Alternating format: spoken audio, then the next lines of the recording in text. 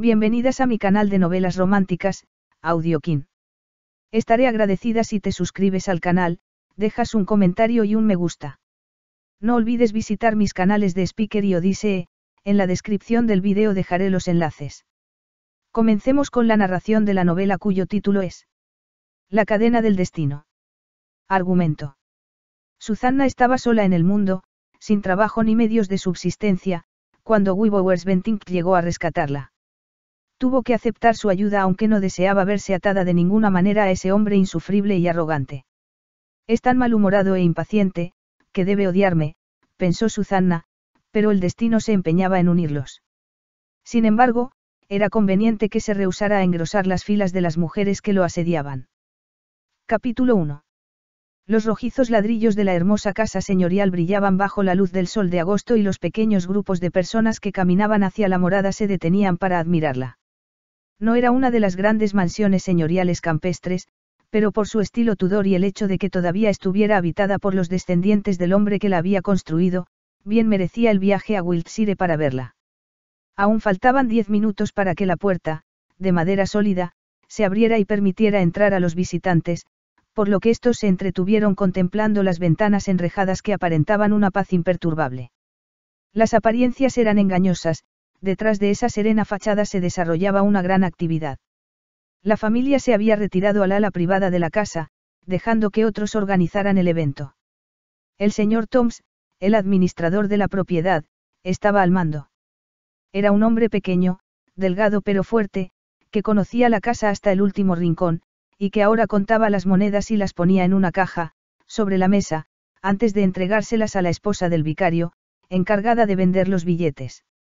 Dispuestos alrededor del amplio vestíbulo cuadrado estaban las guías, la señorita Smith, la maestra de la escuela de instrucción religiosa, alta, rígida, con una voz que no permitiría que ningún turista perdiera interés o se distrajera, la señora Coffin, quien administraba las tiendas del pueblo y la oficina de correos y, por último, Susanna Ligfoot, cuya tía vivía en la cabaña del conserje, la cual le habían ofrecido en pago a una vida dedicada al servicio de la tía abuela de la familia quien se convirtió en un problema para todos hasta que murió, muy anciana.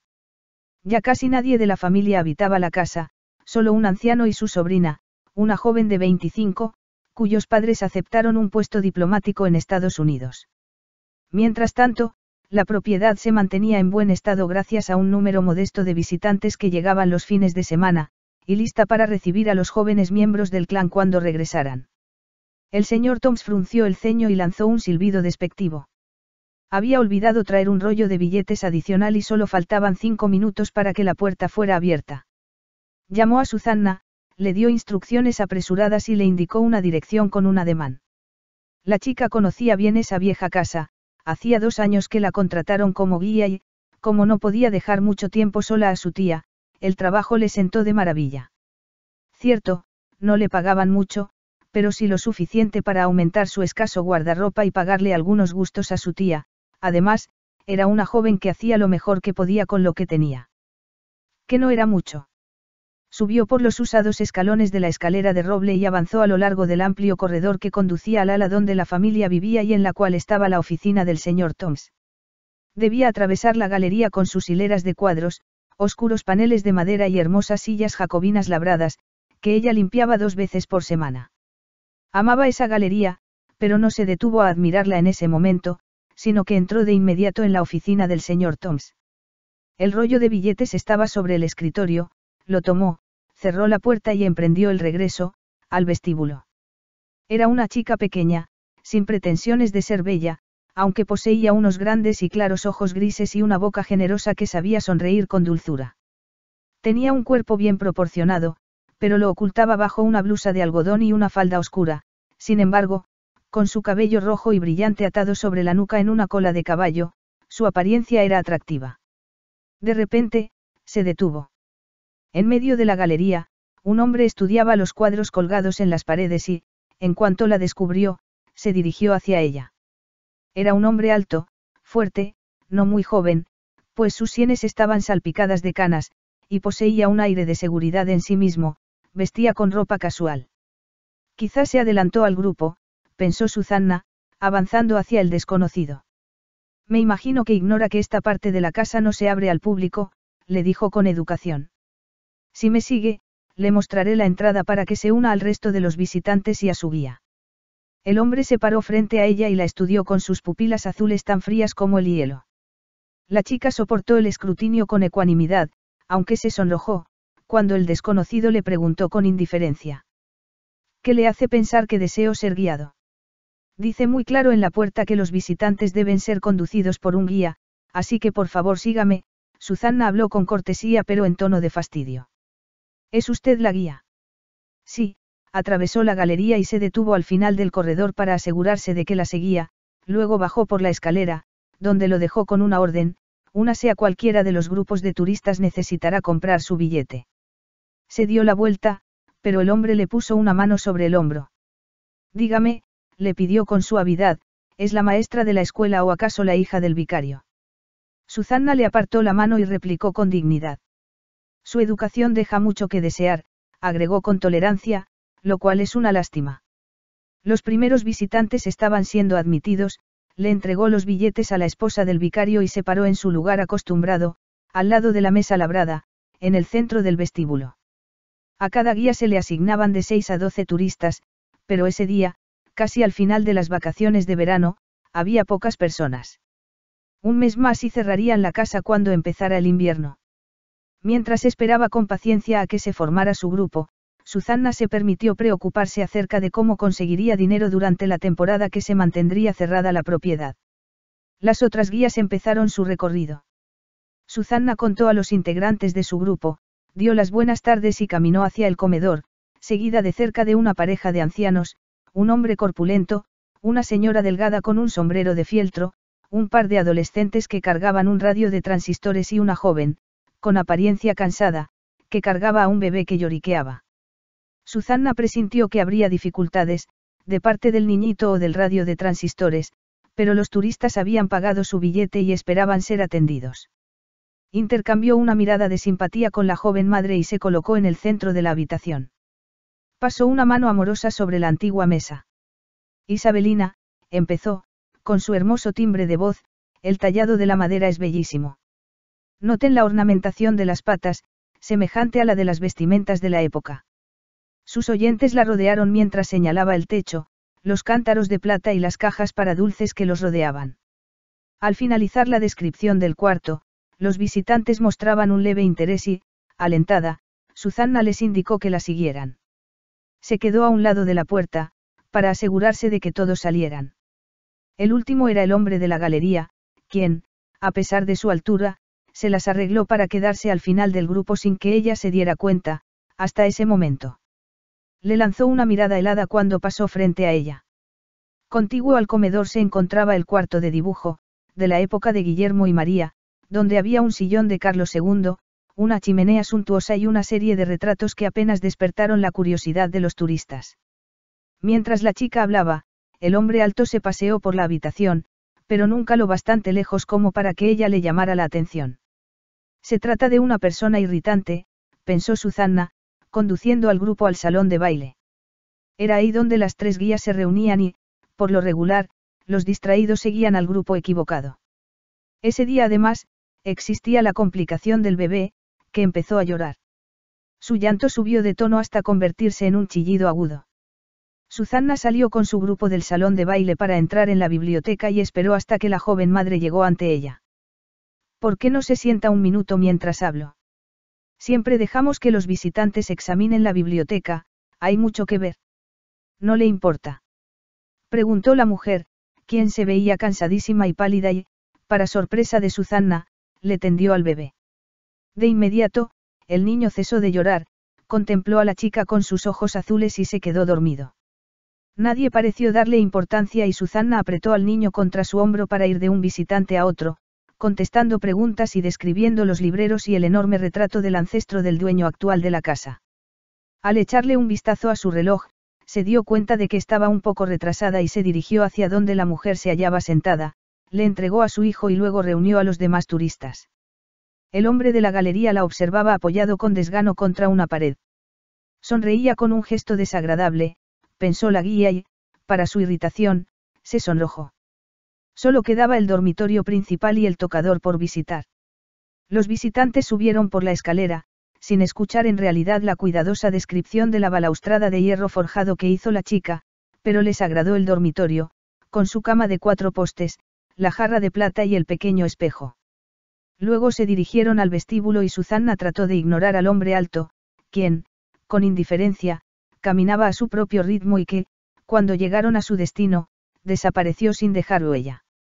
Me alegro de que se haya esfumado, pensó Susana, despidiéndose de los turistas. Ya la esperaba otro grupo, muy distinto al anterior, un caballero de edad, acompañado por su elegante esposa y un par de damas robustas que llevaban libros antiguos. Resultaba agradable tener una audiencia atenta y se divirtió repitiendo su rutina, aunque extrañó al hombre alto de ojos azules de vez en cuando. Acompañó a dos grupos más y luego de revisar que todo quedara en orden, tomó un atajo a través del jardín para llegar a su hogar. Se detuvo ante la reja de un hermoso edificio de piedra, con un tejado de dos aguas y una chimenea. Adentro, las habitaciones eran oscuras y pequeñas y las tuberías necesitaban ser arregladas, pero, de cualquier modo, la casa había acogido a Susana durante varios años, desde que sus padres murieron en un accidente de tránsito, mientras ella estudiaba en un internado. La tía Mabel se acababa de retirar de su trabajo y le ofreció albergue en la cabaña y Susana, abandonando la escuela y la esperanza de ingresar en la universidad, aceptó. Las ideas vagas que tenía respecto a su futuro desaparecieron unos meses después, cuando su tía enfermó y se le diagnosticó un tumor cerebral inoperable, los médicos mandaron a la paciente a su casa, con instrucciones para Susana de que no revelara a su tía la verdad de su enfermedad.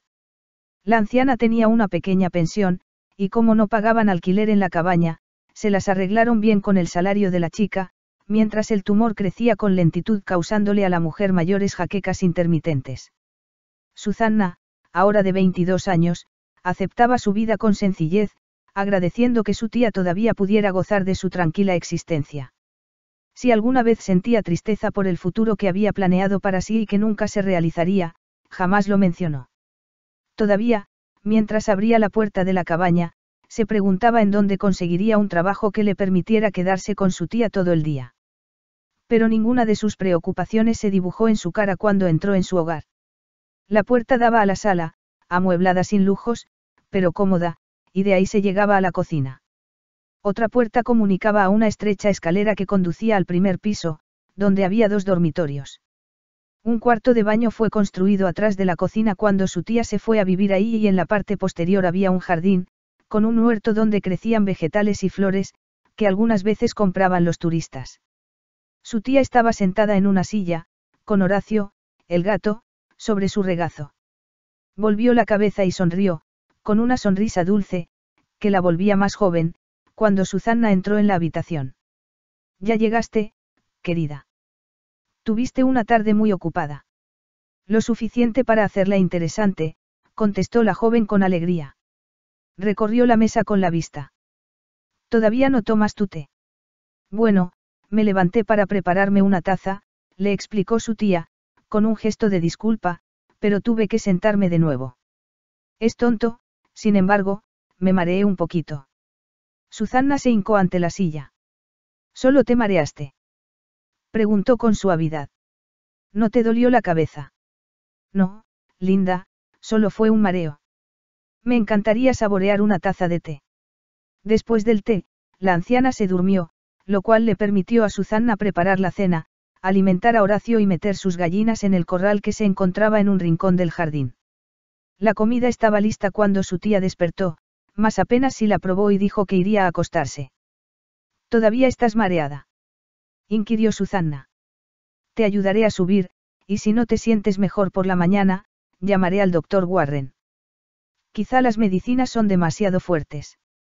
Se quedó con la enferma hasta que ésta se durmió y entonces limpió la cocina, puso la mesa para el desayuno, acomodó a Horacio en su canasta y se acostó, preocupada por su tía. Era cierto que ya antes se había mareado, pero esa tarde la anciana se veía pálida y deprimida. Le tomó largo tiempo conciliar el sueño y cuando al fin lo logró, soñó con su tía y también, por una razón inexplicable, con el hombre alto de la galería. En la mañana la despertó el sol. Se asomó por la ventana para admirar los árboles que crecían en la pradera, atrás de la cabaña. Se puso su bata y atravesó el corredor, para ver si ya había despertado su tía. Aún estaba muy pálida, descubrió Susana preocupada. ¿Dormiste bien, tía? Preguntó con optimismo. Te traeré una taza de té. No, gracias, Linda, replicó la enferma, no me siento con fuerzas para tomarlo es tonto, ¿cómo puedo marearme si sigo acostada? Trató de sentarse, pero tuvo que recostarse de nuevo sobre las almohadas. Oh, cielos, me duele mucho la cabeza, musitó, y tengo náuseas. Susana le pasó un orinal, puso cómoda a su tía, murmurando palabras de consuelo, y cuando la anciana se durmió de repente, corrió escalera abajo a usar el teléfono, una bendición moderna que había sido instalada en la cabaña cuando su tía enfermó.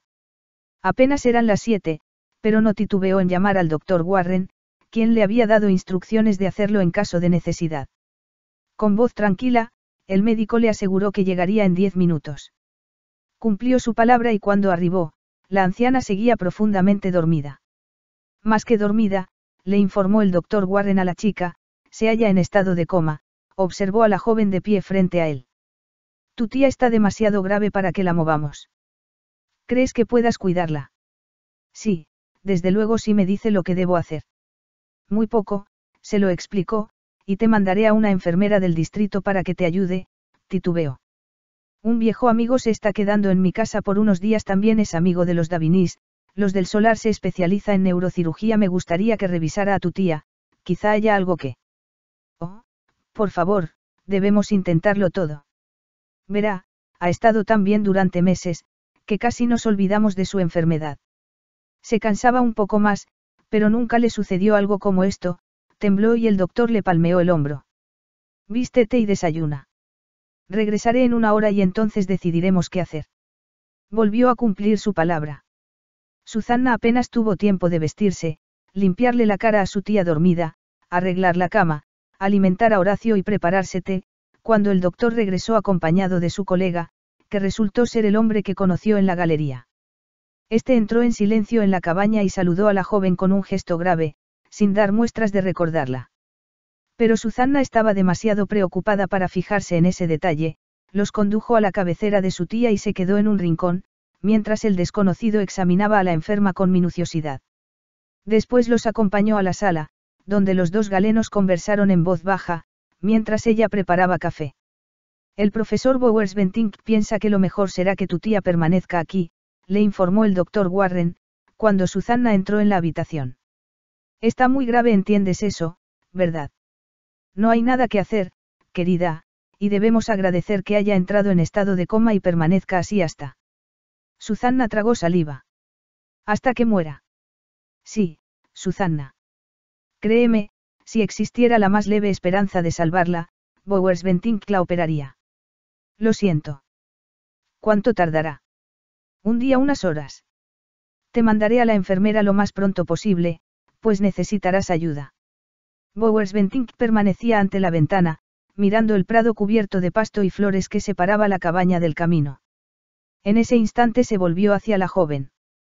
Lo siento, señorita Ligfoot, desearía ayudarla, pero, como le explicó el doctor Warren, no hay nada que hacer. Parecía tan bondadoso que a la chica se le llenaron los ojos de lágrimas.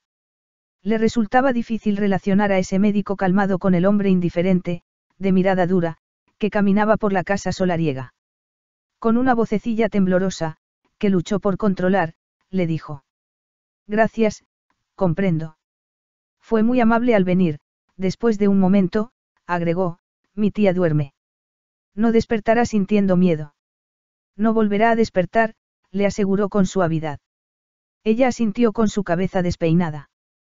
Traeré café.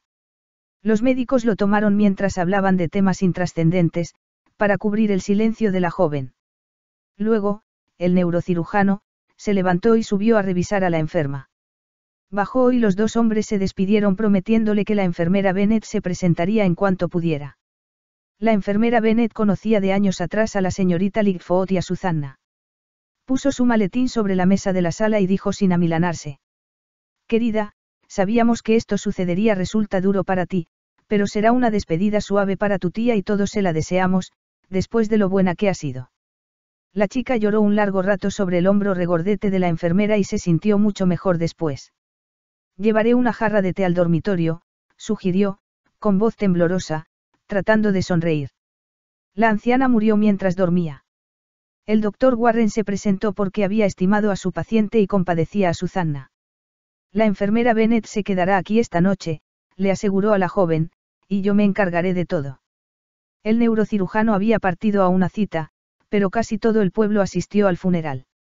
Cuando Susanna regresó a la cabaña vacía, se sintió reconfortada por las muestras de afecto que recibió. Rechazó amablemente varios ofrecimientos de hospitalidad, pues solo pospondrían el momento en que se quedara sola con Horacio. Había sufrido cuando sus padres murieron y sabía que la tristeza desaparecería más rápido si se enfrentaba a los hechos y continuaba con su vida acostumbrada. Se preparó la cena, alimentó al gato, metió a las gallinas al corral, se acostó y lloró un poco antes de dormirse, pero se dijo que era porque había tenido un día largo y cansado y que a la mañana siguiente se sentiría mejor. Al principio resultó difícil, pues tenía demasiado tiempo libre, ya que se había dedicado a cuidar a su tía durante meses. Vació las alacenas, limpió el guardarropa y arregló el jardín durante horas. Su tía dejó muy poco dinero, así que debía buscar un trabajo lo más pronto posible. Había un rumor en el pueblo de que la señorita Smith buscaba una asistente para ayudar en la escuela y Susanna creía que podía desempeñar el puesto. Reconfortada con esa idea, una semana después de la muerte de su tía, se durmió dispuesta a visitar a la señorita Smith al día siguiente. Se levantó temprano y encontró que el cartero ya le había dejado varias cartas, la última de las cuales la sorprendió pues era una nota, bastante formal, pidiéndole que se presentara en la casa solariega. La leyó dos veces. Le ofrecerían un trabajo. Se vistió, desayunó, limpió la cabaña y se dirigió al solar. Entró por la puerta que usaba la servidumbre y se encontró con el señor Toms. Siempre se habían tratado con amabilidad, pero ese día él ni siquiera la saludó, murmurando que estaba atrasado, lo cual sorprendió mucho a la chica. Grim, el mayordomo, la condujo a una antesala, donde la sobrina del viejo Sir William la esperaba sentada detrás de un escritorio. Susanna la había visto en varias ocasiones y no le simpatizó y ahora le agradó menos pues continuó escribiendo, dejando que Susanna permaneciera de pie en medio de la habitación.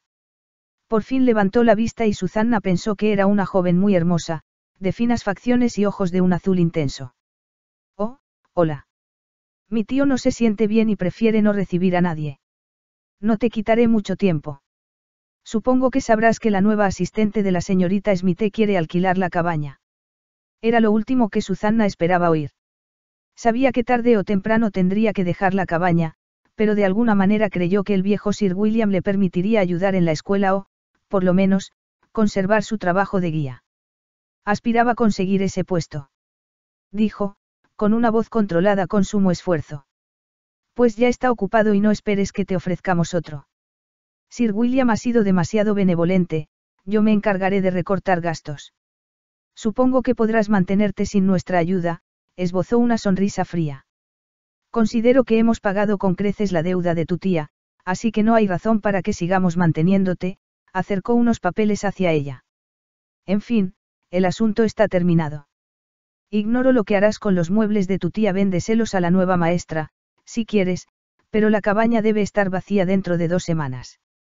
Adiós, Susanna. La chica no contestó, salió del cuarto y cerró la puerta con suavidad. Era un mal sueño, no, peor que eso, era la realidad, y, cuando pudiera pensar con claridad, la aceptaría. Sin reflexionar, tomó el largo camino hacia la puerta principal y, al atravesar la galería, se encontró cara a cara con el profesor Bowers Bentink. Hubiera pasado frente a él, pero el médico extendió una mano y la detuvo, contemplando su rostro pálido y tenso. Bien, bien, señorita Ligfoot, así que nos encontramos una vez más parece que un hilo invisible nos une.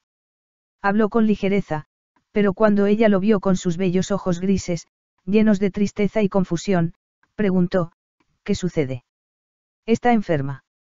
Susanna no contestó, solo se zafó de su mano y corrió por la escalera para salir por la puerta principal. Necesitaba estar a solas por un rato para dominar sus emociones y pensar en lo que haría. Se preguntó por qué el profesor estaba en la mansión y entonces recordó que el viejo Sir William no se sentía bien. Y, además, ¿qué importaba? De regreso a su cabaña, se sentó ante la mesa de la cocina, con Horacio sobre su regazo, y trató de pensar con sensatez. Dos semanas no era mucho tiempo, pero sí el suficiente para organizarse. Tomó un lápiz y empezó a escribir un plan de acción. Por su parte, el profesor, quien se quedó quieto un momento después que Susana salió, se encogió de hombros y se dirigió hacia el ala privada, para abrir la puerta del estudio y entrar. La joven sentada ante el escritorio alzó la vista y le sonrió con encanto. Phoebe, me acabo de encontrar con la chica pelirroja que trabaja aquí como guía, estaba muy pálida y parecía desesperada. Oh, es la sobrina de la vieja. Replicó Phoebe, con indiferencia, la que murió en la cabaña. La nueva asistente de la maestra vivirá ahí, así que le pedí que se fuera. Ah. ¿Tiene algún lugar a donde ir? Se apoyó contra la pared y observó a su anfitriona sin expresión en los ojos. ¿Cómo voy a saberlo, Gui? Es joven y bastante lista, por lo que he oído, ya encontrará algo. Sin familia y sin dinero. ¿Y a mí qué me importa? El tío William ha sido demasiado benevolente con esta gente. Así que la lanzaste indefensa al mundo. ¿Y por qué no? replicó Phoebe, frunciendo el ceño. Quiero la cabaña y ya no hay trabajo para ella como guía. También despedí a la mujer que administra la oficina de correos. La señorita Smith se las puede arreglar sin ayuda y si hay muchos visitantes en el verano, conseguiré empleados temporales. ¿Sabe tu tío lo que hiciste? inquirió, en tono casual. Dios santo, no. Es demasiado viejo para que lo moleste. Le escribiré a mi padre, cuando tenga tiempo, para comunicarle lo que he hecho. Lo aprobará. No importaría si no lo hiciera, se rió, sarcástica. Está al otro lado del océano, apartó el cabello de su frente y sonrió con encanto. Hablemos de otra cosa, Gui. ¿Qué te parece si vamos a un Hereford y me invitas a comer? Imposible, Phoebe. Debo regresar al pueblo esta tarde, caminó hacia la puerta. Vine a visitar a tu tío para despedirme. ¿Te irás? Pensé que te quedarías unos días. Se levantó y se acercó al médico. No podrías arrepentirte. Mi querida niña, contestó él, abriendo la puerta, te olvidas que trabajo para ganarme la vida. Pues no lo necesitas, refunfuñó. De acuerdo, pero es mi vida, no se movió para corresponder al beso que la joven le plantó en la mejilla. ¿Cuándo volveremos a vernos? indagó. Un día de estos, Linda, se fue, cerrando la puerta detrás de él. Regresó a la casa del doctor Warren, se despidió, recogió sus maletas y se metió en su auto. Pero no condujo muy lejos. Se estacionó ante la cabaña y llamó a la puerta. No obtuvo respuesta, así que levantó el picaporte y entró. Susana estaba sentada ante la mesa, escribiendo lo que tendría que hacer si quería mudarse en dos semanas. La lista era larga y cuando la terminó empezó otra de posibles trabajos que podía desempeñar. Le pareció que lo único que podría hacer era trabajar como empleada doméstica, o en un hotel, o como institutriz. Existía esa clase de personas todavía. Su escasa preparación laboral la deprimía. Levantó los ojos y lo vio parado en el quicio de la puerta, y, por alguna razón, sintió ganas de llorar. Por favor, váyase. Le pidió con voz débil. Me iré cuando haya terminado, afirmó él sin inmutarse, y por favor no llores. Es una pérdida de tiempo. Lo fulminó con la mirada y se pasó una mano por las mejillas. No estaba segura de por qué ese hombre parecía formar parte de sus desventuras de ese día, solo sabía que en ese momento le desagradaba. El hombre se sentó en una silla frente a la joven, estirando sus largas piernas. Tienes que dejar esta casa. Sí, se sonó la nariz y se enderezó. Ahora, si usted se va, terminaré todo lo que me queda por hacer. La observó durante unos segundos, frunciendo un poco el ceño, y al fin se encogió de hombros. La señorita Davinis me informó que te quedaste sin empleo. Pensé que quizá te podría ayudar en alguna forma, la miró con fijeza, pero creo que me equivoqué, se puso de pie, buenos días, jovencita. Salió de la habitación en silencio y luego ella escuchó que su auto se alejaba. Capítulo 2. Susanna trató de apartar la sensación de que caminaba sobre arenas movedizas. El profesor Bowers Bentink le desagradaba, pero le ofreció ayudarla y ella necesitaba ayuda con desesperación. No solo lo rechazó como una tonta, sino que ni siquiera le dio las gracias. Era una lástima que no se hubiera quedado un poco más, hasta que ella sofocara ese deseo tonto de llorar. Se encogió al recordar los fríos ojos azules, sin embargo, el hombre se había comportado con tanta dulzura con la tía Mabel. Por su parte, el profesor manejó hasta Londres, atendió a varios pacientes, efectuó una delicada operación del cerebro en el hospital y regresó a su elegante casa a cenar, para luego dedicarse a contestar su correspondencia. Pero no avanzó mucho en su tarea. El cabello rojizo de Susana, enmarcando su rostro pálido, invadía sus pensamientos. Hizo las cartas a un lado, justo cuando el teléfono empezó a sonar. Lo llamaba Phoebe, quien con su encanto y agradable voz lo sacó de sus cavilaciones. Hablaron durante un rato y él le prometió con renuencia que pasaría el siguiente fin de semana en la casa solariega. Esperaba que para ese entonces Susana ya se hubiera ido. Al día siguiente, sentado en la oficina de la hermana As, escuchó con amabilidad las quejas de la mujer acerca de la escasez de fondos y personal y la acusación de que los instrumentos que había ordenado hacía varias semanas no habían sido entregados. Lo investigaré, respondió. Necesitamos otra enfermera, ¿verdad? La señora Beb no fue reemplazada cuando renunció. La hermana As le brindó una mirada de agradecimiento. Tenía alrededor de 50 años y dedicaba su mejor esfuerzo al hospital.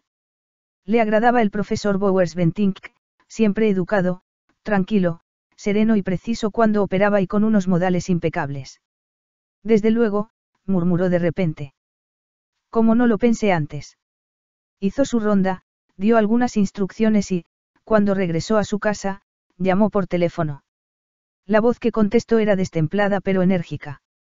Uy, querido muchacho, qué agradable oírte, aunque sería mejor si vinieras a visitarnos.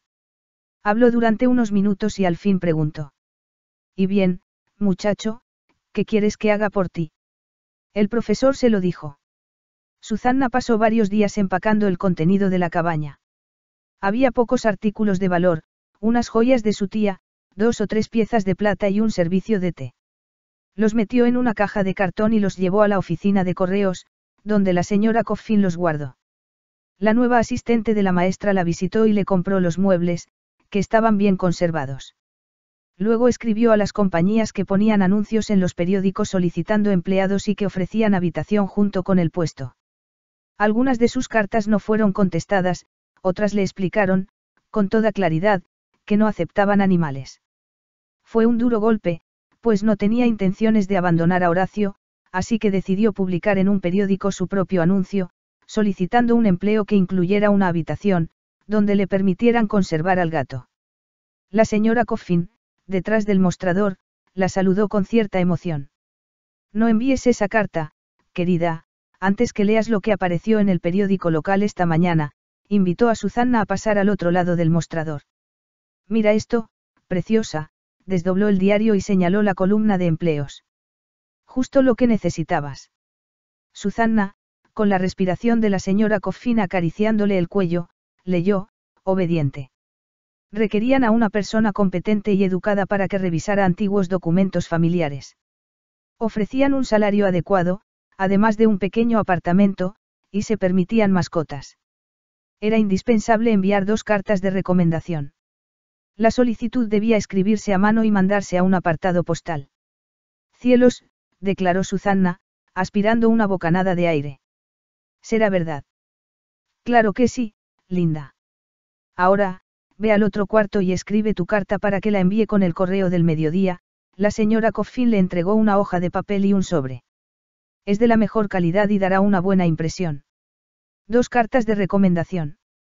Se las pedirás al vicario y al doctor Warren cuando hayas terminado, la señora empujó a Susana a la pequeña habitación posterior y, como la chica no tenía nada que perder, la obedeció.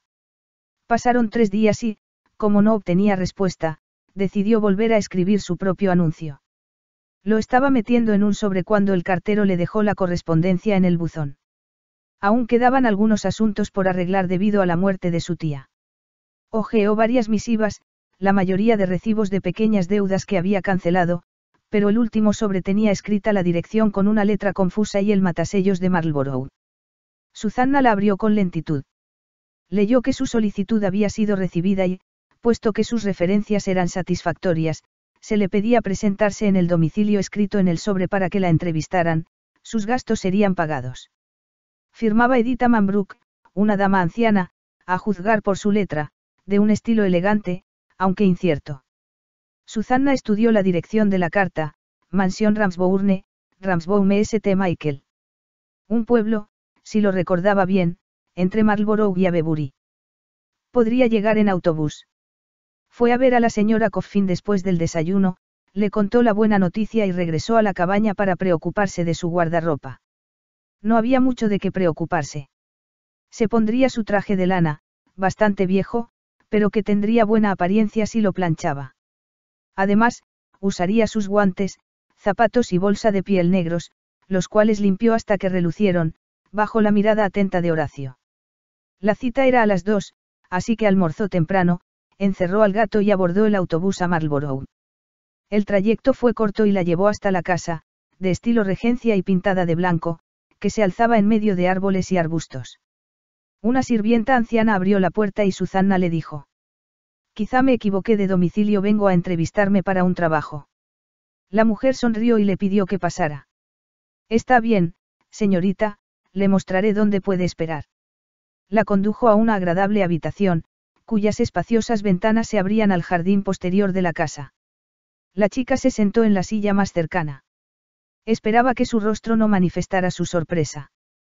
Había sido una tonta al suponer que sería la única solicitante de ese puesto. Murmuró un tardío saludo y examinó, a escondidas, a las otras ocupantes del cuarto. Eran cuatro y parecían expertas en el trabajo que pedían. Una de ellas comentó en voz alta, no mencionan taquigrafía ni mecanografía, pero imagino que son indispensables para este tipo de empleo. Las otras estuvieron de acuerdo y el corazón de Susana se le cayó a los pies.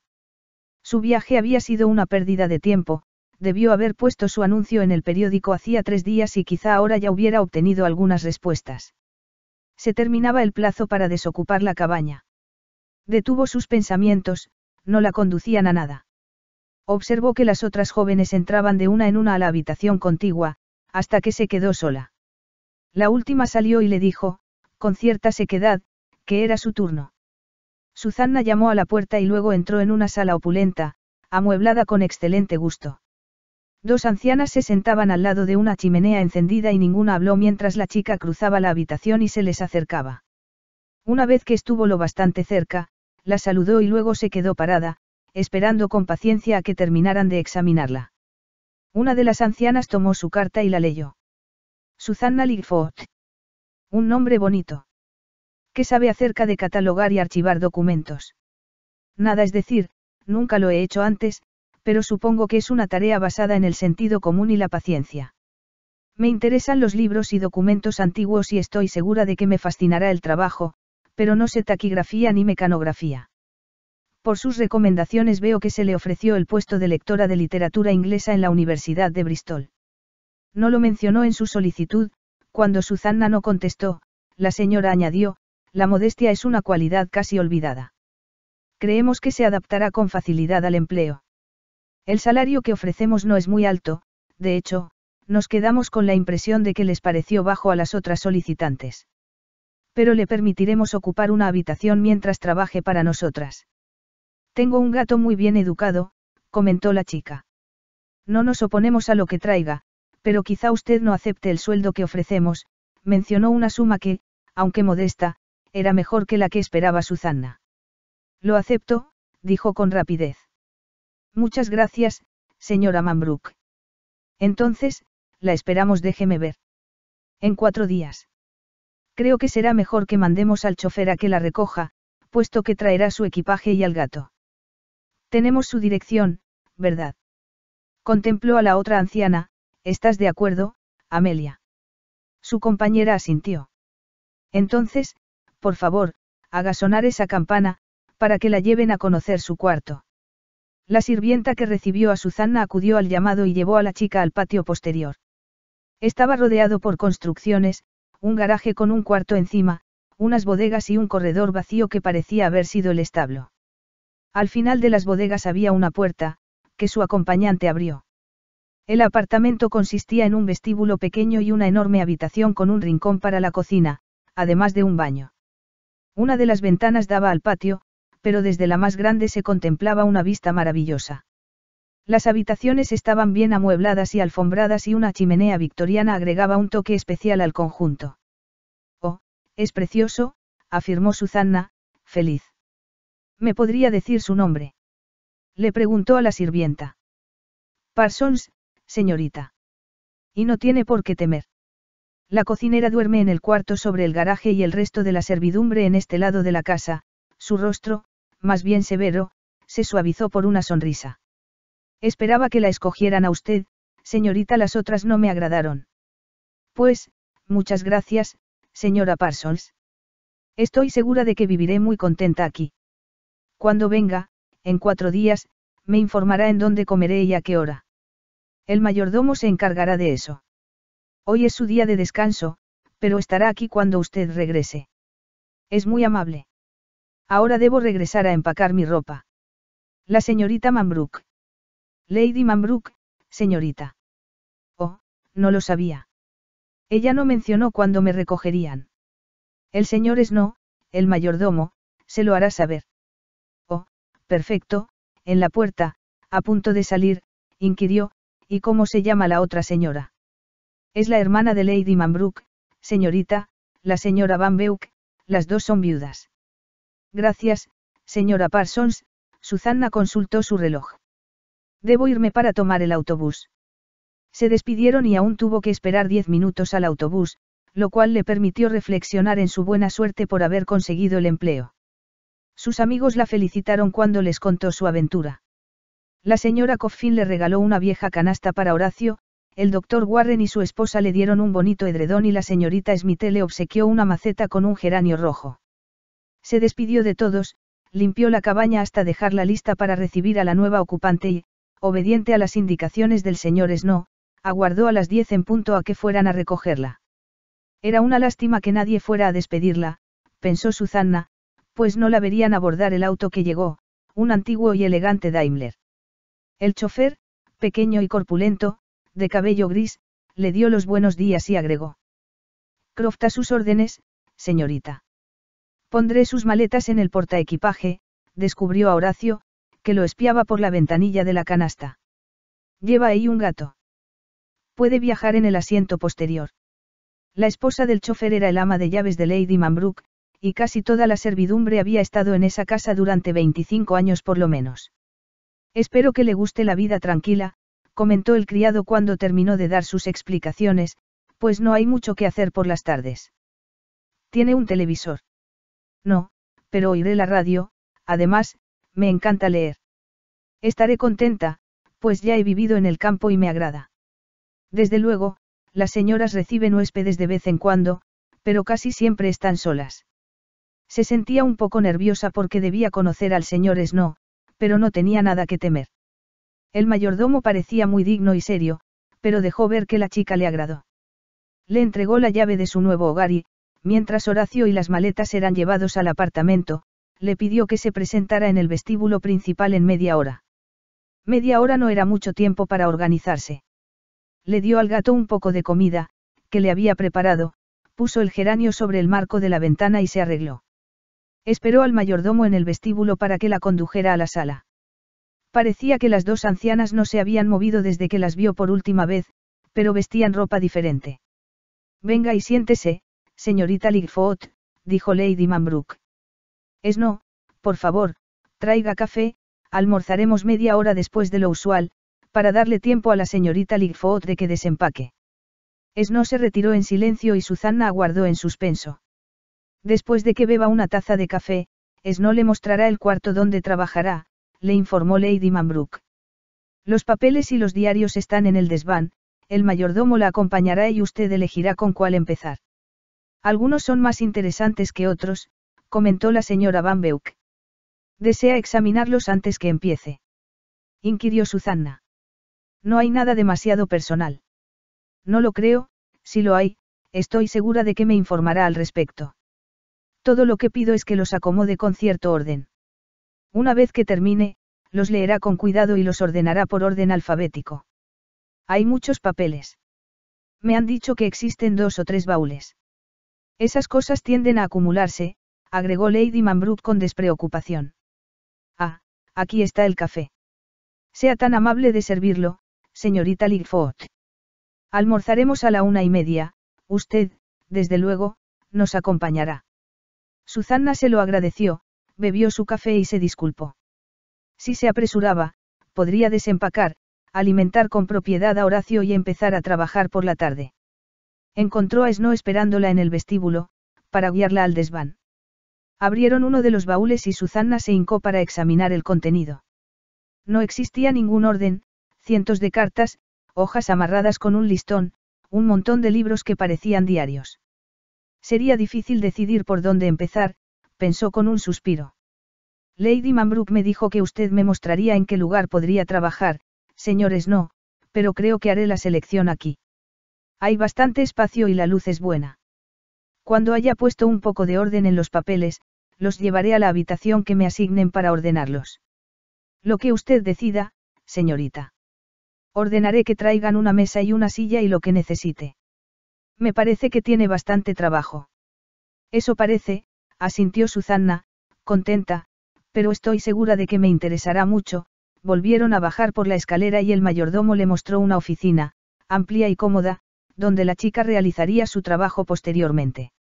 Su apartamento le pareció pequeño en comparación con la casa, pero era muy acogedor.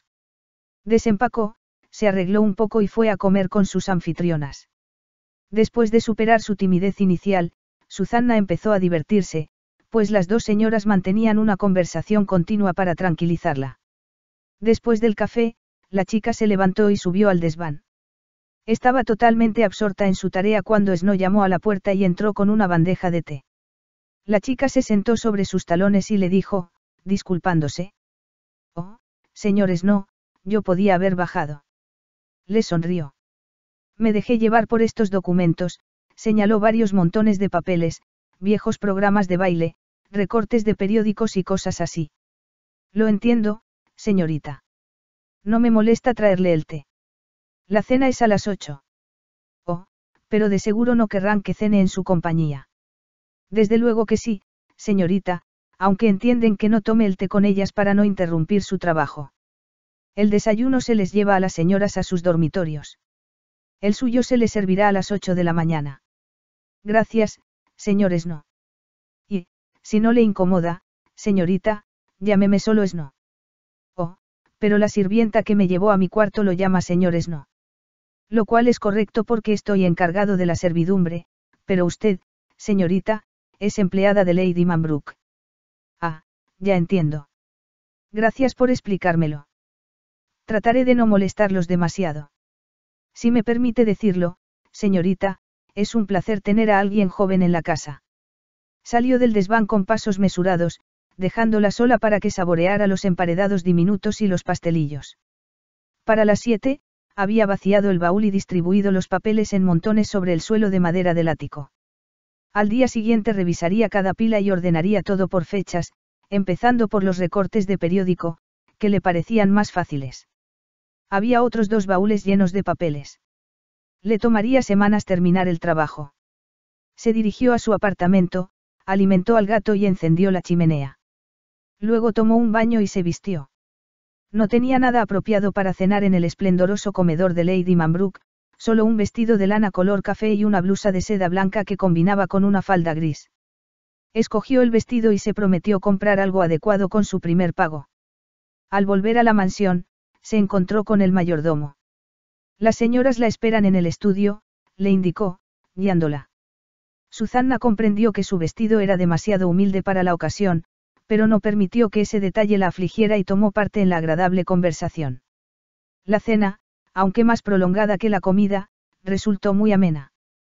Por fin, la chica se despidió de sus anfitrionas y regresó a su habitación. Horacio dormía ante la chimenea, era la viva imagen de un felino satisfecho. Susana se sentía contenta y se durmió casi en cuanto se metió en la cama. En pocos días se adaptó al ambiente. Tenía poco tiempo libre, pero no le importaba. Nadie le ordenó cuántas horas debía trabajar, así que ella misma se impuso un horario. Iniciaba sus labores a las nueve, las interrumpía para almorzar y después continuaba hasta las siete. Horacio la acompañaba a caminar por las mañanas, después del desayuno. La vida le parecía interesante y agradable. Cuando hubiera oportunidad, pediría que le concedieran una tarde libre para ir de compras a Marlborough. Se le ocurrió que quizá trabajaba de una manera poco profesional, pero progresaba. Los montones de cartas, recortes y fotografías empezaban a adquirir orden.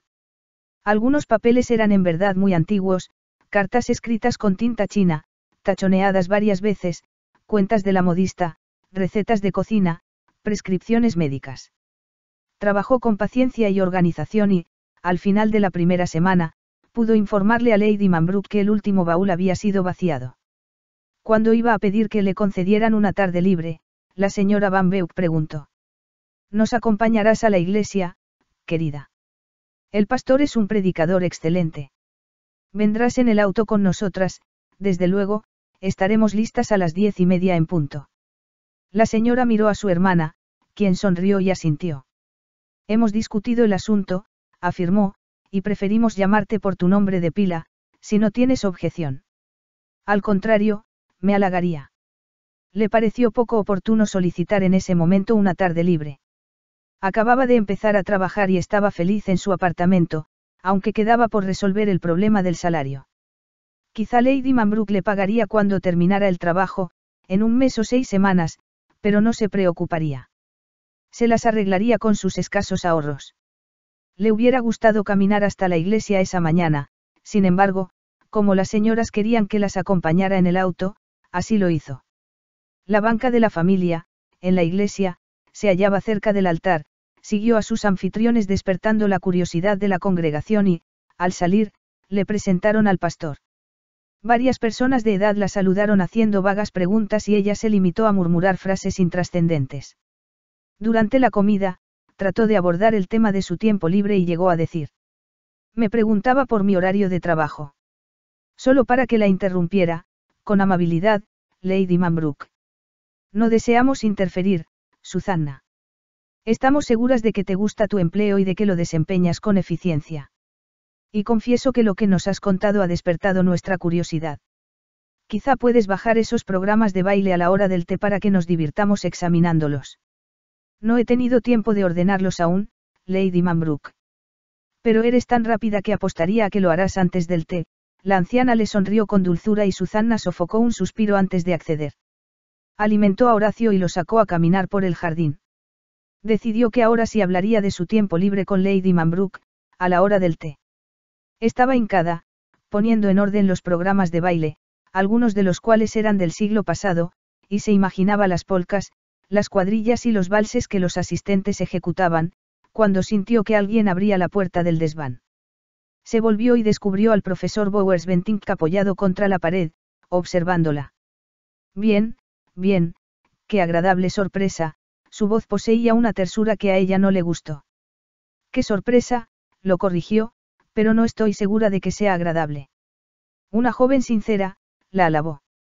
Creo que debo enorgullecerme de que me reconozca. Susanna seguía hincada, con un montón de programas en la mano, mirándolo. Sería tonta si no lo hiciera. Comentó con sequedad.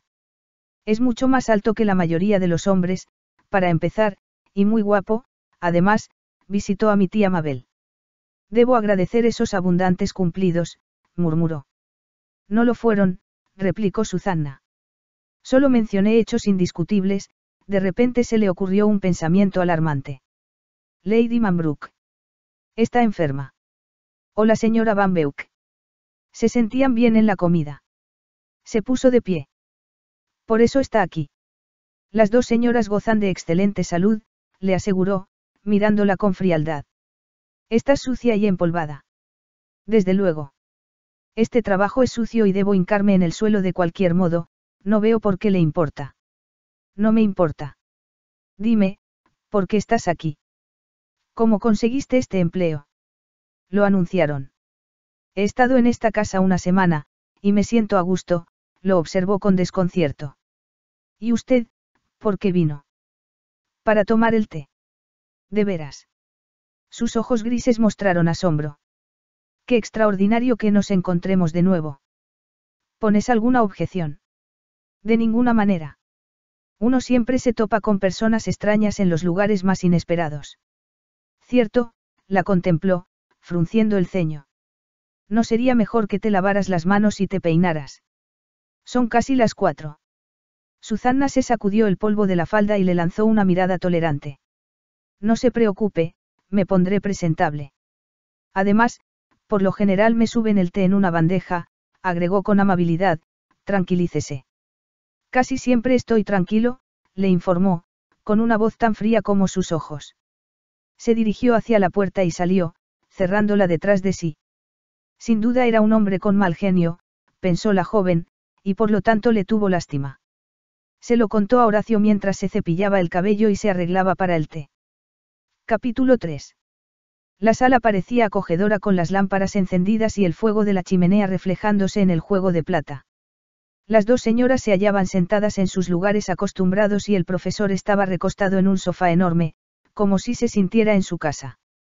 Un viejo amigo de la familia, concluyó Susana, o el médico de las ancianas, porque era obvio que las conocía muy bien. Se puso de pie cuando ella se acercó y la ayudó a sentarse en una silla, al lado de Lady Manbrook.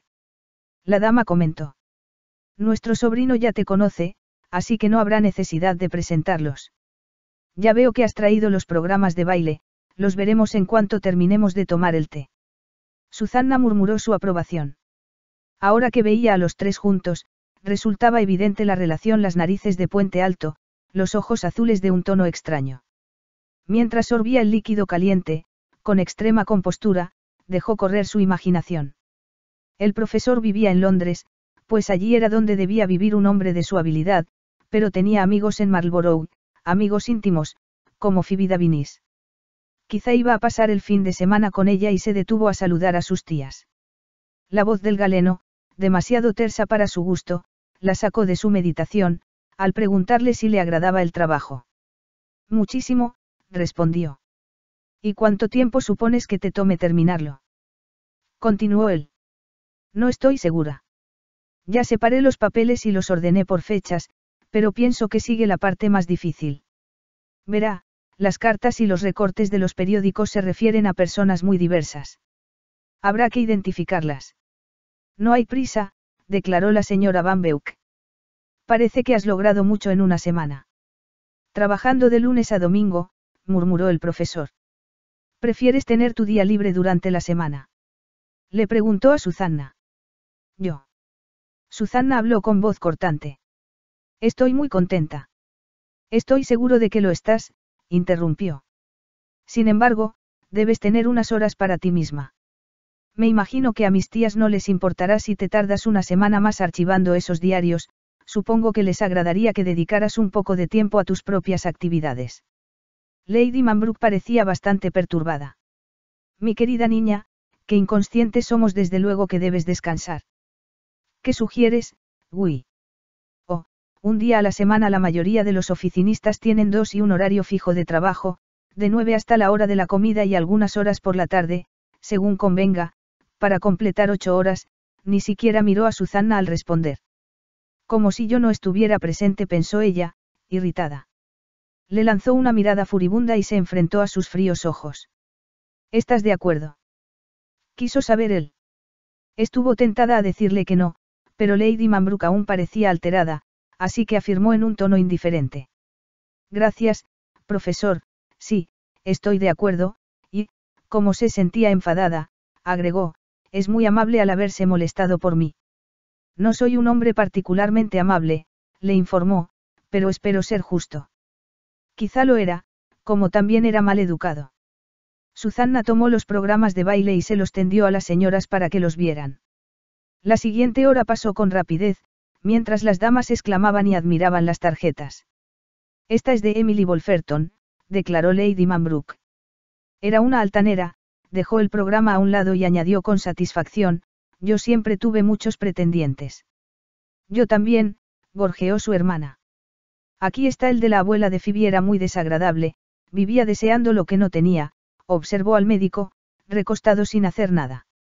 Espero que Phoebe no tenga mal genio, uy. Jamás se enoja mientras consigue lo que quiere, respondió con pereza. Desde luego, lo consigue, observó la señora Van Beuk. William Davinis está demasiado viejo para oponérsele.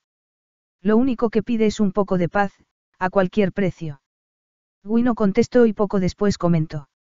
Quizá a Susanna le gustaría descansar una hora o dos antes de la cena, consultó su reloj. Ahora tengo que irme. ¿Tan pronto, querido? Preguntó Lady Manbrook. Ceno con Phoebe, contestó, mirando a Susanna. La chica se levantó, se disculpó y se dirigió a la puerta. Will la mantenía abierta para que pasara. No puede esperar a librarse de mí, pero él murmuró. Lástima que no hayamos tenido tiempo de platicar. Ella lo miró con fijeza estudiando sus facciones. De veras. No se me ocurre de qué podríamos hablar, le informó. No le gustó cómo le sonreía, ni su tono mesurado de voz. Tu apariencia puede ser gris, a pesar del color de tu cabello, pero posees una lengua viperina. Buenas noches, Susanna. La chica murmuró su despedida y desapareció en el vestíbulo. La expresión de la cara del galeno al volver a la sala hizo que Lady Manbrook afirmara. Una chica amable, uy, limpia, arreglada y trabajadora. Él sonrió y se preguntó qué diría Susanna si oyera esos cumplidos. Se encogió de hombros, molesto por interesarse en ella. Le resultó fácil que sus tías la contrataran, lo hizo por compasión y porque consideró que Phoebe había sido injusta con la joven. No había razón para que se interesara en su futuro. Le quedaban un par de meses para decidir lo que deseaba hacer y cómo se ganaría la vida. Regresó a su asiento y se entretuvo escuchando la charla de sus tías. Susanna entró en su apartamento, alimentó a Horacio, encendió la chimenea y se quejó con el gato. Es un hombre muy mal educado, declaró Susanna. Creo que le desagrado muchísimo qué mala suerte que nos hayamos encontrado de nuevo, se ató con fuerza el cinturón de su abrigo y sacó a Horacio a pasear. Llegaron hasta las rejas de la mansión y cuando regresaban por el camino interior, un Bentley surgió de repente y frenó a un metro del gato. El profesor sacó la cabeza por la ventana del auto. Por el amor del cielo, exclamó, petulante, debes pasear al anochecer. Pude haber aplastado a ese animal. Susanna abrazó a Horacio contra su pecho. Este es un camino privado, replicó, con la voz temblorosa de rabia e indignación. No sabía que usted se aparecería en una curva a 90 kilómetros por hora. 30 a lo sumo, se rió. Y soy un buen conductor. Pero que te sirva de lección en el futuro, metió la cabeza y continuó su camino, dejando a Susanna de pésimo humor. De regreso en sus habitaciones, miró el reloj. Era hora de que se arreglara para la cena. Se dirigió al baño y se lavó los dientes. Espero no volver a ver a esa bestia con figura de hombre, le dijo a Horacio. La segunda semana transcurrió con rapidez. Las señoras tomaron muy en serio la sugerencia de su sobrino, pues cada tarde le preguntaban si había trabajado más horas de las necesarias y el sábado le dijeron que se tomara el día libre, lo cual le fascinó. Con el salario de dos semanas en el bolsillo y un gran deseo de gastarlo, Compró estambre para un suéter y tela para una falda y aún le quedó dinero. No había olvidado su futuro incierto, pero si se limitaba a comprarse un par de zapatos, le sobraría dinero para sobrevivir hasta que consiguiera otro trabajo. De regreso en su apartamento, alimentó a Horacio, encendió la chimenea y se preparó una taza de té. Como todavía faltaba mucho para la cena, midió la tela para cortarla. Tendría que coserla a mano, lo cual no le preocupaba. Se la probó frente a un espejo pequeño y le pareció que le quedaría muy bien. Durante la siguiente semana no hubo señales del profesor, pero no esperaba verlo y nadie lo mencionó. Siguió con su trabajo y terminó de coser su falda. Fue una semana aburrida, pero la rutina le daba un sentimiento de seguridad. Volvió a Marlborough en su día libre, pero esta vez casi no compró nada. El futuro empezaba a preocuparla. Otras tres semanas y se quedaría sin empleo. Esperaba obtener una recomendación de Lady Manbrook y revisaría los periódicos para buscar un empleo. Tomó una taza de té en un restaurante modesto y regresó a la mansión en autobús. Cuando empezó a leer las cartas, le fascinaron. El contenido, en su mayor parte, era bastante inocente, conversaciones entre amigas acerca de fiestas, bailes, vestidos.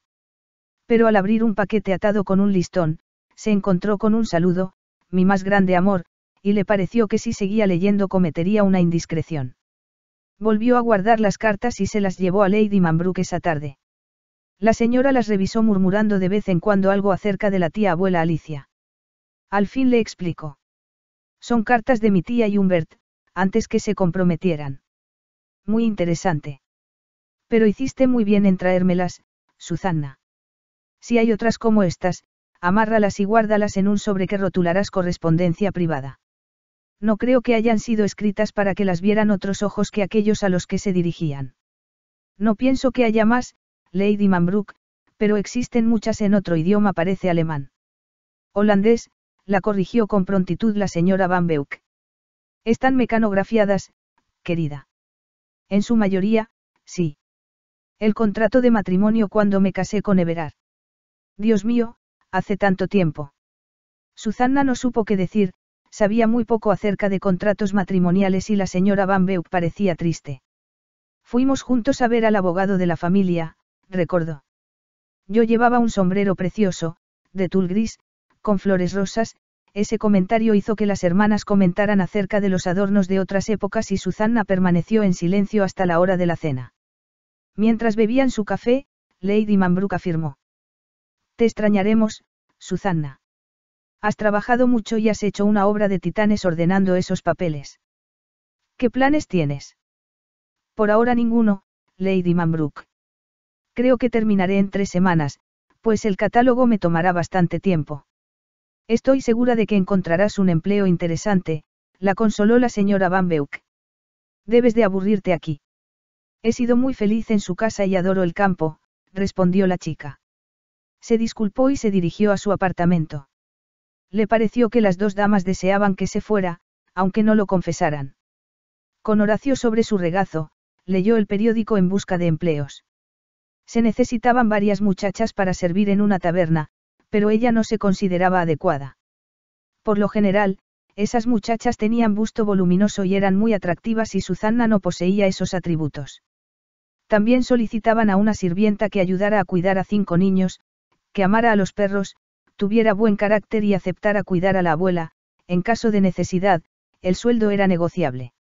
Susanna no entendíale qué eso significaba, pero presentía que se aprovecharían de ella. Dobló el periódico y decidió presentarse en la agencia de colocaciones de Marlborough al día siguiente. Al final de la siguiente semana, se encontraba sentada en la oficina que Snow le había asignado, cuando Guy entró. Todavía con los programas de baile. Quiso saber y se paró frente a la chimenea, evitando que el calor llegara al resto de la habitación. Buenas tardes, profesor Bowers Bentink, lo saludó con sarcasmo y esperó a que él hablara. Si te quitas esa expresión de desaprobación de la cara, buenas tardes, Susanna. Casi acabaste. También él ansiaba que se fuera. Con suma cautela, contestó. Casi. Y trabajo lo más rápido que puedo. Perfecto. Ya conseguiste otro trabajo. Tengo varias posibilidades. Vio cómo la observaba y rectificó, ninguna segura, desde luego. Te queda dinero. De verdad, profesor, creo que ese asunto no le incumbe, se sonrojó. Pues yo no puedo entender qué te impide contestar a mi pregunta. No, supongo que no puede, aspiró, hondo. Déjeme decirle algo. No soy su empleada. Fue muy amable con mi tía Mabel antes que ella muriera, pero no permitiré que me insulte. Su voz tranquila adquirió de repente un leve tono agudo. Volvió a aspirar y añadió, si no le importa, continuaré con mi trabajo. La molestaba y le molestó más que se alejara cerrando la puerta con suavidad. No había señales de él cuando se reunió con las dos ancianas esa tarde en el estudio. Qué lástima que Guy tuviera que volver a su consultorio. exclamó la señora Van Beuk. Ese muchacho trabaja demasiado, me asombra que tenga tantos pacientes, y, ante la mirada interrogativa de Susanna, añadió, enfermos con tumores en el cerebro, Linda. Desde luego, Guy es tan listo que siempre sabe qué hacer. De repente se contuvo. Mi pequeña niña, lo siento, por un momento olvidé que tu tía. No se preocupe, señora Van Beuk, repuso Susanna, con suma compostura, mi tía no podía salvarse. El profesor Bowers Bentink la examinó con sumo cuidado y se portó con mucha amabilidad. Muy diferente como se portó esta tarde, se agregó para sus adentros. Suponía que debía de irritarlo en alguna forma, así como él la enfadaba a ella. Permaneció callada, oyendo a medias, la suave charla de las dos señoras. Apenas puedo creer que ese muchacho vaya a cumplir 35 años la semana entrante, comentó Lady Manbrook. Parece que fue ayer cuando él y sus padres vinieron de visita. Qué tristeza que no hayan vivido para verlo conquistar un lugar relevante en su profesión. Igui es muy modesto, y siempre tan amable. Es obvio, pensó Susana, que desconocía un aspecto de la personalidad del cirujano. Y quizá nunca la descubriría. Pasó otra semana sin que Gui se apareciera en la mansión. ¿En dónde estaría? se preguntó la chica. Pero sabía que era un hombre ocupado y su trabajo lo mantenía en Londres. Susana casi había terminado de catalogar los papeles, en cuatro o cinco días más acabaría con su tarea. Era demasiado honesta como para prolongarla, pero estuvo tentada a hacerlo, pues no había recibido respuesta a los anuncios que contestó. Arregló las últimas cartas y bajó a informarle a Lady Manbrook que en cuatro días más se iría. Su anfitriona la miró asombrada. Tan pronto, querida. Necesitarás uno o dos días más para empacar tus propias cosas, desde luego. Croft te llevará. Hizo una pausa, ¿a dónde, Susanna? No hay a alguien viviendo en la cabaña. Sí, pero la señora Coffin me recibirá en su casa hasta que encuentre otro trabajo, Lady Manbrook. Ah, claro. Debes de tener muchas ofertas. Desearía tenerlas, pensó la chica. Pero llegó el último día de su estancia en la mansión sin que el cartero le llevara ni una sola respuesta. Así que metió a Horacio en la canasta, recogió su geranio, se despidió de las dos ancianas y de la servidumbre y se metió en el auto, al lado de Croft. La señora Coffin le escribió una carta optimista, aceptando que viviera con ella mientras lo necesitara, de todos modos, la chica se entristeció cuando Croft la condujo lejos de ese refugio que le brindaba seguridad. Cierto, había ahorrado casi todo su salario, pero no era mucho. La señora Coffin le dio la bienvenida con genuino placer y, mientras bebían té, escuchó con simpatía las dudas que la joven albergaba respecto a su futuro. No te preocupes, Linda, le pidió, con su voz reconfortante. Ya se presentará algo y puedes quedarte conmigo hasta que lo juzgues necesario. Le acarició la mano y continuó. Cuéntame de tu trabajo. Resultó interesante. Encontraste a alguien agradable. Se refería a un hombre, desde luego. No, pero le diré a quién volví a ver. Al médico que examinó a mi tía Mabel cuando estaba tan enferma. Su voz se quebró por un instante. Es el sobrino de Lady Manbrook. Qué suerte. No tanta. No le simpatizo, creo, y me preguntó mil cosas. De veras. El ama de llaves del solar me contó que la señorita Phoebe ha estado de muy mal humor últimamente. Todos pensaban que el profesor Bowers Bentink se casaría con ella y ella lo pregonó a los cuatro vientos. Pero el otro día el señor Toms me dijo que había oído que el profesor no la había visitado en semanas. Yo no lo conozco muy bien, pero siempre se comporta con amabilidad y el doctor Warren lo aprecia muchísimo. No creo que él soporte los arrebatos de la señorita Phoebe. Susana se preguntó en silencio si él también tenía mal genio y pensó que era muy posible. Además, le gustaba salirse con la suya. Le agradó regresar al pueblo, aunque no visitó su antiguo hogar. De hecho, se pasaba la mayor parte del día revisando los anuncios publicados en las revistas que la señora Coffin vendía. Después de tres días recibió dos respuestas, pero en ningún lugar admitían animales y ella no quería abandonar al gato. La señora Coffin lo quería mucho, pero ya tenía un menino y un viejo perro que no aceptaría a Horacio como huésped vitalicio. Susana se encargaba de cocinar y limpiar la casa de su generosa anfitriona, para no convertirse en una carga, y cada tarde, después de comer, atendía la tienda mientras la señora Coffin dormía la siesta. Al cuarto día de que la chica llegó, se presentó en el establecimiento el profesor Bowers Bentink. La campana sonó cuando él entró. La chica, que estaba haciendo cuentas, musitó. Una libra y cincuenta y tres. Lo vio y se olvidó de los números. Oh, mire lo que ha hecho, exclamó, ahora tendré que empezar de nuevo. Lo cual hizo, hasta estar segura de que los totales coincidían. Entonces, volvió su atención al cliente. Buenas tardes. ¿Qué desea? Él la observó un tanto confuso. Pues no vengo a comprar nada. Eres la nueva dependiente. No, ayudo a la señora Coffin mientras descansa. Ya conseguiste trabajo. La joven dudó en contestar. No, aún no, respondió por fin. Entonces, puedo hacerte una proposición y esperar que superes el desagrado que sientes por mí para que la escuches. A usted tampoco le agrado, sentenció Susana, sin alterarse. No creo que me inspires ningún sentimiento, bueno o malo, Susana, la corrigió. Sonrió un poco y continuó, ahora, escúchame sin interrumpirme. El profesor hizo a un lado una caja de galletas y se apoyó en el mostrador. Ocupaba mucho espacio y Susana tuvo que mirarlo a la cara, lo cual la irritó. Tengo una paciente, le informó, que se está recobrando de la intervención quirúrgica en la cual le estirpé un tumor cerebral. Está lista para regresar a su casa, en Holanda, pero necesita a una acompañante con mucho sentido común que la ayude mientras se recupera. Rehúsa contratar a una enfermera y tiene razón. Ya no necesita atenciones profesionales, sino a alguien responsable que sepa reaccionar ante una emergencia y, al mismo tiempo, no la agobie con su presencia cuando no la reclame. Estoy seguro de que tú eres la persona indicada para esta clase de trabajo. Lo ha explicado con toda claridad, dijo Susana, digiriendo la opinión que el médico tenía sobre ella. Así que era la mujer indicada para aparecerse solo cuando se requieran sus servicios. Me gustaría enseñarle de lo que soy capaz, pensó, furiosa. Susana, la voz del doctor la volvió a la realidad. No te distraigas. ¿Qué decides? ¿Cuánto me pagarán? Preguntó con rapidez. ¿Por cuánto tiempo cuidaré a esa enferma? Unas semanas, a lo sumo. El salario es aceptable, mencionó una cantidad que a la chica le pareció excesiva. No es demasiado dinero para alguien que esperará en las sombras a que se requieran sus servicios, aunque sea responsable y posea mucho sentido común. Oh, siento haberlo dicho con esas palabras, replicó, con velada impaciencia. No intentaba humillarte. Supongo que no, asentó, amable, pero en lo futuro, debe tener más cuidado al hablar con muchachas como yo. ¿Por qué?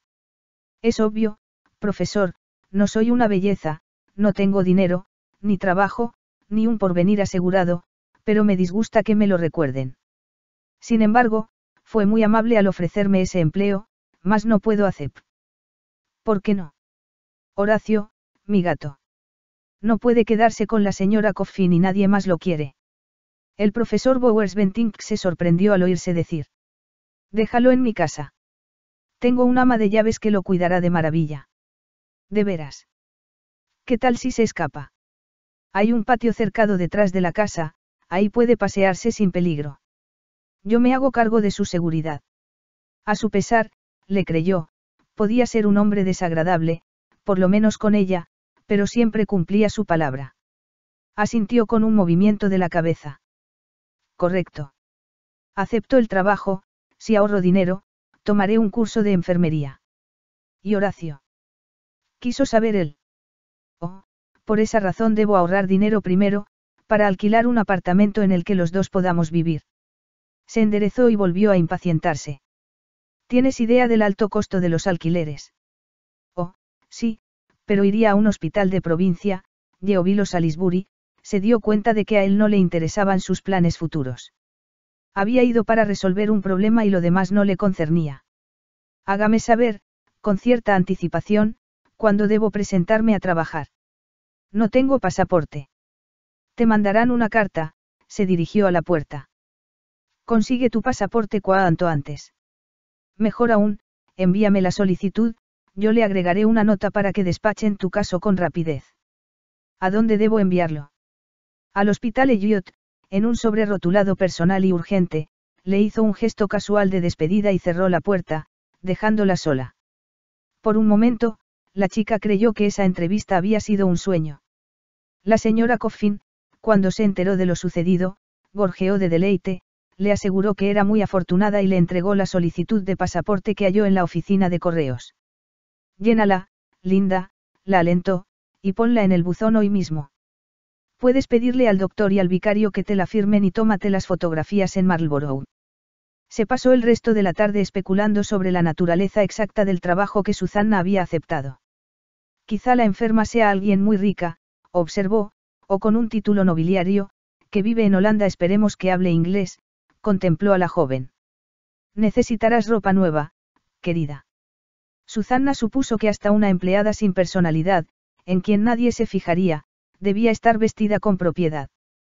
Compraré unas blusas, otro suéter y quizá un vestido, repuso. Al día siguiente recibió la carta, con el nombre de la paciente, Juffrau Julie van Dijl, de 22 años, cuya casa se encontraba en La Haya. Soltera, vivía con sus padres y dos hermanos.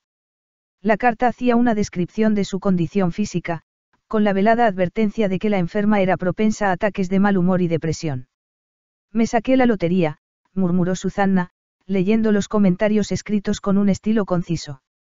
El sueldo también estaba especificado con toda claridad, así como el horario de trabajo, dos horas libres cada día y uno de descanso cada semana, aunque debía estar a la disposición de la enferma en cualquier momento, lo cual le pareció terrible. Sin embargo, el salario era generoso y significaría una gran diferencia en su futuro. Al día siguiente fue de compras a Marlborough y agregó a su guardarropa las prendas que había decidido comprar, además de ropa interior. Su pasaporte llegó unos días después, el profesor debía de ser miembro de la familia o amigo íntimo de los jefes de la Oficina de Relaciones Exteriores, concluyó. Luego recibió una carta de Guy, donde le decía que estuviera lista en un par de días, pues un auto la recogería para llevarla a Londres, Horacio se quedaría en la casa del médico, como se había acordado, y ella conocería a la paciente a quien haría compañía. Cuando el auto llegó, Susana se despidió de la señora Coffin con un fuerte abrazo y luego se sentó al lado del chofer esperando sacarle información acerca del médico. En eso se equivocó, pues el hombre no mencionó ni una palabra acerca de su jefe. Llegaron a su destino a media mañana. Se estacionaron ante una casa recién pintada, cuya puerta abrió una señora madura con aire bonachón. Buenos días, señorita. Soy la señora Cobb, el ama de llaves del profesor Bowers-Bentink.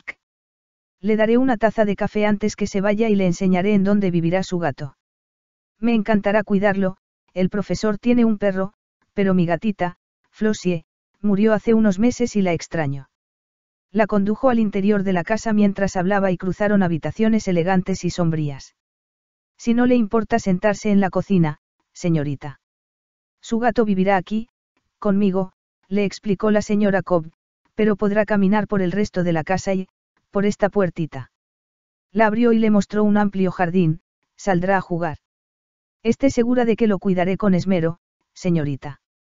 ¿Por qué no lo suelta para que inspeccione los alrededores? El sol iluminaba el jardín. Ahí bajo una sombrilla, se hallaban colocadas sillas y mesitas. Mientras tanto, usted tómese su café, terminó el ama de llaves. Susana sacó a Horacio de la canasta y el gato se dedicó a deambular por el pasto, hasta que al fin se acomodó sobre una de las sillas. La señora Cobb, que regresó con una bandeja para recoger el servicio del café, pareció muy contenta. Sabía que le gustaría este lugar al animalito. Entonces le advirtió a la chica que partiría en diez minutos y Susana fue a arreglarse en un baño del primer piso. Por lo que observó de la casa, el profesor vivía con mucha comodidad, mejor dicho, con lujo. Luego se dirigió al jardín para despedirse de Horacio, que dormitaba. Regresaré por ti, le prometió y después siguió a la señora Cobb, quien la guió hasta el auto. Se sintió muy mal de repente, como alguien que acaba de lanzarse de un trampolín y de pronto recuerda que no sabe nadar. Capítulo 4. Durante el corto trayecto, Cobb, el chofer, observando que la chica iba triste, trató de animarla. Mi mujer adorará a Horacio, le dijo. Le encantan los gatos y apuesto a que le escribirá para informarle cómo se encuentra el menino. ¿Cree que lo hará? inquirió Susana, agradecida. Me gustaría mucho, pues ignoro cuánto tiempo estaré lejos. No se preocupe, señorita. El profesor Bowers Bentink no comete errores, si pensó que era la persona adecuada para el trabajo, tiene razón. Dieron vuelta en la plaza Belgravia. Aquí estamos, comentó Cobb, satisfecho. Y justo a tiempo. El Bentley de Guy se estacionaba en ese momento frente a una de las mansiones de la plaza. Cobb detuvo el auto, le abrió la puerta a Susana y bajó sus maletas. Hasta luego, señorita, se despidió y la dejó con el profesor, quien se bajó del coche. Su saludo fue breve, más no hostil. Te presentaré con Huffrou Van Dijl y partirás con ella en una media hora. ¿Te dio Cobb un sobre? Sí, pero no lo abrí. Hazlo cuando tengas oportunidad, no le explicó lo que contenía, sino que la condujo hasta la impresionante puerta de la mansión. Un sirviente les abrió. No tengo tiempo que perder, así que apúrate, le advirtió, aunque resultaba innecesario. Entraron en un cuarto con vista hacia la calle, amueblado con un estilo opulento, que Susana encontró opresivo, había varias personas, un hombre y una mujer de mediana edad, un joven y una chica bonita, de pupilas y cabellos oscuros, vestida a la última moda, que parecía nerviosa y emocionada. Cuando vio al médico, corrió a saludarlo, tomándolo del brazo. Uy. ¿Estás seguro de que no me pasará nada? Irás a verme. ¿Qué haré si me siento mal? ¿Por qué habrías de sentirte mal, Julie? Preguntó el médico con suavidad.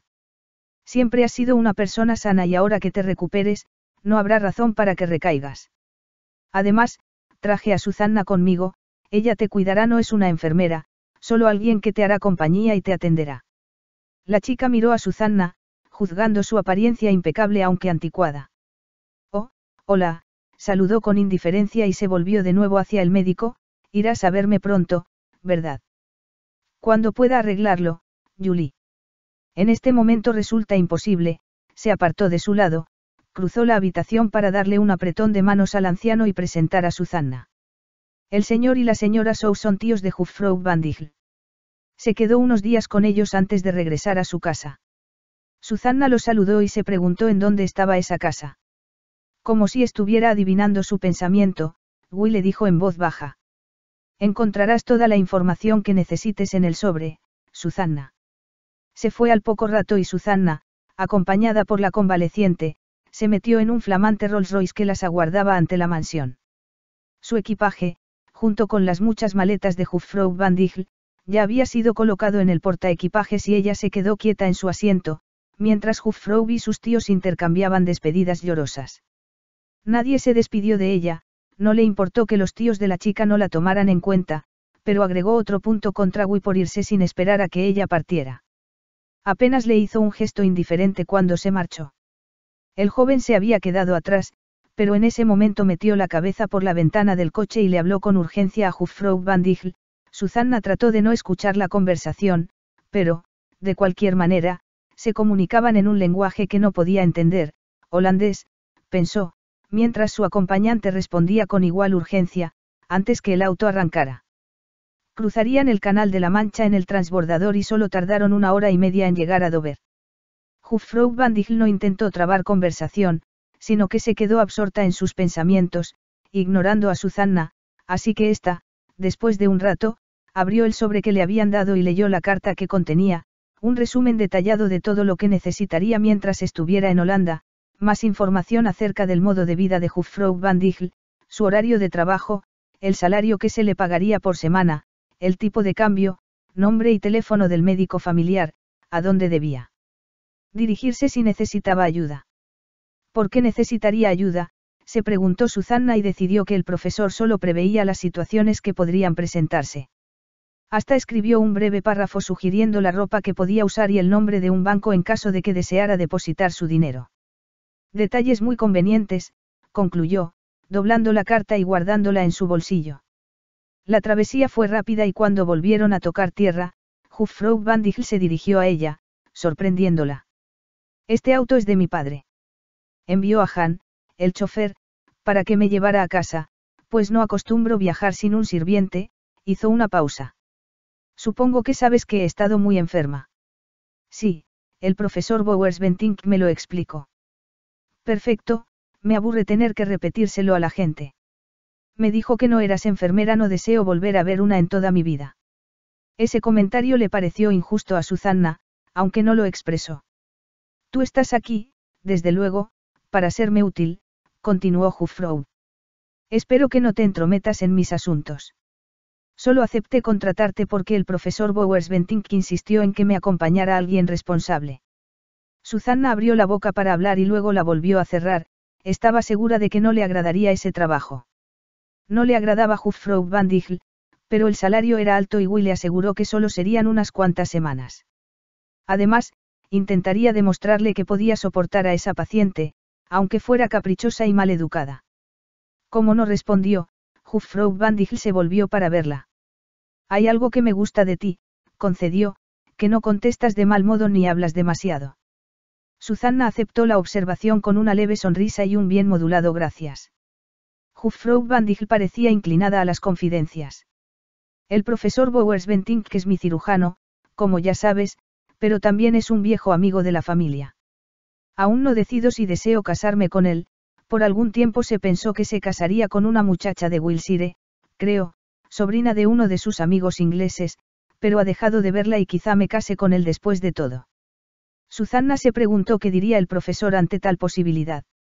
La muchacha de Wiltshire era Phoebe y no se imaginó por qué ya no estaba interesado en ella. Podía, supuso, escoger entre sus muchas conocidas porque era guapo, triunfador y, por lo que había visto de su casa, también bastante rico. Quizá estaba contento con su vida o escondía una decepción amorosa detrás de su fría expresión. No, eso era poco probable. De todos modos, reflexionó, sería una lástima si se casaba con la joven sentada a su lado, pero quizá era injusta, Huffrog había estado muy enferma y empezaba a recuperarse después de la peligrosa cirugía para estirparle el tumor. Ese pensamiento la motivó a mostrarse compasiva con la enferma y le dijo, impulsiva. Estoy segura de que serían muy felices. Pero el intento de aligerar el ambiente fracasó. No te pedí tu opinión, afirmó Huffrog Van con sequedad. Por favor, guárdate tus comentarios en el futuro. Un futuro, se dijo Susanna para sus adentros, que no duraría mucho tiempo, si podía impedirlo.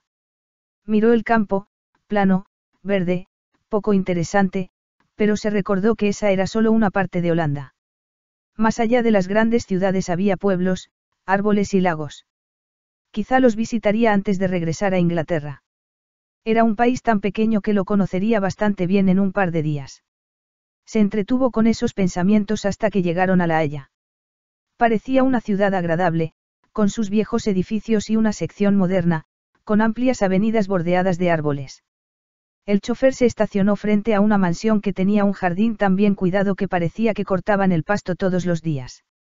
Mientras el criado ayudaba a la convaleciente a descender del coche, Susanna estudió la casa. Se sintió desilusionada, pues había sido construida a finales del siglo pasado, con ladrillos rojos y una serie de balcones en cada rincón, de muy mal gusto. Siguió a Huffrou Van y subieron por una escalinata que las condujo hasta una enorme puerta de caoba. Un hombre la abrió, murmuró una bienvenida con voz descolorida y las hizo pasar al vestíbulo. Estaba tapizada con papel tapiz rojo y de las paredes colgaban cabezas de animales salvajes. Susanna observó la alfombra turca, mientras Huffrou Van se dirigía a una habitación contigua. Era tan opulenta como el vestíbulo, pero el papel tapiz, verde oscuro, resultaba un poco menos agobiante. Los muebles daban la impresión de solidez, pero había demasiados, lo mismo que lámparas, fotografías con marcos de plata y figuritas de porcelana china. Una señora entró a saludarlas, era pequeña, robusta, con una expresión dulce en el rostro y un aire de timidez. De seguro que no era la madre de Huffrou van Dijl, se dijo Susanna. Pero lo era. La diminuta señora abrazó a su hija con bastante emoción, le rogó que se sentara para que no se cansara y miró a Susanna. Usted debe ser la joven que cuidará a mi hija, declaró en un fluido inglés con un curioso acento. Esto me tranquiliza, pues no sé cómo va a reaccionar Julie. El profesor Bowers Bentink me lo explicó, pero soy demasiado tonta para esas cosas, por eso sugirió que contratáramos a una chica honesta y responsable para que yo no me preocupara. Susanna le estrechó la mano y murmuró una respuesta educada, Tantas personas la consideraban responsable que empezaba a creer que lo era. Una sirvienta llevó una bandeja con café y la señora, quien se llamaba Mebrook Van Dijl, empezó a servirlo, mientras su hija se recostaba, lánguida, en un sofá y contestaba con monosílabos a las preguntas ansiosas de su madre. De pronto, con una excusa, hablaron en holandés y Susanna bebió su café, escuchando las palabras que no tenían ningún sentido para ella. No entendía nada, pero resultaba obvio que Huffrou Van le estaba dando órdenes a su madre, quien asentía con humildad, bajando la cabeza. De repente, se volvió a Susanna. Julie está ansiosa de visitar a sus amigos y continuar con su antigua vida, le anunció, preocupada, pero yo creo que el profesor no aprobaría sus planes. Le dijo algo al respecto. Susanna, quien poseía una memoria excelente, citó unos párrafos de la carta. El profesor Bowers Bentink recomienda que Huffrow guarde reposo durante dos semanas, por lo menos. Pueden visitarla unos cuantos amigos, pero nada de fiestas ni bailes, que se acueste temprano y descanse después de la comida. No debe estar sola hasta que la examine de nuevo. Ya oíste, Liebeling. Es muy difícil, ya lo sé, pero es necesario para que te recuperes. Has estado tan enferma que una semana o dos más no harán mucha diferencia y te permitirán recuperarte por completo. Huffrou van Dijk vociferó en holandés y luego se volvió hacia Susanna. ¿Y si me niego a acatar esas tontas órdenes? El profesor Bowers Bentink me advirtió que lo llamara de inmediato para comunicarle que no se siguen sus instrucciones. Oh, eso hizo, eh. Sonrió la enferma, moviendo la cabeza. Mi querido Wii quiere que me alivie con rapidez, así que lo obedeceré. Pero tú no te quedarás aquí ni un día más de lo que sea necesario.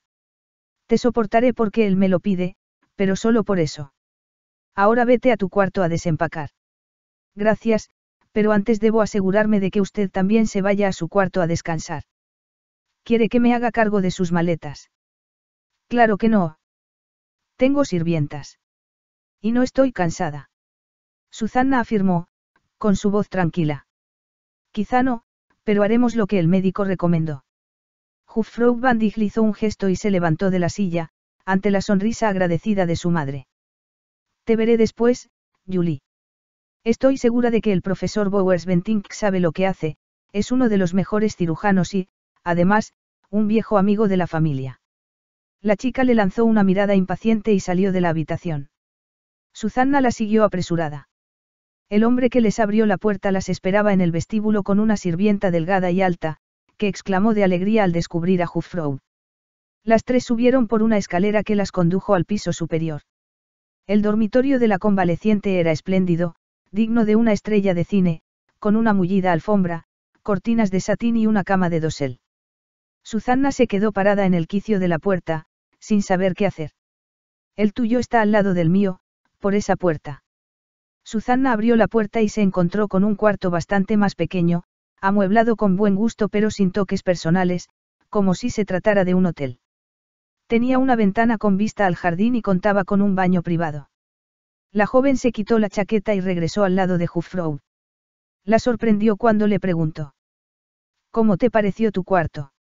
Mi enfermera se quedaba ahí cuando estuve enferma, Susanna se sorprendió aún más cuando Julie agregó, en un tono casi amistoso, me gusta que la puerta se quede abierta de noche, titubeó. En caso de que necesite algo. Desde luego. Puedo ayudarla. La sirvienta desempacaba al otro lado del cuarto, doblando la ropa con sumo cuidado. Creo que estoy cansada, dijo Julie, me acostaré un momento. Susanna se apresuró a quitar la suave colcha que cubría un diván, junto a la ventana. Acomodó unos cojines y cubrió a la enferma cuando ésta se acostó. ¿Quiere un libro para leer? inquirió. No, ve a acomodar tus cosas. Supongo que querrás tomarte, le dijo algo en holandés a la sirvienta, que salió, molesta porque habían interrumpido su tarea. Cenamos a las siete demasiado temprano para la hora en que acostumbran cenar en Inglaterra. Anna me ayudará a vestirme. ¿Trajiste algo adecuado? Creo que sí, respondió, con calma. Aunque no esperaba comer con la familia. El profesor Bowers Bentink dijo que le parecía correcto que lo hicieras, replicó Julie con altanería. Me siento como un eso atado a una cadena, agregó, impaciente. No, afirmó Susanna, con dulzura, es alguien que se ha recuperado en forma milagrosa y que necesita que la cuiden hasta que esté bien. Actúas como una santa, se mofó Julie Van No lo sé. Nunca he estado muy segura de cómo son las santas. Pero obedeceré las órdenes del profesor al pie de la letra. Ya en su habitación, desempacó, bebió una taza de té y se dio una ducha, sumergiéndose en la tina de agua caliente por largo tiempo, mientras pensaba en las semanas que la aguardaban. No resultarían fáciles. El padre de Julie estaba presente en la cena, un hombre maduro y un poco obeso, que habló poco y dejó que el peso de la conversación lo llevaran su esposa y su hija, aunque se mostró amable con Susanna. Julie criticó el hospital de Londres donde había sido operada, pasando por alto que la habilidad del neurocirujano le había salvado la vida, ayudado por el resto del personal. Se concretó a describir la horrible comida y a lamentar que no le hubieran permitido recibir visitas en varias semanas. Sus padres fueron a verla, pero no los tomaba en cuenta. Mis amigos trataron de visitarme, pero la enfermera se los impedía. Pero ahora has regresado a casa, Lievelin, le indicó su madre, y volverás a ser la misma de siempre. Le sonrió a Susana mientras hablaba, como disculpando las injustas críticas de su hija. Estoy segura de que Gui te encontrará muy mejorada cuando te examine, concluyó la señora. Pues intento sobrellevar mis males mientras él viene, mamá, Julie le lanzó una mirada desafiante a Susana, quien fingió no notarla. El salario era generoso y ya empezaba a explicarse el porqué. Los primeros días resultaron tolerables, varios amigos visitaron a Julie y ésta revisó su guardarropa y lo juzgó horrendo, pero no expresó el deseo de salir de compras y se resignó a leer revistas y platicar con sus camaradas. Susana la convencía para que saliera a caminar todos los días y la obligaba a dormirse temprano cada noche. Lo más difícil era lograr que descansara después de la comida, lo cual solo se conseguía luego de una agria discusión que casi siempre terminaba en lágrimas. Pero una vez que se recostaba en el diván, se dormía casi de inmediato, permitiendo que Susana gozara sus dos horas de libertad. No se atrevía a alejarse demasiado de la casa, pero recorrió el vecindario y en unos cuantos días ya conocía lo suficiente el lugar. Había parques a derecha e izquierda del camino y una terminal de autobuses a unos minutos de la mansión. Por lo tanto, en su día le resultaría fácil trasladarse al centro de la ciudad para comprarse otro vestido, ya que Huffrog había comentado con altanería que debería vestirse con más conveniencia para cenar. Aunque estés en la penumbra, le indicó, no debes parecer una vendedora. Susana se mordió la lengua para controlar su ira. Me imagino que las vendedoras se visten mucho mejor que yo, replicó, con aparente ligereza. Pero en cuanto tenga un día libre, iré de compras para escoger un vestido más adecuado. Julie la observó con suspicacia, preguntándose si no se burlaba de ella. ¿Y tu cabello? se quejó, es tan rojo. Cierto. Pero no me pida que me lo tiña, porque no lo haré. Antes que finalizara la primera semana, Julie decidió que visitaría las tiendas. Irás conmigo, desde luego, le ordenó. No tengo nada que ponerme. Recorreremos unas boutiques y nos quedaremos a comer en la ciudad. Susana no se opuso, en primer lugar, porque sería inútil, en segundo, porque de acuerdo con las instrucciones de la carta, Julie podía volver a llevar una vida normal siempre y cuando descansara, se acostara temprano y no se agitara demasiado. Más fácil aconsejarlo que hacerlo, pensó Susana, pero la paciente no daba signos de cansancio y nunca le dolía la cabeza. Susana llevaba un diario de los sucesos cotidianos, pues estaba segura de que el médico le pediría que le describiera las actividades de su encomendada. El día de compras pareció satisfacer a Julie Van y dejó francamente sorprendida a Susana. La chica era una cliente muy apreciada en ciertas tiendas exclusivas y le mostraron una serie interminable de vestidos, trajes y pantalones, entre los que escogió los de su agrado, sin preguntar ni una vez el precio. Ambas se sentaron en sillas doradas, bebieron un café exquisito y admiraron a las modelos. Susana, ignorada por todos, jugó consigo misma a elegir los vestidos que le gustaría comprar si fuera Julie. Comieron en Levaron, un restaurante del Hotel des Indes, a una cuadra de las tiendas que acababan de visitar. Al terminar, Julie se mostró más amigable. Me quedaré con el vestido dorado de seda, comentó, y con el de satén rosa, el de la estola. Compraré dos trajes y las blusas de gasa que me encantaron. Ese conjunto de tres piezas lo devolveré, porque el gris no me gusta, hizo una pausa y observó el cabello brillante de su compañera. A ti te quedaría bien, pero tú nunca te lo comprarías. Apuesto a que escoges tu ropa en Marx y en Spencer. ¿Cuándo puedo pagarla? replicó Susana, sin alterarse. Esa afirmación dejó sin habla a Julie por varios segundos. ¿Qué harás cuando te vayas de mi casa? Por ahora no lo sé. Quizá busque trabajo como empleada doméstica. Guy el profesor Bowers Bentink le dijo a mi madre que querías inscribirte en una universidad. Supongo que eres inteligente. Oh, no. A lo más que aspiraba era a obtener una licenciatura en literatura inglesa para poder dar clases, se cayó porque Julie había soltado una carcajada. No te ves como una maestra de escuela. ¿Te gustaría serlo? No mucho, pero es una manera de ganarse la vida. Julie la miró asombrada. Si no quieres trabajar, ¿por qué no te casas? Nadie me ha ofrecido matrimonio, contestó Susanna. La tersura de su voz escondía su irritación. Desea que vayamos a cambiar el traje que no le agradó. Julie prefirió entrar en otra tienda, compró otro traje y salieron juntas, a tiempo para abordar el auto que había ido a buscarlas para regresarlas a casa. La convaleciente, contenta con sus compras, accedió a dormirse temprano y pidió que le subieran la cena a su cuarto. Susanna y Mebrow Bandig cenaron juntas. Al principio se sintieron incómodas, pero de pronto la anfitriona empezó a hablar de su hija. Está muy consentida, dijo, como disculpándose, pero su padre viaja con frecuencia y, cuando regresa, no hay capricho que no le cumpla. Sus dos hermanos también la miman aunque les he dicho que no lo hagan, la mujer suspiró. Necesita un marido tuvo un novio, en el servicio diplomático, pero lo mandaron a Shanghái. O fue a Hong Kong. De cualquier modo, muy lejos. Regresará, la consoló Susanna. Solo permanecen en sus misiones unos años, ¿verdad? Frunció el ceño, pensativa. ¿Y les dan vacaciones? No. Julie me hizo prometerle que no le diría a él nada de su enfermedad. Ya ha sido curada, afirmó Susanna, sin titubear. Claro, concordó su compañera, dudosa, eso nos han asegurado. Julie está. ¿Cómo se dice? Muy enamorada de ese médico, de Wii. Es natural. Le salvó la vida y además es guapo y la trata con cortesía. Pero ese enamoramiento no durará si ama al otro muchacho. Con el tiempo comprenderá que una cosa es el amor y otra el agradecimiento. Eres una chica muy sensata, observó Mebrow.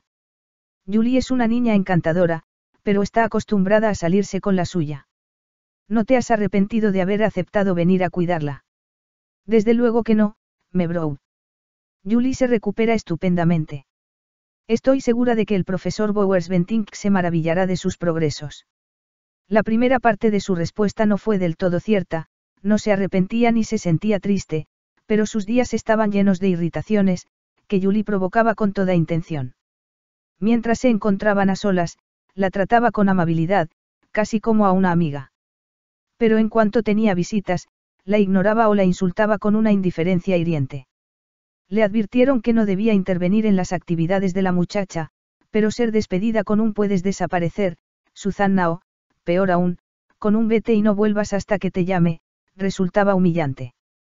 Como los padres de Julie se mostraban amables, lo mismo que la servidumbre, la chica empezó a preguntarse si Julie la insultaba por una razón que ignoraba.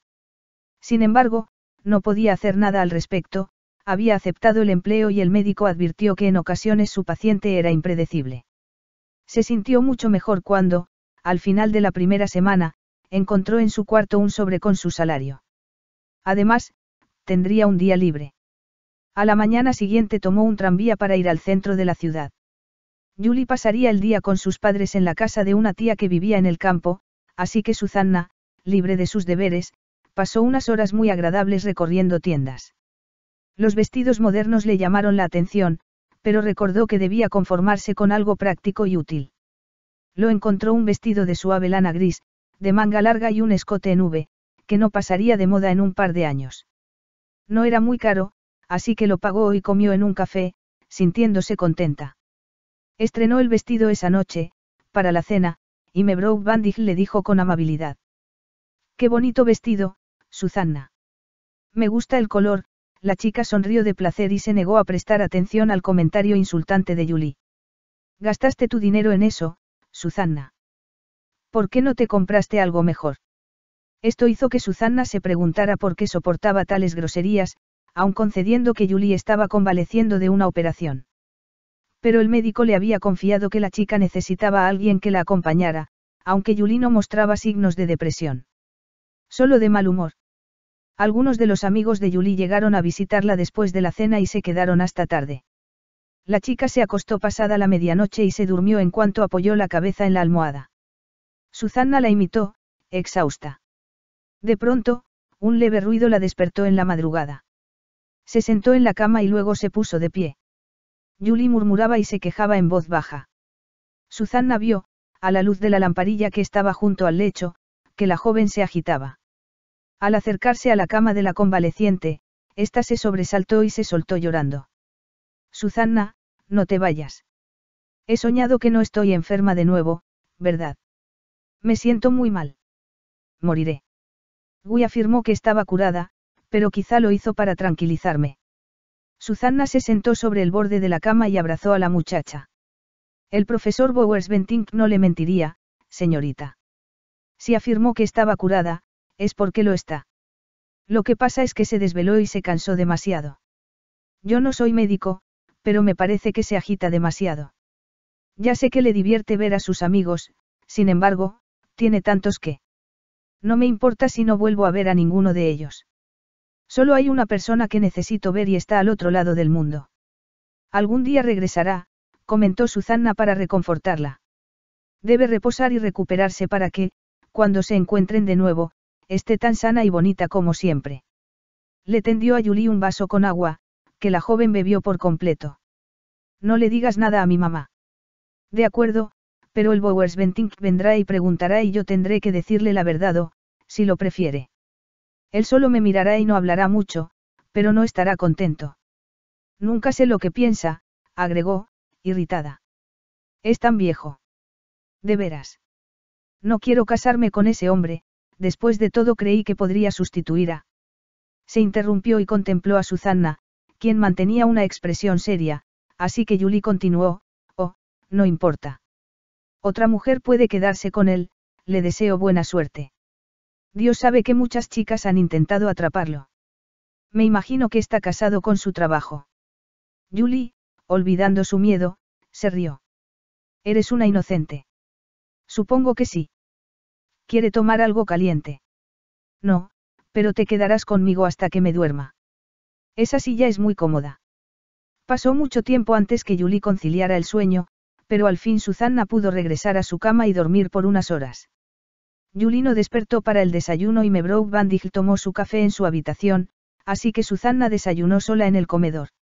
Se acababa de servir una taza de café y contemplaba una canasta llena de pan y bizcochos cuando la puerta se abrió y Anna entró. El profesor Bowers Bentink, anunció y él cruzó el comedor sin apresurarse, hasta detenerse detrás de la silla de la joven. La contempló por unos segundos y ella le sostuvo la mirada. Buenos días, Susanna. ¿Por qué estás tan pálida? Sería demasiado largo explicárselo, así que contestó con otra pregunta. ¿Sabe alguien que llegó? Debo comunicárselo a Mebrow. Anna lo hará, se volvió para decirle algo a la sirvienta y luego se sentó a la mesa. No te importa que comparta tu desayuno. Me dirijo a un seminario en Ámsterdam, me pareció una buena idea visitar a mi paciente. Y, como ella guardaba silencio, insistió. Y ahora explícame por qué pareces exhausta. Capítulo 5. ¡Qué tontería! exclamó Susanna, recobrando el habla. No me pasa nada, solo nos desvelamos un poco anoche. Ah, sí, me lo imagino por tu cara. Se interrumpió cuando el mayordomo llegó con una bandeja con café recién hecho, huevos fritos, pan tostado, mantequilla y mermelada. Arregló todo frente Gui, murmuró Smakelichketen y salió. El doctor empezó a comer, relajado por completo, y Susanna deseó imitarlo. Cuando Julie se enfermó, le explicó, la examinaba con mucha frecuencia. Esta es una buena hora para visitarla, antes de empezar a trabajar. Oh, entiendo. Viene de Inglaterra. Vine en el transbordador nocturno, en mi coche. Regresaré por la noche. No es un viaje demasiado rápido. No, se encogió de hombros. Ahora discutamos lo que nos interesa. ¿Cómo está Julie? Quiero tu opinión personal, Susanna. De buen humor, la mayoría de las veces, aunque le disgusta mi presencia. En realidad debe de ser molesto que alguien la acompañe todo el tiempo. Cuando estamos a solas me trata bien, pero... Se detuvo, recordando los insultos que había soportado. Ha dormido por lo menos ocho horas diariamente y se ha acostado temprano, pero ayer fue diferente. Unos amigos vinieron a visitarla y estuvieron hasta muy tarde, Ella estaba bastante exaltada cuando se durmió. Despertó llorando, tenía miedo de morir y dudaba que usted le hubiera dicho la verdad acerca de que estaba curada. Me tomó algún tiempo tranquilizarla y me quedé a su lado hasta que volvió a dormirse. ¿A qué hora? Alrededor de las cinco de la mañana. ¿Qué le dijiste? Que no iba a morir y que usted no le mintió. ¿Te creyó? Sí, después de un rato. Te ha hablado de un joven que vive en el extranjero. Sí. Cree que lo ama, pero piensa que no es correspondida. Algunas veces afirma que se casará con. Se mordió un labio, sonrojándose hasta la raíz de los cabellos, y el profesor la urgió. Continúa, Susanna. Es importante que me entere de todo. Algunas veces afirma que se casará con usted. Luego cambia de opinión porque lo considera muy viejo, terminó el médico. Lo soy. Debí advertirte que muchos pacientes que son sometidos a serias operaciones se enamoran del cirujano, pero se les olvida en cuanto se dan cuenta de que están sanos y pueden reanudar su vida normal. ¿No le molesta? inquirió, pensativa. Gajes del oficio, replicó, y no sucede con frecuencia, tomó un pan tostado y le untó mantequilla. Gracias por tu ayuda. ¿Y tú? Yo. Estoy bien. Te dan tiempo libre, un día de descanso y te pagan tu sueldo. Sí, gracias por preocuparse. Supongo que tienes que soportar las rabietas de Julie en ciertas ocasiones, puede ser muy mal educada. Susanna no dijo nada y él prosiguió. Puedes quedarte aquí otras cuantas semanas. ¿Has hecho amigos? Cielo santo, no, lo miró asombrada. Ninguno de los amigos de Julie me habla, agregó con rapidez. ¿Por qué habrían de hacerlo? Es verdad, ¿por qué? Terminó su café. Subimos a ver a Julie. Anna ya le habrá dicho a Mebrow que estoy aquí. Platicaré con ella en cuanto acabe de examinar a Julie. Está acostada. Lo sé. Me gustaría verla antes que se dé cuenta de que he llegado. Julie aún estaba dormida. Parecía muy bella, con su cabello, que había crecido desde la operación, enmarcando su cara sonrosada. El médico la contempló durante uno o dos minutos, luego apoyó un brazo sobre la cabecera de la cama. La chica se despertó en ese instante y lo observó, primero confusa y después encantada. Guyo, estoy feliz de verte. Te quedarás unos días. Me sacarás una noche a pasear. Los dos solos. Voy rumbo a Ámsterdam, le sonrió, y me pareció una buena idea pasar a examinarte.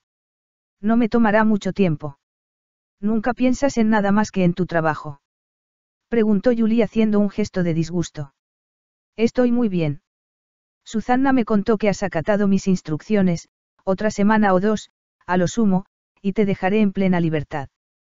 Se inclinó para observarle las pupilas y luego le movió la cabeza de lado a lado, con suavidad. No te duele nada. Tienes buen apetito. No sientes náuseas. Duermes bien. Julie se sentó sobre la cama, abrazándose las rodillas. Estoy segura de que Susanna te confesó hasta los más pequeños detalles. No me muevo sin ella, estoy bien. Anoche tuve una pesadilla, pero no duró mucho. No te preocupes, el doctor se sentó junto a su paciente. Has reaccionado de maravilla, pero, como todas las personas, debes darte tiempo para recuperarte por completo. No te agites demasiado, piensa que en 15 días te daré de alta y solo vendré a examinarte si hay algo anormal. ¿Y Susanna?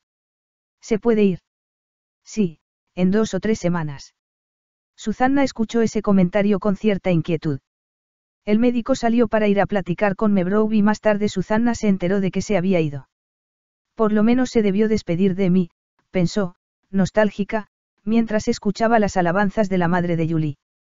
Es un muchacho encantador, suspiró. Lo conozco desde hace años, mucho antes de casarme, y cuando Julie nació y él era un niño de escuela, siempre la trató con cariño. Mi hija fue un bebé difícil. Que se convirtió en una mujer difícil, reflexionó Susanna. Unos días después, los hermanos de Julie regresaron de un viaje.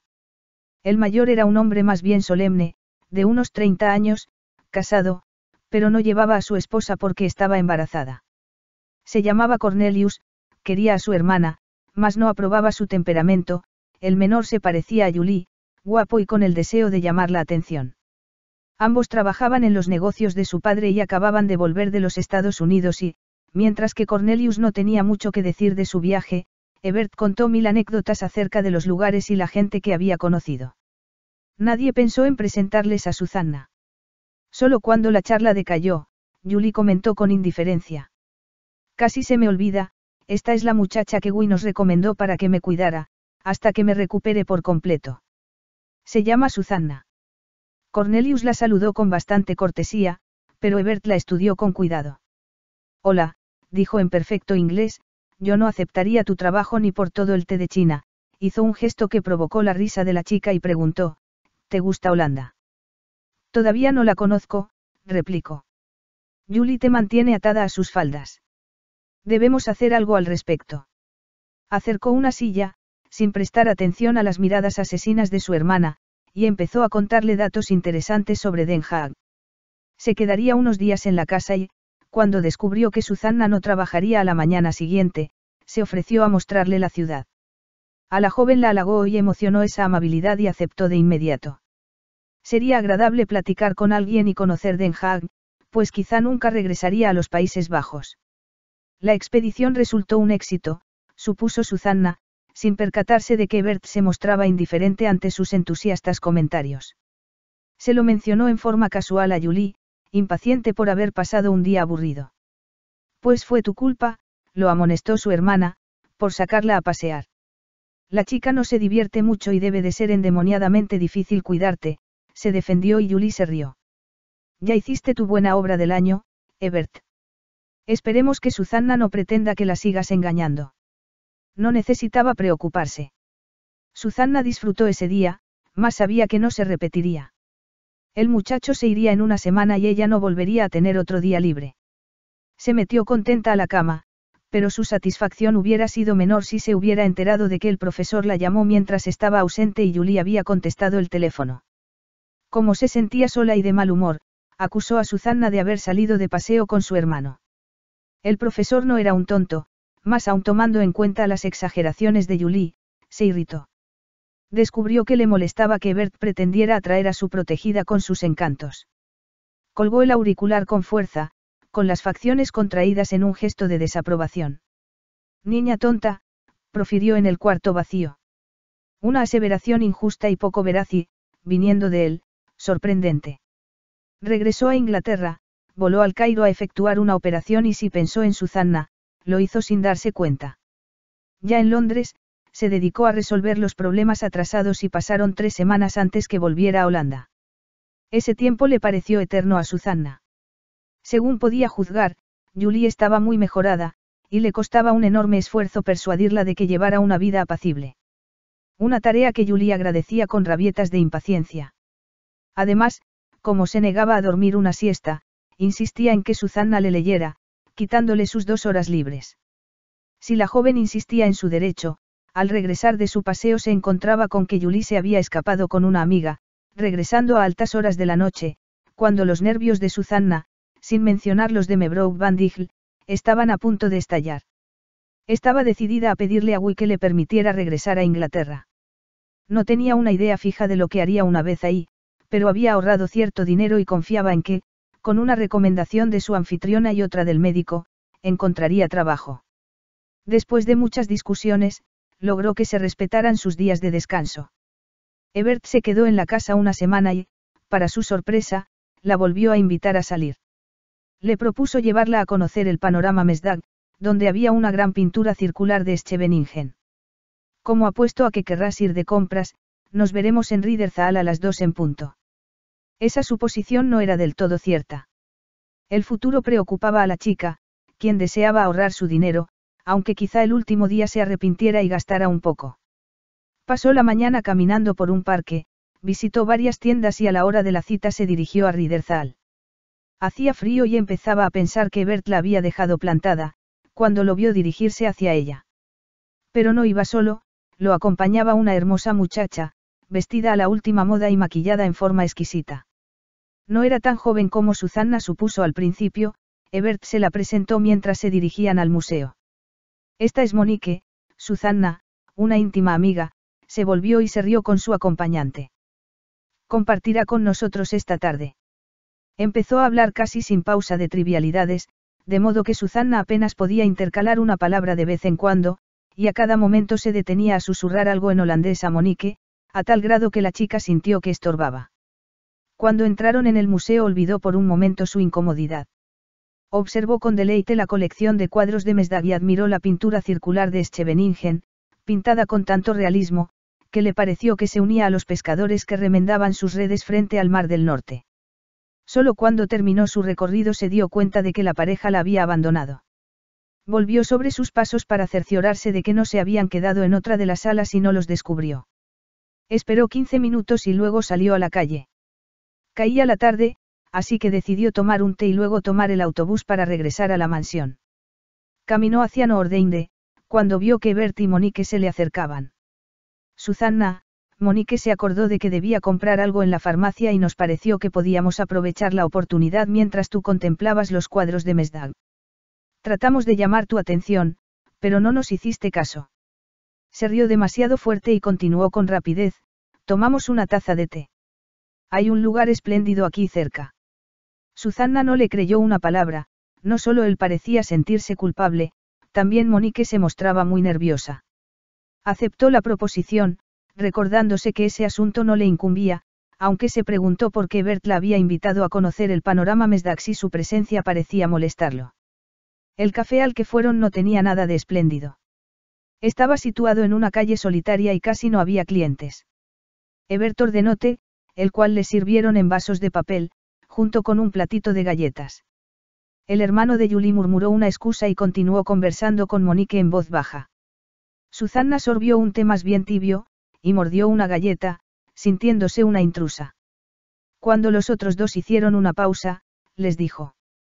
Gracias por mostrarme el museo y por el té. Intentó ponerse de pie, pero Ebert se lo impidió con la mano. Susanna, tú eres una chica muy amable, me harías. Nos harías un favor. Mira, nosotros solo podemos vernos en secreto. Monique es casada y yo estoy comprometido, pero ninguno es feliz. Esta es la única manera en que podemos reunimos. Te pido que no comentes nada con mis padres, déjalos pensar que pasé la tarde y la noche contigo. Ellos no aprueban esta relación, agregó. Me imagino que no, replicó Susanna. No es justo para tu prometida ni para el esposo de Monique. No diré nada, pero no me lo pidas de nuevo porque me negaré. Se levantó de su asiento y salió a la calle. Ya era de noche y se preguntó qué haría en las siguientes horas.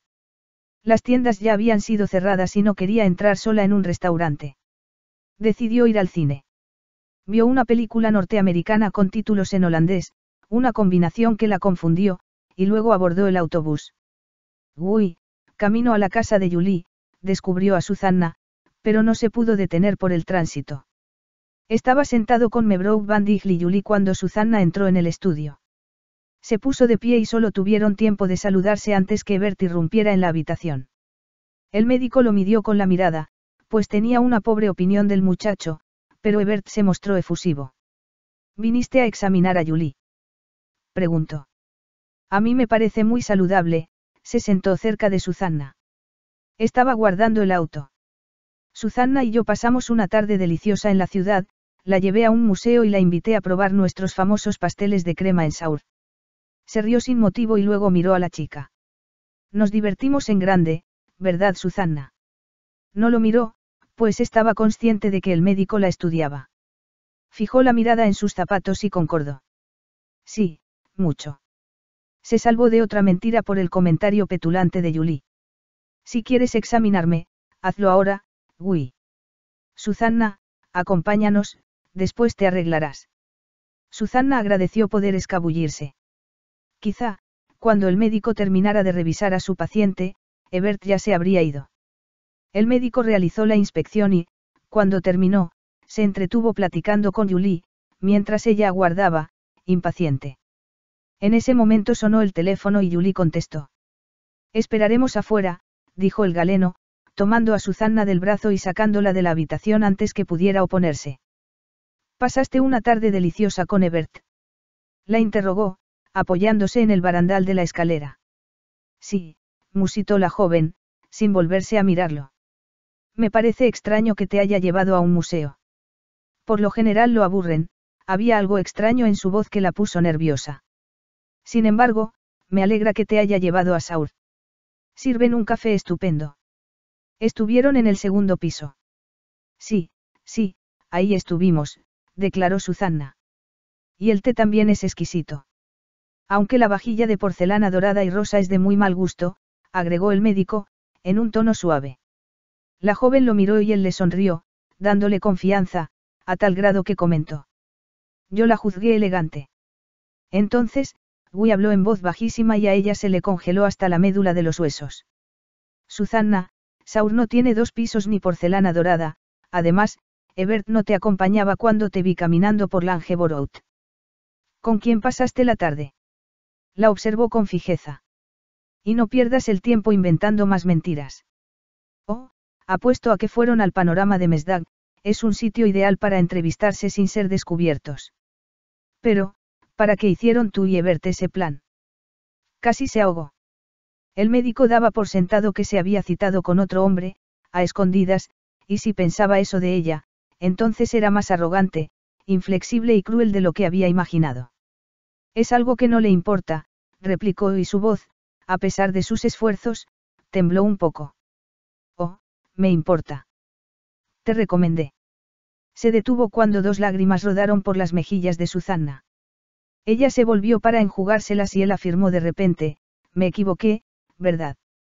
Ebert practicó otro de sus trucos desagradables contigo, te usó. Oh, no necesitas preocuparte más, Linda, no te delataré, mas tampoco permitiré que esto se repita. Le levantó la barbilla para contemplar su rostro triste. Sé que no te agrado, pero créeme, no deseo que nada malo te ocurra. Susana sollozó y luego lanzó un suspiro. El doctor le ofreció un pañuelo. ¿Cuándo es tu próximo día libre? Julie visitará a su tía el jueves, así que a Mebrow le pareció muy conveniente que. En seis días. Lo pensó por un momento. Regresaré el miércoles para una revisión final, traeré mi coche y haremos una excursión por el campo. La chica lo miró asombrada. Pero, no hay necesidad, respondió con urgencia. Perderá un tiempo precioso llevándome a pasear.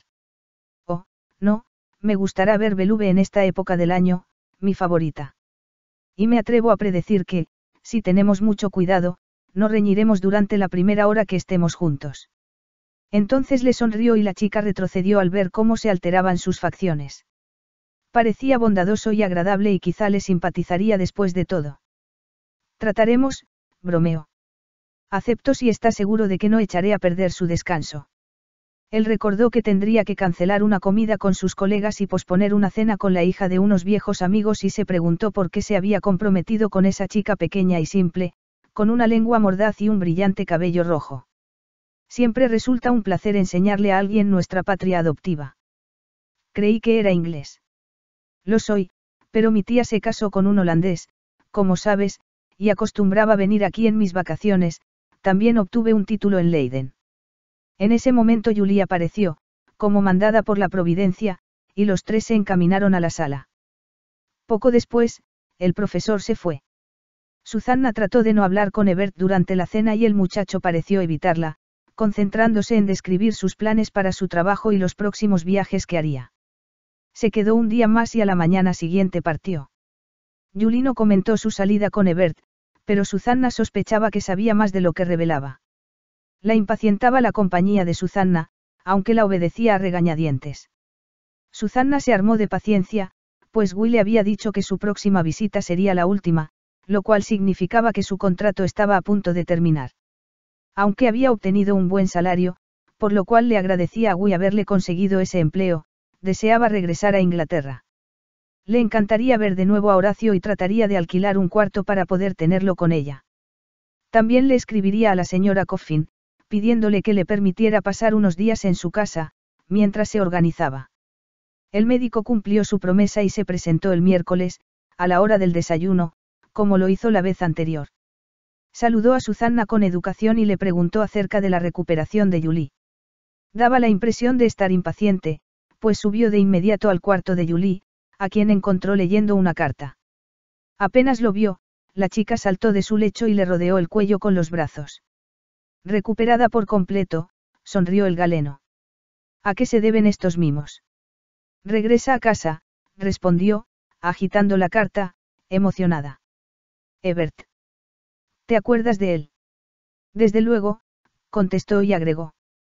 Te negaste a que alguien le comunicara que tenías un tumor cerebral. Sí, pero en la carta me dice que jamás se hubiera ido si lo hubiera sabido. ¿Cómo se enteró? Se detuvo intrigada. Yo le escribí y se lo dije, respondió el galeno con placidez. Quizá lo hayas olvidado, mas nunca me hiciste prometer que no lo haría. Ha recibido reportes semanales desde que te operé. Le pedí que no regresara hasta que estuvieras curada por completo. Y ya lo estás. ¿Cuándo llega? Uy, oh, uy en dos días. Pensé que nunca volvería a verlo y no me importaba lo que sucediera. Hasta pensé que me casaría contigo. El médico recibió ese comentario con tranquilidad. Pues ahora no estás obligada a cometer ese error tan grande y, además, no te imagino como mi esposa, aunque seas preciosa y encantadora. Ahora hablemos de temas más serios, mientras te examino. Susana había permanecido un poco apartada, escuchando con sumo interés cómo se vislumbraba un hermoso futuro para Julie y deseando, en forma vaga y triste, que algo parecido le ocurriera a ella. Con cuánta facilidad se resolverían sus problemas si apareciera un hombre, la enamorara y se casaran, para que ella dejara de preocuparse por el resto de su vida. Se entretuvo soñando despierta, mientras el doctor y su paciente la observaban. Solo hasta que Julie la llamó por tercera vez retornó a la realidad. Si no te molesta, le pidió el médico, me gustaría que me trajeras las píldoras de Julie, debo cambiarlas. Se sonrojó y obedeció. Al regresar a la habitación, Julie indagó. ¿Cuándo puede irse Susanna? Ya no la necesito y además, cuando Ebert llegue. El galeno ni siquiera miró a Susanna. Estará aquí en dos días, así que déjame ver, Susanna puede marcharse pasado mañana. Hablaré con tu madre. Julie lo volvió a abrazar, entusiasmada. Eres un ángel, serás un esposo perfecto, mas no puedo pensar en nadie que te merezca, luego se dirigió a Susanna. No te has divertido mucho, comentó. Apuesto a que te gustará regresar a tu patria y salir con tus amigos. Susanna sonrió. Julie no tenía idea de sus problemas y no tenía objeto explicárselos. Sé una buena niña, le rogó el médico a Julie, tocándole el hombro. Iré a hablar con tu madre. Ya sabes en dónde estoy si me necesitas. Susanna, ven conmigo. Ya en el vestíbulo, le indicó. Pasaré por ti a las nueve de la mañana. De ese modo, disfrutaremos casi todo el día. Oh, pues, pensé que es decir, debo empacar y comprar un billete para mi viaje de regreso. Empacar te tomará media hora, quizá menos, observó Gui, puesto que no tienes mucha ropa. Y viajarás en mi auto. Tomaremos el transbordador a Javik, ya compré los pasajes. Pero, ¿cómo sabía que partiría? Inquirió, con los ojos desorbitados. Ebert me comunicó el día que llegaría, así que calculé cuándo podía Julie prescindir de tu ayuda. ¿Deseas regresar a Inglaterra o tienes otros planes? No, me quedaré con la señora Coffin y de paso recogeré a Horacio. Ya hablaremos de eso mañana, observó su falda a cuadros y su blusa. Tienes un abrigo de invierno. Es posible que mañana caminemos al aire libre y hará frío. Sí, gracias, se sonrojó. Perfecto. Nos vemos, hizo un ademán de despedida y se dirigió al estudio, dejándola muy contenta porque ya no debía preocuparse por el viaje de regreso. Luego recordó sus comentarios acerca de su ropa y se molestó un poco. Para él es muy fácil ser elegante, con su Bentley, sus trajes de Savile Row y sus corbatas de seda, pensó.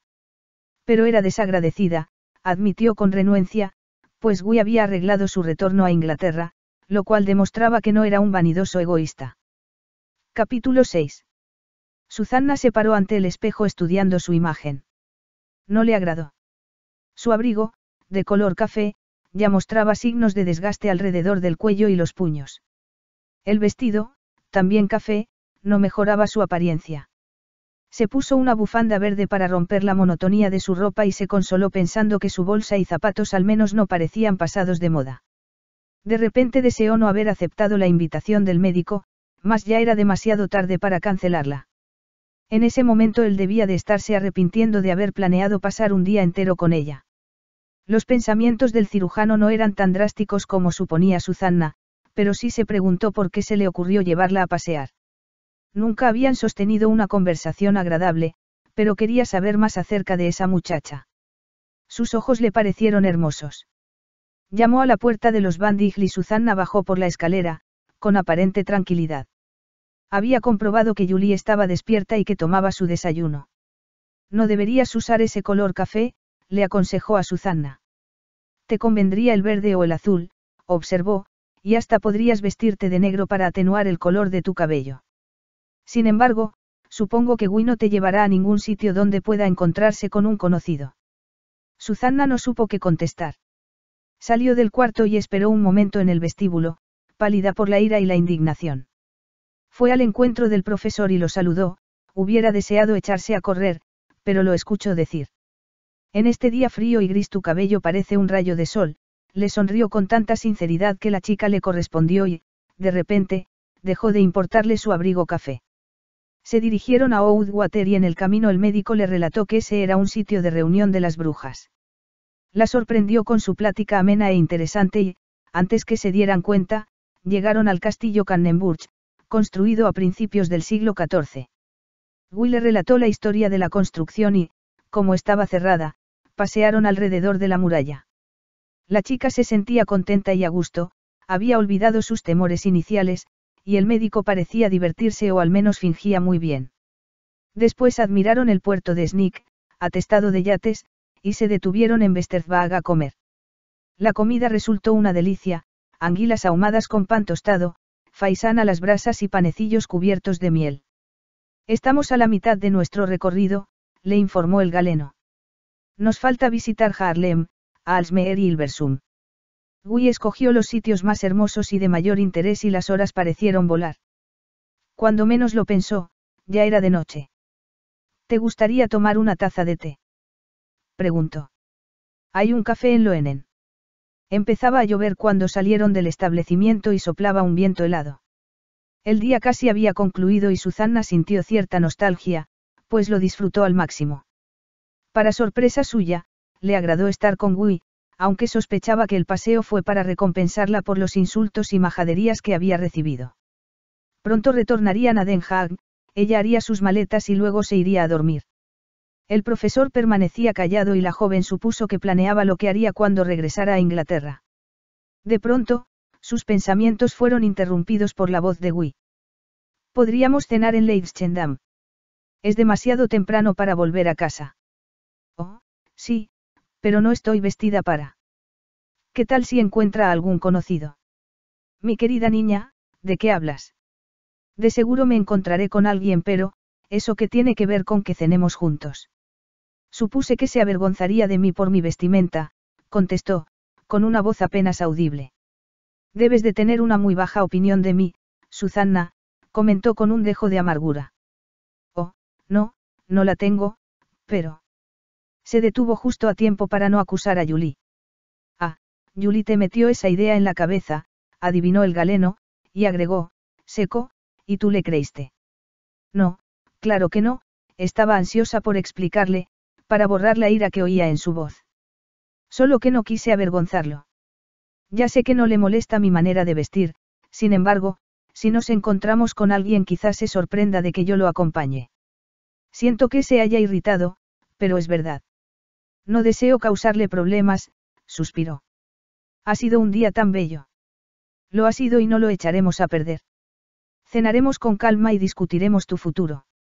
Te aseguro que estás vestida en forma adecuada. Para Julie un vestido viejo es el que usa dos veces y esa opinión no debe tomarse como regla. El restaurante que Guy escogió era elegante y Susanna le lanzó una mirada acusadora cuando se quitó el abrigo. El local se hallaba casi lleno y, Mientras un camarero los conducía a una mesa, el médico saludó a varias personas, pero ninguna la observó como a un bicho raro. Quizás su vestido no estaba tan mal, después de todo. Guy ordenó las bebidas y pensó que el traje de Susanna no le favorecía. Alguien debería aconsejarle que usara verde, azul o gris, pero admitió que su cara, sonrosada por la emoción o el miedo, poseía cierto encanto, sobre todo sus ojos y el brillo cobrizo de su cabello. Y era una agradable compañera. Le sonrió y le preguntó qué deseaba ordenar. Aquí sirven un excelente salmón en salsa de langosta. Lo pedimos. Y, como celebramos la completa recuperación de Julie, creo que debemos acompañarlo con champaña. Susanna, feliz de no tener que ordenar por sí misma, estuvo de acuerdo y agregó con inocencia. Una vez probé el champaña, en el cumpleaños de mi madre. ¿Hace cuánto tiempo? inquirió él con suavidad y la alentó a que hablaran de su niñez, antes de preguntarle en forma casual, ¿qué planeas hacer en Inglaterra? No era la primera vez que intentaba averiguarlo y la chica, bajo los efectos del champaña, empezó a hablar. Buscaré un empleo como recepcionista, con un doctor o un dentista, pero aceptaría cualquier trabajo siempre y cuando me permitieran llevar conmigo a Horacio y me prestaran un cuarto. ¿Tienes amigos en Londres donde puedas quedarte cuando estemos allí? Oh, sí, contestó la joven con rapidez, aunque no con franqueza. Si la señora Cobb se queda con Horacio un poco más, quizá encuentre trabajo rápidamente. Habló con convicción. En algún lugar de Londres debería existir un hotel barato donde pasar la noche. Y si a la mañana siguiente no encontraba un empleo, regresaría al pueblo, a casa de la señora Coffin. Exhaló un suspiro, contenta de haber resuelto el problema. El galeno, un hombre paciente e inteligente, comprendió que ella solo le decía lo que creía que él quería oír, así que cambió la conversación. Ya habría tiempo de arreglar ese asunto cuando llegaran a Londres. Después de todo, no tenía por qué seguir protegiendo a la chica. Ella tenía dinero y confiaba en que conseguiría trabajo con rapidez. El tema no volvió a mencionarse y la cena transcurrió en una atmósfera de cordialidad. Poco después, Will la dejó ante la puerta de los Bandigl. Se detuvo para hablar con Julie y Susanna se retiró, explicando que debía empacar. Le dio las gracias y el médico le recordó que debía estar lista cuando pasara a recogerla. Quizá él no se había divertido tanto como esperaba, reflexionó ella, mientras se preparaba para meterse a la cama. Se durmió con cierta inquietud, cuya causa desconocía. Guy se presentó en la casa a la hora fijada y no perdieron mucho tiempo en despedirse. Migner Bandig ya estaba en su oficina, pero fue su esposa quien le agradeció a Susanna su ayuda, la besó en la mejilla y le puso un paquetito en las manos. Ha sido muy buena, murmuró. Julie bajó en su bata de dormir, para besar al profesor y darle un apretón de manos a Susanna.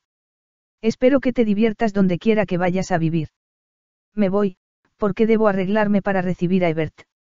Espero que sea muy feliz, le deseó Susanna, pero Julie ya no la escuchó. Llegaron a Londres casi al anochecer, después de una travesía sin problemas. Déjeme en la estación Charing Cross, por favor. Claro que no, la interrumpió, no a estas horas de la noche. Te quedarás en mi casa y mañana mi chofer te llevará al apartamento de tu amiga. No es necesario. Empezó Susanna, con una voz que esperaba fuera firme. No discutas. Como era obvio que ningún argumento alteraría la decisión del profesor, murmuró con humildad. Está bien, y él se rió. En cuanto llegaron al hogar del médico, la señora Cobb les sirvió una deliciosa cena, que saborearon en el elegante comedor. Al terminar, Susanna se dirigió a la cocina a ver a Horacio, que parecía satisfecho viviendo en medio del lujo y la chica se preguntó si se adaptaría a una existencia con menos comodidades, como la que ella podía ofrecerle. Le dio las buenas noches a la cocinera y subió al segundo piso. Ya le habían mostrado su cuarto al llegar, pero titubeaba ante la puerta del estudio, sin saber si debía llamar para despedirse de su anfitrión. De pronto Gui abrió y sacó la cabeza. ¿Lista para meterte en la cama? Que duermas bien. Mañana saldré temprano, pero ya le pedí a Cobb que te lleve a la casa de tu amiga, junto con el gato. Muchas gracias por todo, musito. Ha sido muy amable conmigo. Adiós, profesor Bowers Bentink. Él salió al vestíbulo y se quedó contemplándola. Nos decimos adiós con mucha frecuencia, ¿no crees? Agregó con un toque de impaciencia. Infórmame si necesitas ayuda. Tienes suficiente dinero para mantenerte mientras encuentras trabajo. Sí, gracias, Londres era más caro que su pueblo, pero apartó ese pensamiento y agregó, de todos modos, me puedo quedar con mi amiga. Él entrecerró los ojos y estuvo a punto de decir algo cuando un enorme perro salió del estudio. Todavía no te he presentado a Henry ven y salúdalo, dijo Wee. Susanna se acercó y acarició al animal. Hola y adiós, Henry, le dijo. Se enderezó y le tendió la diestra al médico. Adiós, profesor. Él le tomó la mano, se inclinó y la besó, había sido besada antes, aunque no con frecuencia, besos intrascendentes que no significaban nada, pero este era diferente. Se le ocurrió de pronto que el médico era un hombre de mundo y que debía de tener mucha experiencia en esas lides. Sería delicioso si la besara así todos los días. Pero tendría que conformarse con una vez en la vida. Se volvió a despedir y subió por la escalera sin volver la cabeza, recordándose que había muchas cosas en el que le disgustaban, a pesar de que en ese momento no se le ocurría ninguna. Una sirvienta le llevó el té en la mañana, le dijo que el desayuno estaría listo en media hora y que seguramente nevaría. Estupendo, exclamó Susana, con Navidad tan cerca. Apenas desayunó y se arregló, estudió en el periódico los anuncios de empleados. El destino decidió mostrarse benévolo con ella y sus ojos se posaron en una solicitud urgente, requerían a una joven para ayudar en una guardería, cerca de Tottenham Court Road. Agregaban el domicilio. Tomó un autobús y el conductor le dijo dónde debía bajarse. Encontró la calle Félix sin dificultad, cerca de una estación del metro y un hospital. La guardería era una casa de ladrillos cuya fachada necesitaba una capa de pintura, las construcciones de los lados parecían deshabitadas y algo deterioradas, pero las ventanas estaban limpias y la calle casi no tenía tránsito. Subió por la escalera y tocó el timbre. Podía oír las vocecillas de los niños detrás de la puerta y, a alguien cantando canciones de cuna. La puerta se abrió y apareció una mujer madura de aspecto maternal. Sí. Preguntó, observando a la chica. Es aquí donde solicitan. Empezó Susana y, antes que añadiera otra palabra, la señora la invitó a pasar. Ya ocuparon el puesto. Soy la señora Willis, le dijo la mujer, tendiéndole la mano, la propietaria de este lugar. Susanna Ligford. No, lo han solicitado varias muchachas, pero consideran que es mucho trabajo y no les gusta la idea de vivir aquí. Abrió una puerta y la hizo pasar al vestíbulo. Ven y te explicaré. Se sentaron ante una mesita. Perdí a dos de mis ayudantes la semana pasada, una se enfermó y la otra se casó.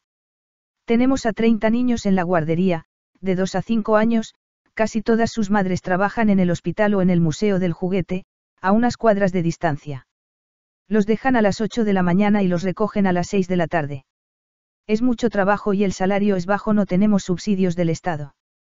Mencionó una suma con la que Susana podría sobrevivir si tenía cuidado. Hay una alcoba en el sótano, donde vivirías. Tendrías los domingos libres, lo mismo que la mayoría de las tardes del sábado. El vecindario es tranquilo, aunque lo han descuidado. Yo vivo en el segundo piso de la casa, pero debo advertirte que una vez que me voy a descansar, por la tarde, no me gusta que nadie me moleste, contempló a Susana por encima de la mesa. Trajiste algunas cartas de recomendación. La joven se las entregó, una carta de Lady Manbrook, otra de Mingner Van y la última del vicario del pueblo. La señora Willis las leyó con cautela. ¿Has trabajado como maestra? No, pero logré muy altas calificaciones en la preparatoria y obtuve un lugar en la universidad. No pude asistir porque mi tía enfermó. Por lo general compruebo si las referencias son verdaderas, pero estoy desesperada tratando de conseguir ayuda. ¿Te gustaría vivir aquí? ¿Qué te parece si probamos durante un mes? Me gustaría trabajar con usted. Tengo un gato, puede vivir conmigo, abajo. ¿Por qué no, si no molesta? Te enseñaré el lugar. Bajaron por la escalera y la señora abrió la puerta de una habitación amplia, más bien fría y oscura. Sin embargo, estaba limpia y tenía una estufa en un rincón y un baño particular. Los muebles eran escasos y baratos, mas las cortinas daban un aire alegre al conjunto, lo mismo que una vieja chimenea. El alquiler está incluido en el sueldo, le explicó la señora Willis. Puedes traer tus cosas. Solo tengo mi ropa. Me mudaré hoy mismo si me lo permite y mañana a primera hora empezaré a trabajar. ¿Tanto necesitas el empleo? Sí. Y pondré todo mi empeño. Espero que esas buenas intenciones duren, sonrió la señora Willis. Aquí no damos vacaciones. Solo cerramos el día de Navidad y el primero del año, pues las madres de familia siguen trabajando y no tienen dónde dejar a los niños. ¿Qué planes hiciste para Navidad? Ninguno, señora Willis. Perfecto. Yo visitaré a mi hermana en Nortolt apenas recojan al último niño, la víspera de Navidad, y regresaré el 26 de diciembre. ¿Te importa quedarte sola? No, no lo creo. Las casas a los lados de esta se usan como bodegas, pero tenemos vecinos en la calle de enfrente, le entregó a Susana la llave del cuarto. Ve a traer tus cosas y regresa cuanto antes. Luego te mostraré la guardería porque ahora no tengo tiempo. Ya tenía un trabajo y un sitio donde vivir, pensó Susana mientras regresaba a la casa del profesor. No era lo ideal, sin embargo, como le pagarían por semana, podría gastar un poco de dinero en víveres y unos pequeños lujos. Tuvo cierta dificultad para persuadir a Cobb de que la dejara abordar el taxi que había llamado. No sé cómo reaccionará el profesor, comentó preocupado. Me encargó que la llevara, sana y salva, a casa de su amiga. Él no sabía, ni yo tampoco, que mi amiga mandaría un taxi por mí. Está afuera esperando. Se lo explicaría al doctor. Y dígale que me dieron un buen trabajo y un bonito apartamento, se despidió. Le agradezco sus atenciones a usted y a su esposa. En cuanto pueda le escribiré al profesor.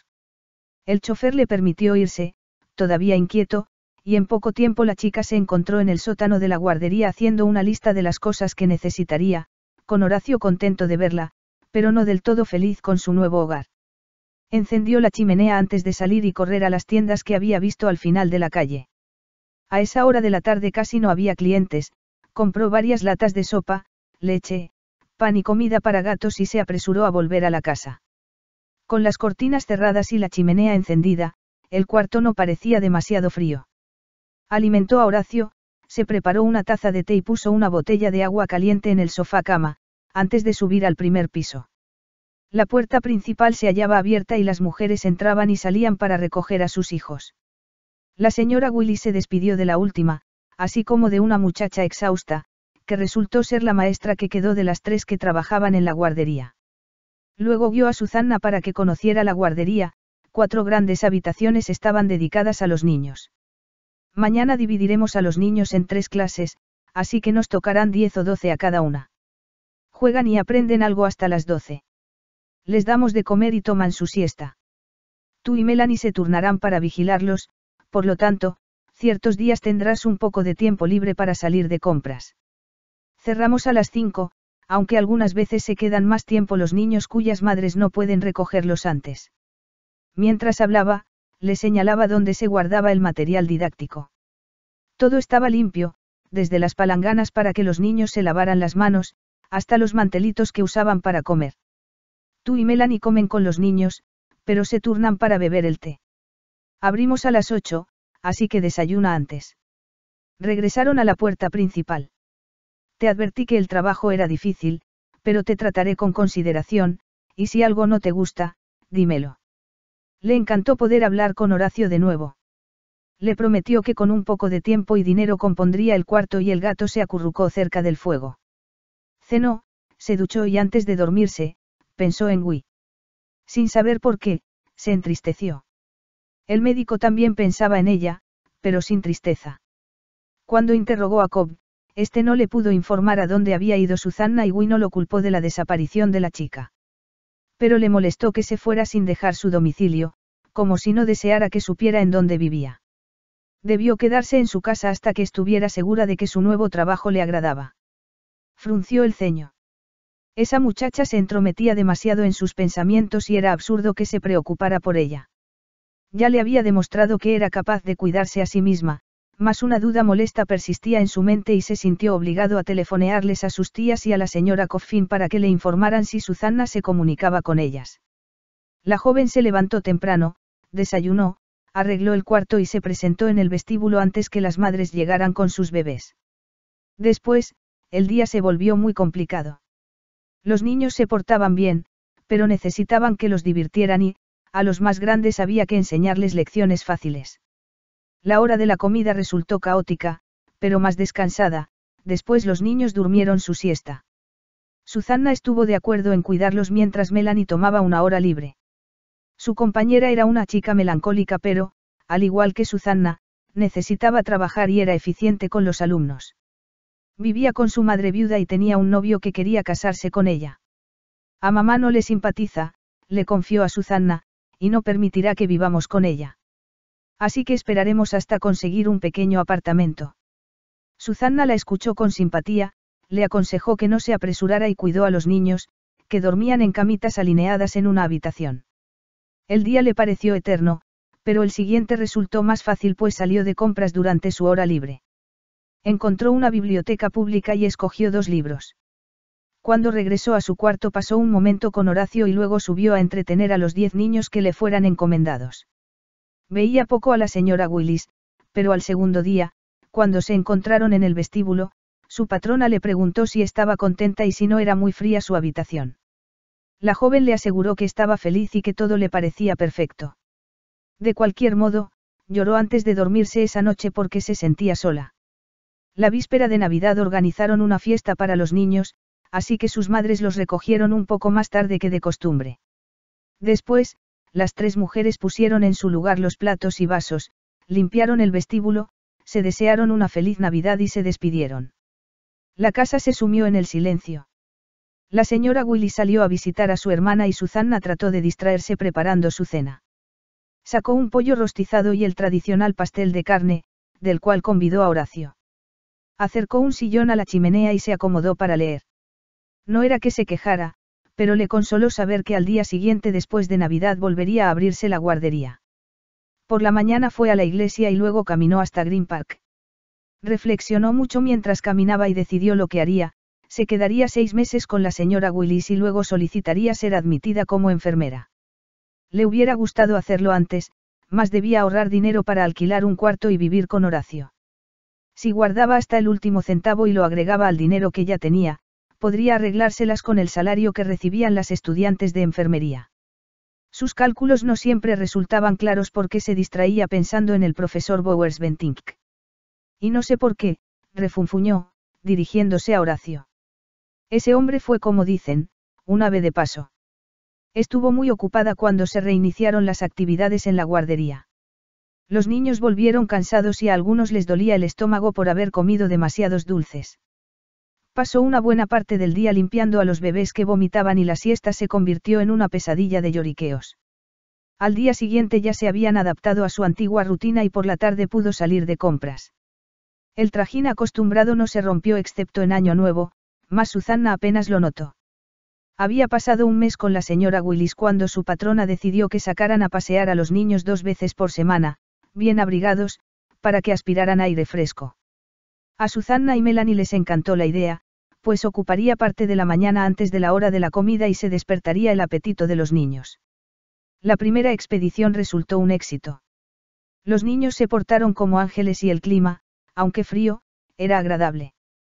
Después, las caminatas se volvieron parte de la rutina diaria. Llegaban a Tottenham Court y jugaban en el parque diez minutos, luego regresaban a la guardería.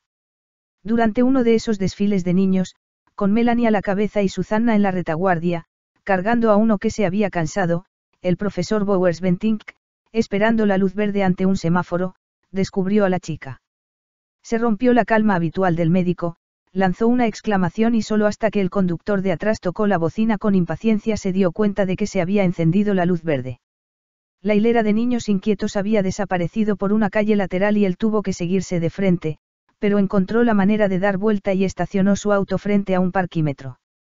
Se metió en varias tiendas antes de encontrar a alguien que pudiera contestar a sus preguntas.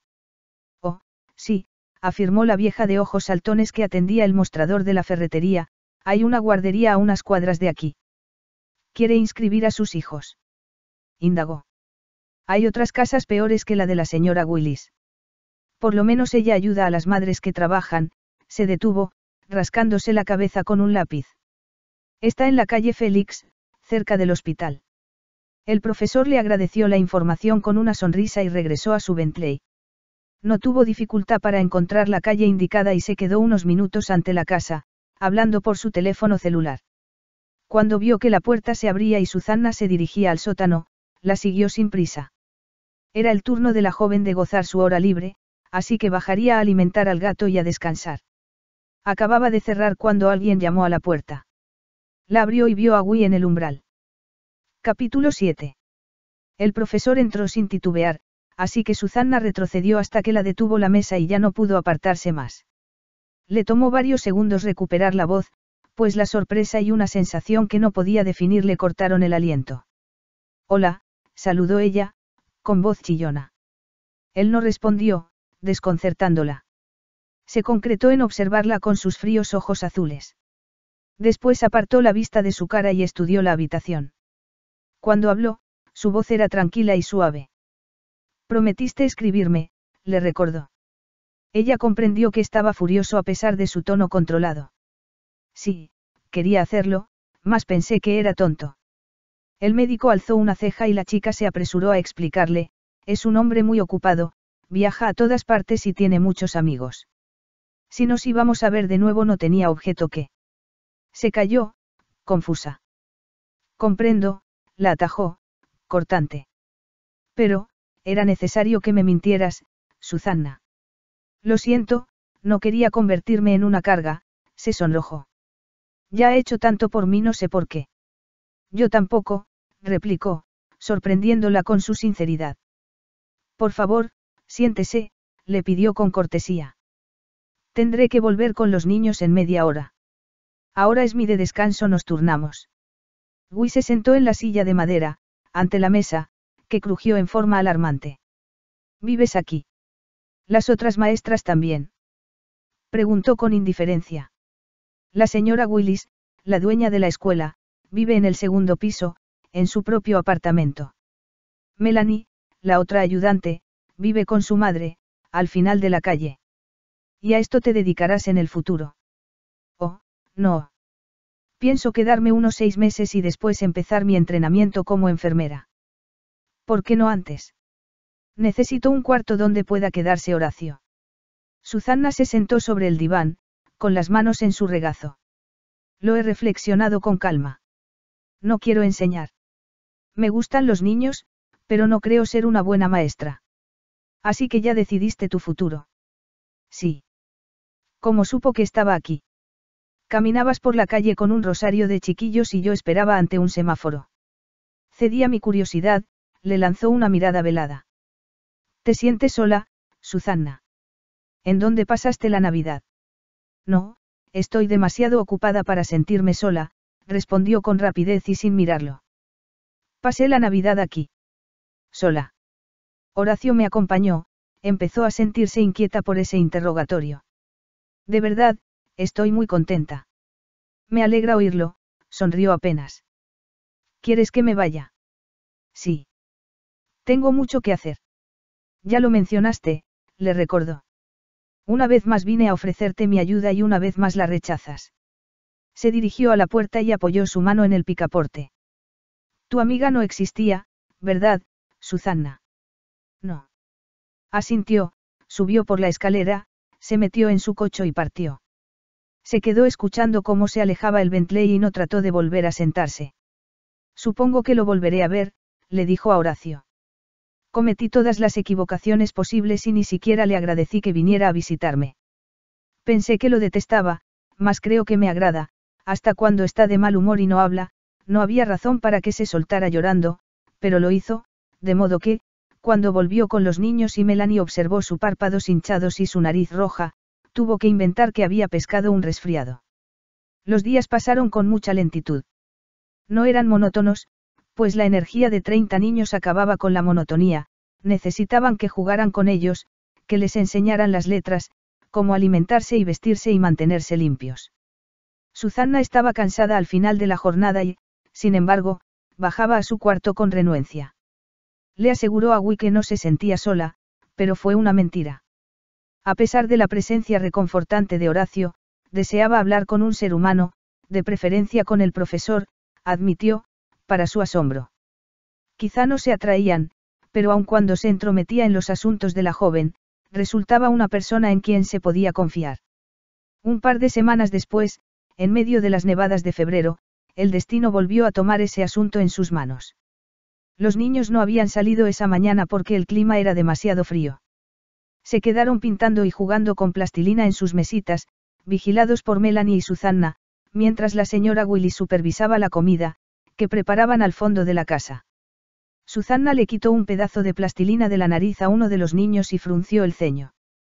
Olió algo quemado, acre, que no provenía de la cocina. Melanie estaba en el cuarto contiguo, con la puerta a medio abrir. Susanna la abrió de par en par y de repente el olor se volvió más fuerte y escuchó un leve crujido. Llamó a gritos a su compañera. ¿Qué manera de alborotar es esa, enfrente de los niños? La regañó, acercándosele. Se quemó la comida pero. Averiguaré qué es, cuida a mis niños, le pidió y no esperó a que le contestara. Atravesó el vestíbulo y escuchó voces en la cocina. El ruido provenía del piso superior y al empezar a subir por la escalera una bocanada de humo se escapó por la rendija de la puerta del apartamento. Voló escaleras abajo, sin aliento por el miedo, y abrió la puerta de la cocina, que encontró vacía. La señora Willis y la cocinera estaban en una bodega donde se guardaban víveres y cacerolas. Hay un incendio en su apartamento, señora Willis, anunció Susanna y, sin aguardar respuesta, regresó al lado de Melanie, que preparaba a los niños para que se sentaran a la mesa. No preguntes, le ordenó. Hay un incendio allá arriba. Ponles los abrigos a los niños y sácalos a la calle. Rápido. Melanie era una muchacha agradable, pero no muy ágil de mente. Incendio. Repitió. Pensé que algo se quemaba en la cocina. Oh, apúrate. Muévete. Le gritó Susanna, impaciente y muy asustada. Se metió en el cuarto donde estaba el guardarropa y sacó sombreros, abrigos y bufandas y se los puso a los niños, sin importarle si eran de ellos o no. Melanie insistió en que los sacaran sin abrigarlos, pero ella se opuso. Pescarán una pulmonía, por el amor del cielo, ayúdame. La señora Willy se reunió con ella, lo mismo que la cocinera y guiaron a los niños hacia la calle. Ya llamé a los bomberos, afirmó la señora Willis. Cuenten a los niños, una espesa humareda descendió del segundo piso y la hizo toser.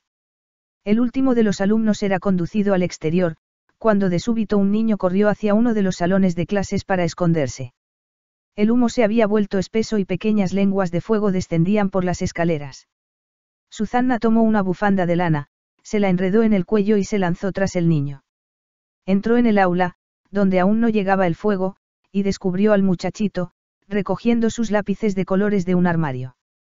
Lo atrapó y le cubrió la boca con una mano corriendo hacia la puerta, justo cuando el techo de madera del segundo piso empezó a resquebrajarse sobre sus cabezas. Las llamas habían invadido la mitad de las escaleras y una plancha de roble cayó frente a ellos. La empujó con la mano, sin notar que la piel le ardía, y casi se cayó al atravesar la puerta y poner al niño en los brazos ansiosos de la señora Willis. Horacio. exclamó y se lanzó corriendo hasta el sótano, metió al gato en su canasta y salió de nuevo al exterior. Para entonces, varios curiosos se habían reunido y las sirenas de los bomberos se escuchaban bastante cerca, seguidas de las patrullas de la policía y las ambulancias.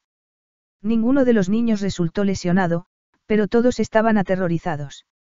Los apretujaron en una ambulancia y los llevaron al hospital. La segunda ambulancia se llevó a los que quedaban, junto con Melanie. La señora Willy se rehusó a acompañarlos y Susanna, temblando de frío y con la mano quemada, se quedó con ella. Su patrona, por lo general tan eficiente, parecía a punto de desmayarse. Se apoyó en Susanna y murmuró desolada. Mi casa todo el trabajo que invertí en la guardería. Los niños están a salvo, la consoló la joven, pasándole un brazo por los hombros. Con el dinero del seguro se comprará otro apartamento y podrá alquilar unos cuartos vacíos para continuar con la guardería. Tienes razón, la señora Willy se limpió la nariz y se secó los ojos. No es el fin del mundo. También tengo muchos amigos que me ayudarán. Notó que Susanna se estremecía y notó su mano quemada. Te lastimaste, debes ir al hospital a que te curen. Fuiste muy valiente al salvar a Billy. Yo debía haber entrado. Yo estaba más cerca. Replicó la chica y se interrumpió cuando un policía le tocó el hombro. La llevaré al hospital, señorita, necesita atención.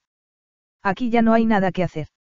Y usted también, señora, no necesita pescar una pulmonía contemplando el incendio. Es la dueña. La dejaremos en casa de alguien que pueda darle alojamiento mientras se resuelve este problema. Me quedaré al final de la calle, le indicó la señora Willis al oficial y ya dentro de la patrulla le preguntó a su ayudante, ¿y tú, Susanna? ¿Tienes algún lugar en donde puedas hospedarte? La chica sostenía la canasta de Horacio sobre su regazo. El gato apretaba la cabeza contra los alambres y ella lo acariciaba con un dedo. Contestó con optimismo.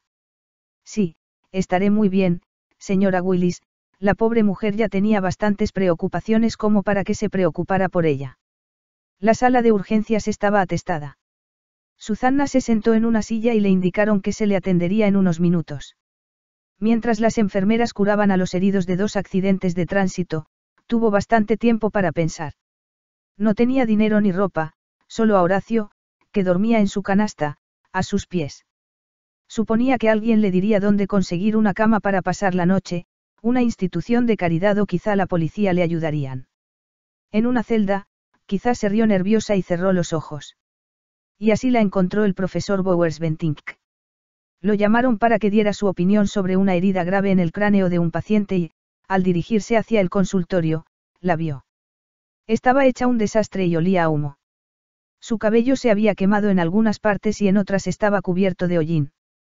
Parte de su falda y una manga del suéter estaban quemadas también y apoyaba su mano herida sobre el pecho, para aliviar el dolor. Will lanzó un quejido en voz baja y el médico que lo acompañaba trató de calmarlo. Creo que viene de la guardería, hubo un incendio, revisamos a los niños, ninguno está herido, afortunadamente. ¿Cuándo sucedió eso? Hace una hora, señor. El médico volvió a vociferar y su joven acompañante lo miró asombrado. El profesor Bowers Bentink poseía un lenguaje elegante, rara vez levantaba la voz y adquirió la reputación de un hombre frío, brillante en su profesión y muy seguro de sí mismo. Conozco a esta joven, explicó. Quiero que la lleven de inmediato a la sala de cirugía y que un médico la atienda. Se recobró cuando un enfermero llevó una silla de ruedas y la transportó al cuarto piso, aun cargando la canasta del gato. El médico joven estaba apenas en su periodo de entrenamiento y no sabía cómo decirle que debía dejar al animal en el corredor. Pero Susana, como si adivinara esas perversas intenciones, apretó el asa de la canasta. No tenía a nadie en el mundo, excepto a Horacio. Dos grandes lágrimas le escurrieron por las mejillas. El profesor, entrando en la sala, con todo lo necesario para curarla, le entregó los instrumentos al joven médico, sacó un pañuelo y limpió la cara de la chica. Oh, es usted, gimió Susana y sollozó. El profesor apartó la canasta y la colocó sobre el suelo. Sí soy yo. No, no te preocupes por Horacio, nadie se lo llevará. Vine a revisar tu mano antes de llevarte a casa. Susana suspiró, se limpió la nariz y los ojos y replicó. No, gracias. Ya me las arreglaré. Guy no se molestó en contestar. Le desinfectó la mano con delicadeza, concentrado en esa tarea. Creí que era neurocirujano, comentó Susana, pensando que alguien debía romper ese silencio. Lo soy, pero aprendí primeros auxilios cuando era estudiante, repuso. Terminó la curación y le ordenó, con su voz suave que no admitía discusiones. Espérame aquí, Susana, con Horacio. Regresaré en diez minutos. Lo que fuera que le hizo a su mano, la alivio, el dolor disminuyó y lo único que deseó fue dormir. Apenas se dio cuenta de la partida de su benefactor, se durmió. Mientras, el médico residente arreglaba el caos que Guy había causado. Despertó cuando regresó el doctor con un enfermero y una silla de ruedas y aunque trató de protestar, él pareció no notarlo y desapareció de nuevo. La ayudó a acomodarse en el Bentley, colocó a Horacio en el asiento posterior, les dio las gracias a sus ayudantes y puso en marcha el auto. Susana, ya sin mucho dolor y respirando con libertad, revivió. Huelo horrible, se quejó. ¿A dónde me lleva? A mi casa. La señora Cobb te cuidará y mañana decidirás qué quieres hacer. No le importará que me quede con Horacio. Estará encantada de mimarlo. El cirujano parecía impaciente y la chica no replicó. Una vez que se repusiera, pensaría en su futuro. Apenas llegaron a la casa, el profesor se la encomendó a la señora Cobb, quien movió la cabeza con compasión, le encargó al gato a su marido y condujo a Susana al segundo piso. Un baño tibio, enumeró, un té caliente y luego a la cama. Té. No tengo idea de qué hora es. Pobre niña, está exhausta. El profesor me contó que hubo un incendio y que usted se quemó. Debió de ser terrible. Empezó a quitarle la ropa. Veré si puedo arreglar la falda y la blusa, aunque no creo poder hacerles gran cosa. Desde luego, no tiene más ropa, ¿verdad? Salvaron algo del fuego. Susana se metió en la tina, evitando que su mano vendada se mojara. No lo sé, replicó, a punto de llorar.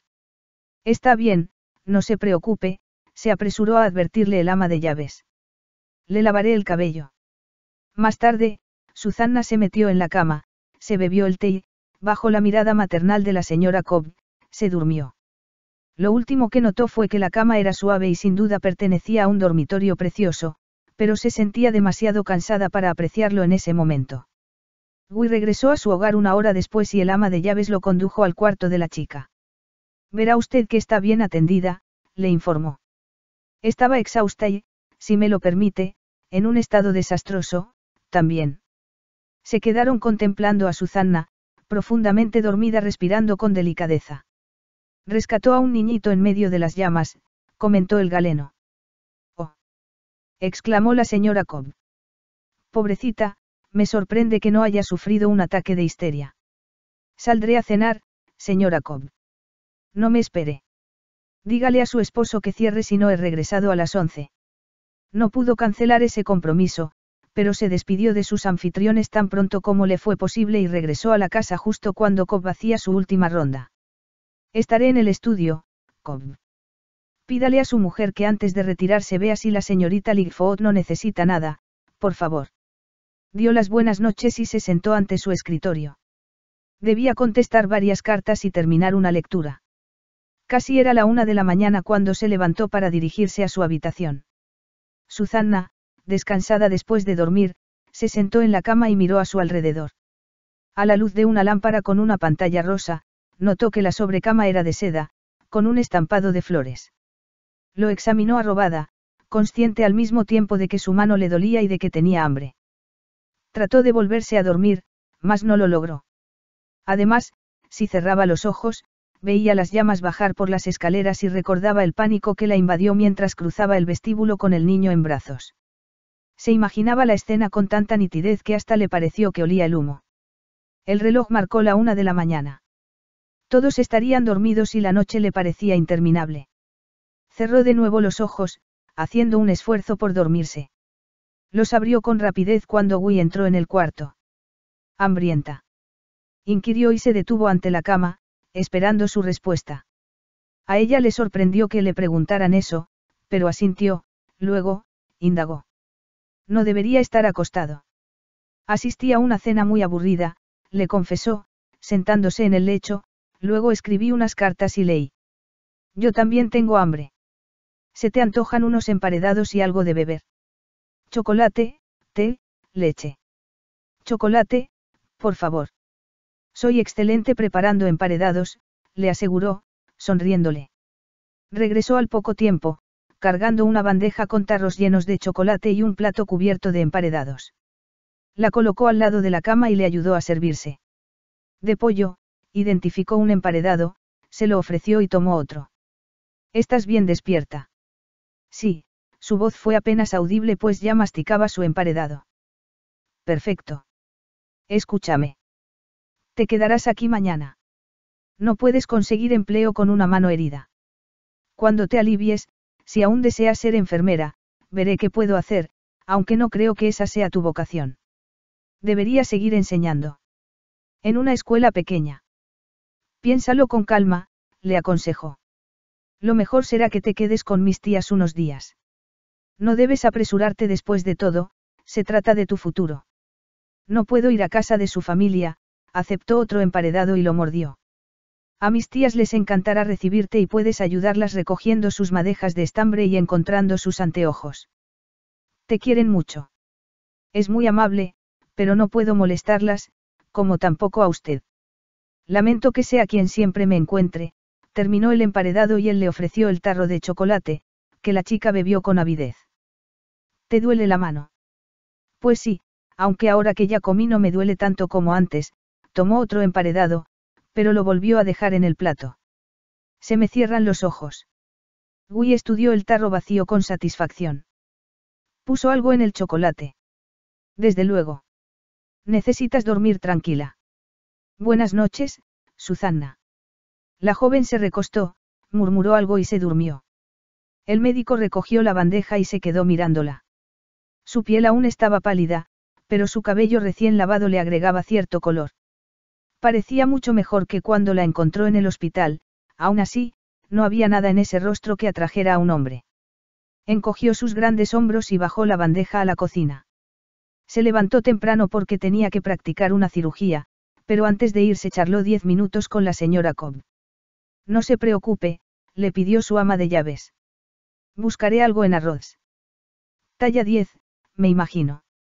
Esa niña es muy delgada. Dejó el asunto en sus manos, señora Cobb, pero, se lo ruego, no escoja un traje gris o café. Azul o verde, señor. Guy salió de la casa y cuando el señor Cobb regresó a la cocina, su esposa comentó. Recuerda mis palabras, el doctor aún no lo sabe, pero está enamorado de la chica. Hacen bonita pareja y ella será una excelente esposa. Será agradable que esta casa se llene de niños. Prediciendo el porvenir, querida. Se burló Cobb con dulzura. Quizá, pero no olvides mis palabras. Le llevó un espléndido desayuno a Susanna, que se apoyó contra las almohadas, mientras recibía una serie de instrucciones. Le traeré ropa nueva, señorita Ligfoot, y la ayudaré a ducharse. No debe mojarse esa mano. El profesor le dejó unas medicinas para que las tomara si sentía dolor, le sonrió feliz a Susanna. Ahora iré a comprarle ropa. No tengo dinero, arguyó la joven. No se preocupe, lo pagará el seguro. La señora Cobb desapareció antes que Susanna pudiera hacerle preguntas. Terminó su desayuno y se durmió de nuevo. Despertó para ver a la señora Cobb parada junto a la cama con una mirada de total satisfacción. Le enseñaré lo que le traje, afirmó, radiante, colocando sus compras sobre el lecho. Talla 10 me llevé su blusa. Se lo dije al profesor, es usted muy delgada, contempló con una cierta envidia la silueta de la chica, cubierta con uno de los gigantescos camisones del ama de llaves. Le mostró ropa interior de encaje en pálidos colores, de la que Susana admiraba en los escaparates de las tiendas. Había una falda de lana, de un brillante azul verde, con un suéter del mismo tono, dos blusas de seda marfil y un abrigo, también unos zapatos, pantuflas y un camisón. La joven los contempló azorada. No puedo ponérmelos, afirmó. No poseo un centavo a mi nombre, además, Nunca tuve algo parecido. Aun con dinero, dudo que. No se preocupe, señorita Ligfoot. El profesor ordenó que le comprara un ajuar para que pasara unos días con sus tías, mientras se recupera de la impresión del incendio. Sugirió que fuera a Rhodes si debo hacer lo que manda. Sí, pero no puedo aceptar un regalo tan caro de alguien que apenas conozco, gimió Susanna. Pues tampoco puede quedarse en la cama para siempre, ¿verdad? Ni salir a la calle tal como vino al mundo. Su ropa quedó inservible y creo que no se dio cuenta de que perdió un zapato. No me diga. ¿Con quién voy para que me informe qué sucedió con mi ropa y mis cosas? Con el profesor, él se encargará de todo, replicó la señora. Cobb, convencida. Así que Susana se levantó, tomó una ducha y se vistió, con la ayuda del ama de llaves. La ropa nueva le quedaba como anillo al dedo, igual que los zapatos, y, cuando se paró ante el triple espejo del tocador, lanzó un profundo suspiro. Un vestido hace una gran diferencia. Desde luego, señorita, y más en azul, que contrasta con el tono de su cabello. Ya está listo el almuerzo, si quiere, puede bajar. Susana comió y después se sentó en el estudio, con Horacio y Henry acompañándola. A las seis en punto llegó Wee y la saludó con su voz calmada. La chica respondió con timidez y trató de expresarle su gratitud, hasta que él la detuvo. Me agrada que te sientas mejor, Susanna, comentó. Mis tías estarán encantadas de recibirte por unos días.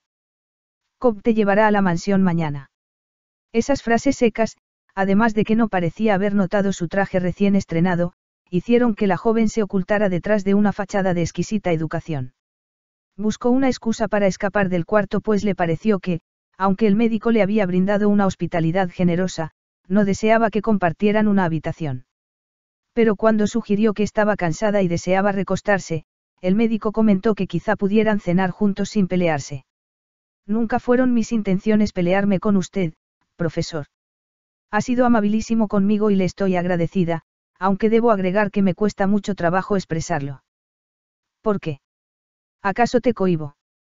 Sonrió un poco. ¿Te quedó bien la ropa?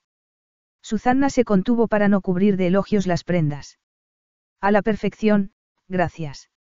Si me da la factura, se la pagaré cuando consiga un empleo. Asintió con indiferencia y se levantó para servirle una copa. Mas cuando apenas había vuelto a sentarse, Cobb le informó que alguien lo llamaba. Regresó en unos minutos para anunciarle que debía salir y que no regresaría a cenar. Entonces, me despido, Susana.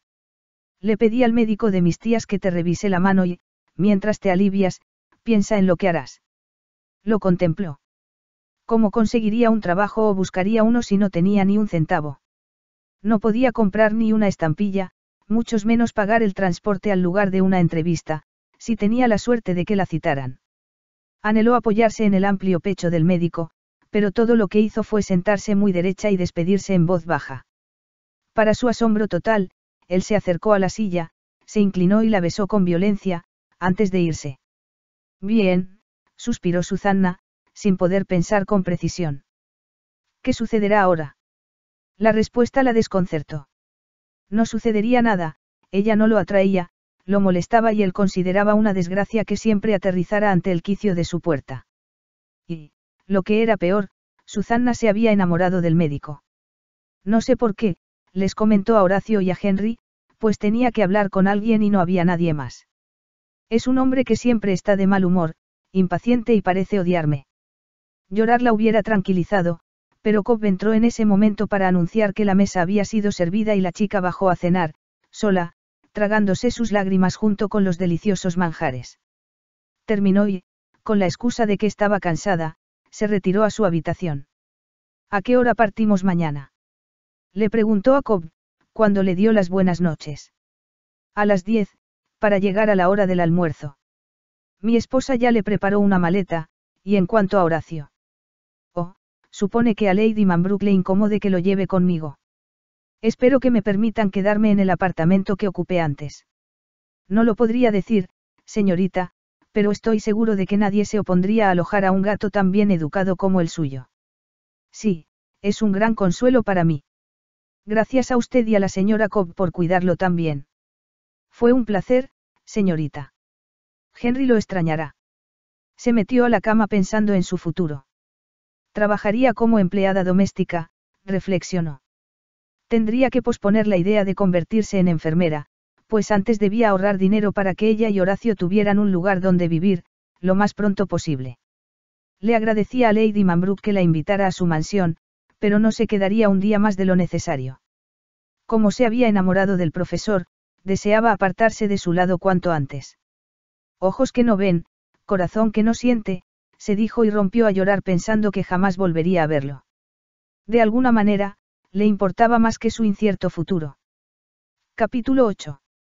Mucho antes que Susana bajara a desayunar, al día siguiente, Guy salió de la casa. Ella comió lo que le sirvieron, recogió a Horacio y, cuando Cobb puso sus escasas posesiones en el portaequipajes, se metió al coche. El trayecto fue más bien silencioso. Susana comentó acerca del clima, el estado del camino y la perfección de los platillos de la señora Cobb, pero al fin se calló y Cobb, excepto por algún comentario esporádico, no la molestó. Pensó en que no volvería a ver al profesor. Le había dicho adiós sin expresar deseos de encontrarla de nuevo y, aunque estar separada de él era casi más de lo que podía soportar, intentaba acostumbrarse a la idea. El destino la había arrojado al camino del médico y él había sido lo bastante amable para ayudarla, sin embargo, presentía que estaba harto de encontrarse con ella a cada paso. Una vez que estuviera en la mansión de Lady Manbrook, se las arreglaría para llamar por teléfono a la señora Coffin y persuadirla de que le escribiera rogándole que fuera a su casa. Un brazo roto, resfriado, venas varicosas, inventó Susana inquieta, cualquier cosa con tal de recuperar su libertad. Una vez con la señora Coffin, buscaría un trabajo, de preferencia a kilómetros de distancia y donde fuera muy improbable que volviera a ver a Wii. Su plan estaba preparado al llegar a Ramsbourne, así que se despidió con alegría de Cobb y saludó a su anfitriona con calma.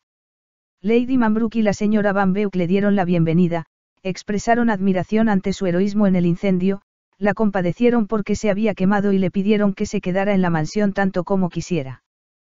Trajiste a tu gato. No le importará cambiar de casa. Te daremos un cuarto con una terraza, para que tu menino salga a tomar aire. Parsons la llevó a un amplio dormitorio, que daba al jardín posterior. Me agrada muchísimo volverla a ver, señorita, le dijo. Todos estamos muy tristes porque se lastimó la mano. Las señoras no cesan de lamentarse. Dobló el cubrecama y colocó la ropa de la joven en los cajones. Susana se quitó el abrigo, se arregló el cabello y examinó el cuarto mientras Horacio exploraba su nuevo territorio. Decidió cuál era la silla más cómoda, se subió a ella y se durmió, dejando que su ama bajara al estudio a beber un vaso de jerez con las ancianas, antes de la comida. No tuvo oportunidad de llamar a la señora Coffin ese día, ni al siguiente. Hubiera sido sencillo caminar hasta el pueblo y llamarla de ahí, pero no tenía dinero ni idea de cómo conseguirlo. Se pasó horas tratando de ingeniárselas para obtener unas monedas, lo suficiente para comprar una estampilla, pero ningún plan le pareció lógico para llevarlo a cabo. Tampoco tenía algo que vender. La vida era muy agradable en Ramsbaume, se movía con una lentitud que tranquilizaba los nervios de la chica. Sus mejillas recobraron su color, su mano lastimada sanó y su cabello creció de nuevo con un brillo más intenso. Pero esas maravillas no podían durar, se dijo. En dos días más, se prometió, hablaría con Lady Manbrook, le explicaría su situación y le pediría dinero prestado. Pero antes trataría de llamar a la señora Coffin para asegurarse de que la ayudaría. El profesor tuvo una semana muy difícil, lo que quizá disculpaba su impaciencia y sus largos silencios. La señora Cobb, al notarlo, movió la cabeza con satisfacción, señalándole a su esposo lo que ella le había pronosticado. El chofer replicó que imaginaba cosas, pues el profesor no había insinuado que deseara ver a la señorita Ligfoot de nuevo. Lo cual era cierto, mas pensaba mucho en ella, sin desearlo. Su pequeña imagen bailaba ante los ojos cansados del médico, recordándole que había dejado su recuerdo en esa casa. Le costó un gran esfuerzo no comunicarse con sus tías para preguntar por la salud de la chica, pero decidió esperarse dos semanas y, mientras tanto, trataría de conseguirle un empleo. No había razón para que lo hiciera, pero pensar que la chica tendría que empezar de nuevo lo preocupaba sin cesar. Se sentó ante su escritorio, considerando el problema, lo más probable era que él terminara adoptando a Horacio y que Susana se fuera al otro lado del país. Frunció el ceño, la idea no le gustaba. Revisó unos papeles y luego los apartó, sumido en sus cavilaciones, que se interrumpieron cuando Cobb llamó a la puerta, pero este no logró anunciar a quién buscaba a Gui porque Phoebe lo empujó para pasar. Gui, querido, hace siglos que no nos vemos. Vine a Londres de compras y pensé que te gustaría invitarme a salir a cenar, le hizo un gesto a Cobb, quien la observaba con desaprobación, y se acercó más al médico. Tu criado me dijo que estabas ocupado, mas tú nunca estás demasiado ocupado para privarte del placer de platicar conmigo, ¿verdad? Está bien, Cobb, dijo el galeno, poniéndose de pie. Le acercó una silla a su visitante. Me diste una sorpresa, Phoebe. Me temo que hoy no podré llevarte a cenar. Estoy muy atrasado en mi trabajo. La chica hizo un mohín delicioso. Oh, Gui estaba tan segura de que me complacerías, observó su rostro severo y cambió de táctica.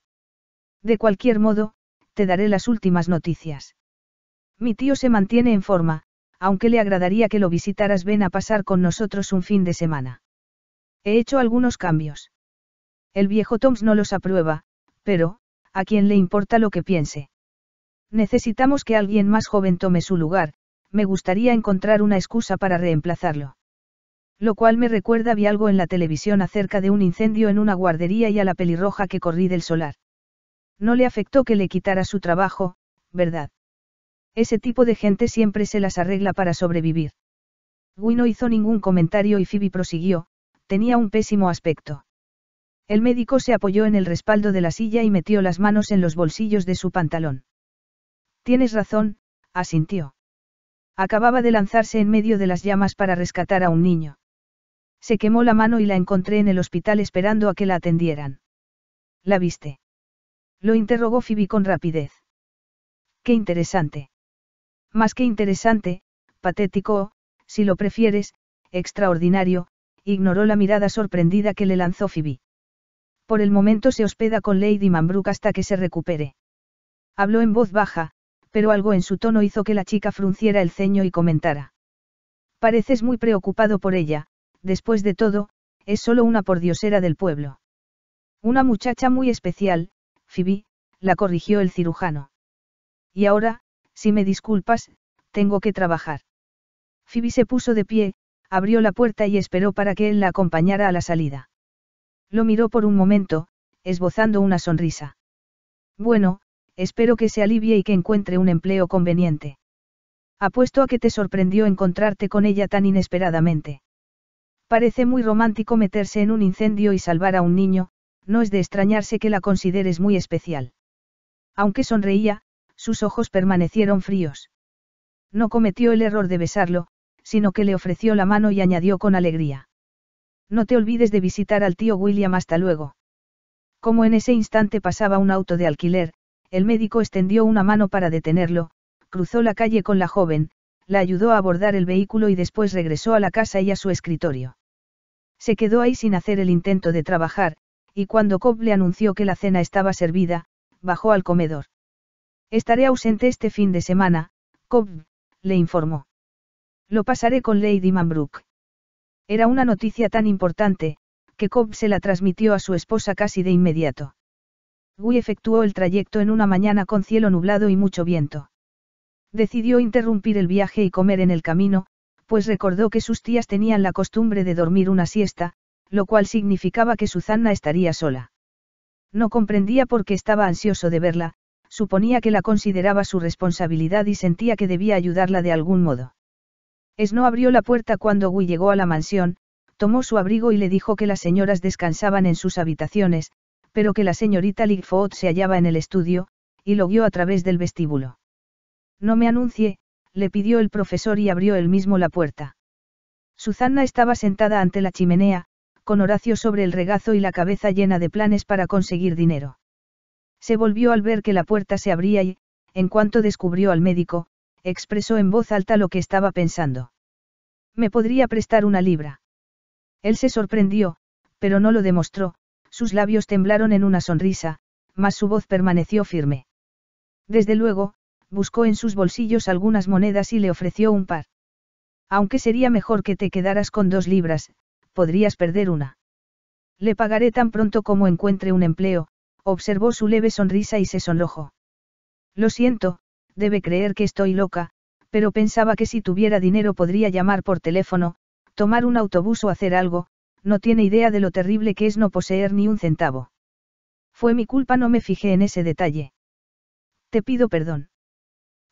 No lo culpo, de verdad, ya ha hecho tanto por mí que debo resultarle molesta. No me molestas, Susana, replicó, acercándosele. En realidad, me he dado cuenta de que te extraño. Una enorme ola de amor estremeció al corazón de la chica, pero mantuvo su expresión tranquila. Como un dolor de muelas, bromeó. ¿Estás contenta aquí? Le preguntó, después de reírse. Ya veo que tu mano está mejor. Si tienes un poco de paciencia, haré que te acepten en un hospital para que te gradúes como enfermera. Mientras hablaba, intuyó que no cumpliría su promesa, pues deseaba influir de una manera radical en el futuro de la chica y obligarla a que dependiera de él. Nunca creyó que lo rechazara. Es muy amable, pero prefiero trabajar en una casa, en el campo. Me gustaría irme a Escocia o, si no me queda más remedio, a Yorkshire a kilómetros de distancia. A Will le sorprendió la desolación que lo invadió ante esa noticia. Un largo viaje para Horacio, fue todo lo que dijo. Sí, pero una vez que lleguemos, ahí nos quedaremos. Así que quieres empezar de nuevo, Susana. Una nueva vida, con nuevos amigos. Oh sí, sí, asintió. No sabe cuánto anhelo eso. El profesor la observó, sentada ante él, con las manos acariciando el pelaje sedoso del gato. No era una belleza, pero poseía algo que la mayoría de las mujeres que conocía no tenían, encanto, una cierta suavidad que ocultaba su espíritu independiente. Y lo más bellos ojos que jamás había visto. Hasta ese momento, se sintió satisfecho con su vida, mas de pronto le pareció que su vida ya no sería igual si Susana se iba. Lo que creyó que era una preocupación natural por una muchacha sola, sin parientes que la ayudaran a ganarse el pan, se convirtió en algo más, en algo que no quería nombrar hasta estar seguro. Y, al parecer, ya no tendría necesidad de esperar, pues la chica habló con una enorme convicción, quería irse, lejos, demasiado lejos, y el hecho de que no volvería a verlo ni siquiera le había pasado por la mente. Como era un hombre paciente y ya se había decidido, no la contradijo, para salirse al final con la suya. Veamos, comentó con soltura, creo que algún lugar de York te convendría muchísimo. ¿Conoces la ciudad? Empezó a hablar acerca de esa parte de Inglaterra, sin mencionar el futuro de Susanna, y aún no terminaba cuando sus tías se reunieron con ellos para tomar el té. Susanna, ya en su habitación, maquillándose y peinándose para la cena, se dijo que no le interesaba al médico, que solo le provocaba una leve preocupación y que, en cuanto a esa visita, de seguro pasaba ahí los fines de semana con frecuencia. Resultó maravilloso volver a verlo, más debía irse cuanto antes, para que él no le ofreciera encontrarle otro empleo. Si se hallaba a kilómetros de distancia, su vida sería más fácil. No lo creía, pero sonaba lógico. La velada transcurrió agradable, como siempre.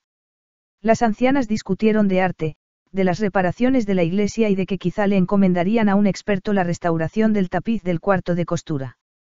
El profesor se mostró interesado por cortesía, pero a ratos contemplaba a Susana con la mente en otras cosas y, cuando sirvieron el café, le pidió a la chica que lo acompañara a la mañana siguiente a su casa. Necesito revisar el techo del granero, le explicó, y será un agradable paseo. Hubiera resultado extraño que ella se negara, así que aceptó con calma y le preguntó en dónde estaba la casa. Nací en Great Chisbourne y conservo la casa de mis padres, contestó. Estoy seguro de que te gustará. Le hubiera fascinado una cueva si él hubiera nacido ahí, pero se contentó con asentir. Yo también. Salieron después del desayuno, durante el cual Wii charló de cosas sin importancia, mientras devoraba su comida con un apetito voraz. Susanna, confundida por sus sentimientos, picoteó sus huevos revueltos y bebió varias tazas de café, tratando de contestar a ciertas preguntas cuando era necesario. Se hallaba en un estado de euforia ante la idea de pasar varias horas con el médico, así que se distraía con facilidad. El tiempo no había mejorado desde el día anterior, Guy condujo con rapidez, disminuyó la velocidad al pasar por Marlborough y después tomó una desviación para atravesar un bosque y llegar a Great Chisbourne. La calle principal del pueblo era amplia y estaba bordeada de viejas casas, el profesor se estacionó ante la última. La construcción era de ladrillos rojos con un techo de dos agua. La rodeaban extensos jardines que en ese día gris alegraban la vista. Se dirigieron hacia la puerta principal, que fue abierta por una mujer regordeta, de cabello blanco y ojos redondos. El médico la saludó con un abrazo y un beso y luego se volvió hacia Susanna. Esta es Trudy, mi vieja nana, Vive aquí y me cuida cuando vengo. Susanna le estrechó la mano, consciente de que la señora la estudiaba con curiosidad, pero sin malicia. Preparé café, dijo Trudy. Le mostraré dónde puede dejar su abrigo, señora Ligfoot, y usted, señor Guy, cuelgue el suyo en el guardarropa. Se llevó a Susanna para mostrarle un armario, al final del vestíbulo, y cuando regresaron, Guy silbaba, apoyado contra la pared. El vestíbulo era tibio y acogedor, con una gruesa alfombra turca en el centro y sillas al lado de una mesa.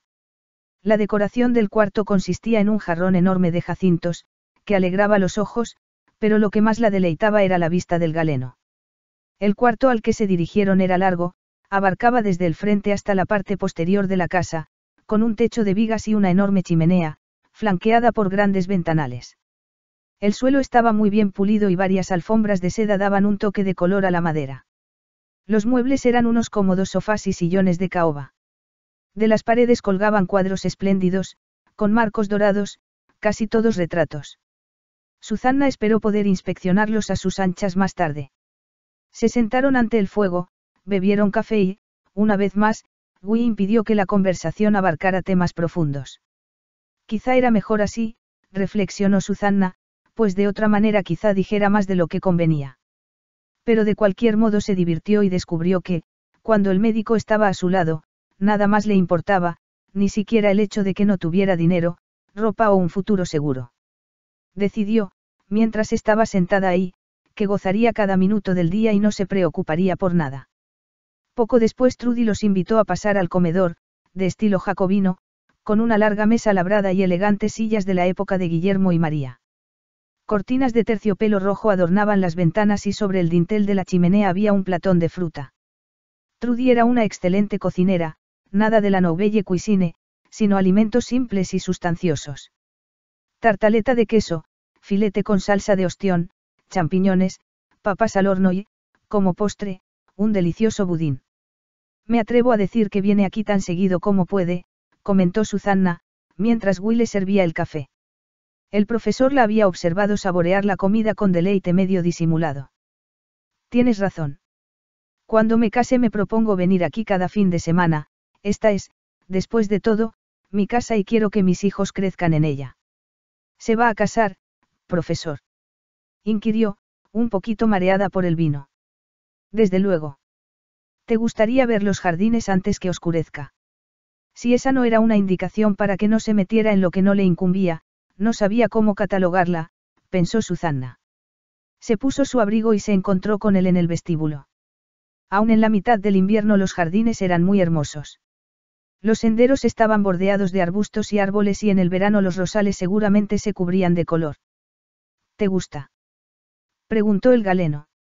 Es un paraíso, declaró Susana. No entiendo cómo puede soportar estar lejos de este sitio. Casi todos los fines de semana logro escaparme, le indicó. No estamos lejos de la carretera principal y de ahí a Londres no hay demasiado trecho.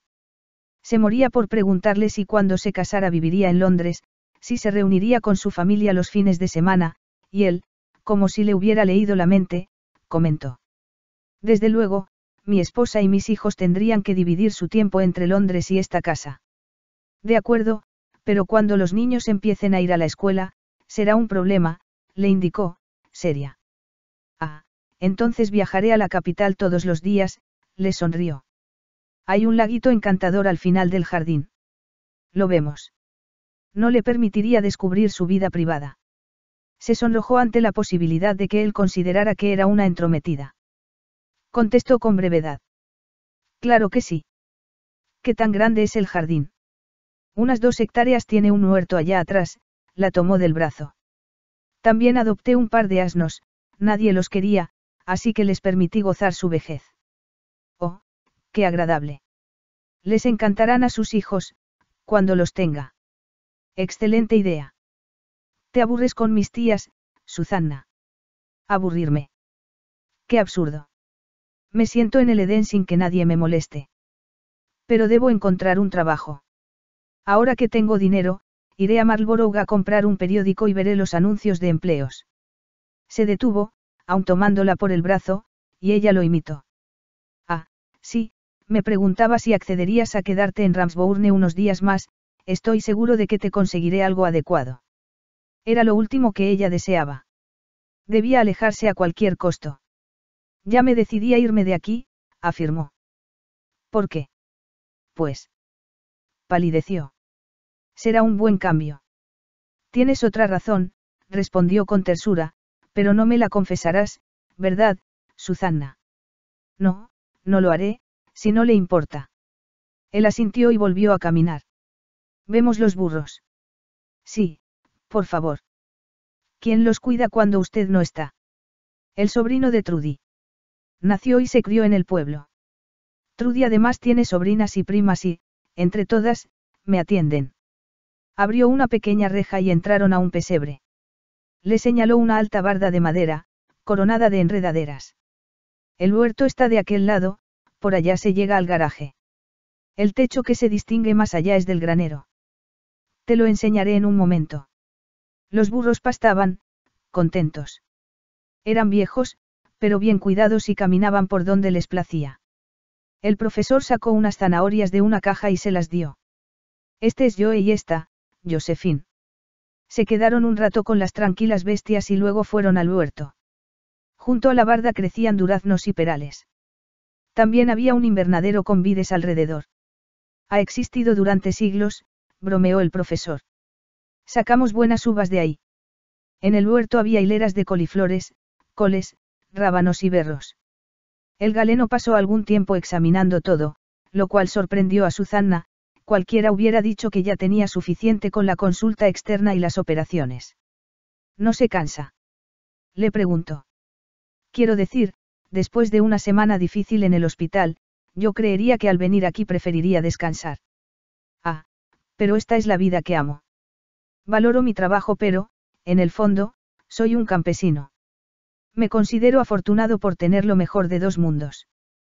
Como oscurecía, volvieron a la casa. Will le quitó el abrigo y Trudy salió de la cocina con la bandeja del té. Horneé panecillos, señor Guy, le dijo al pasar frente a él, un pastel de chocolate y unos emparedados, con su aderezo predilecto.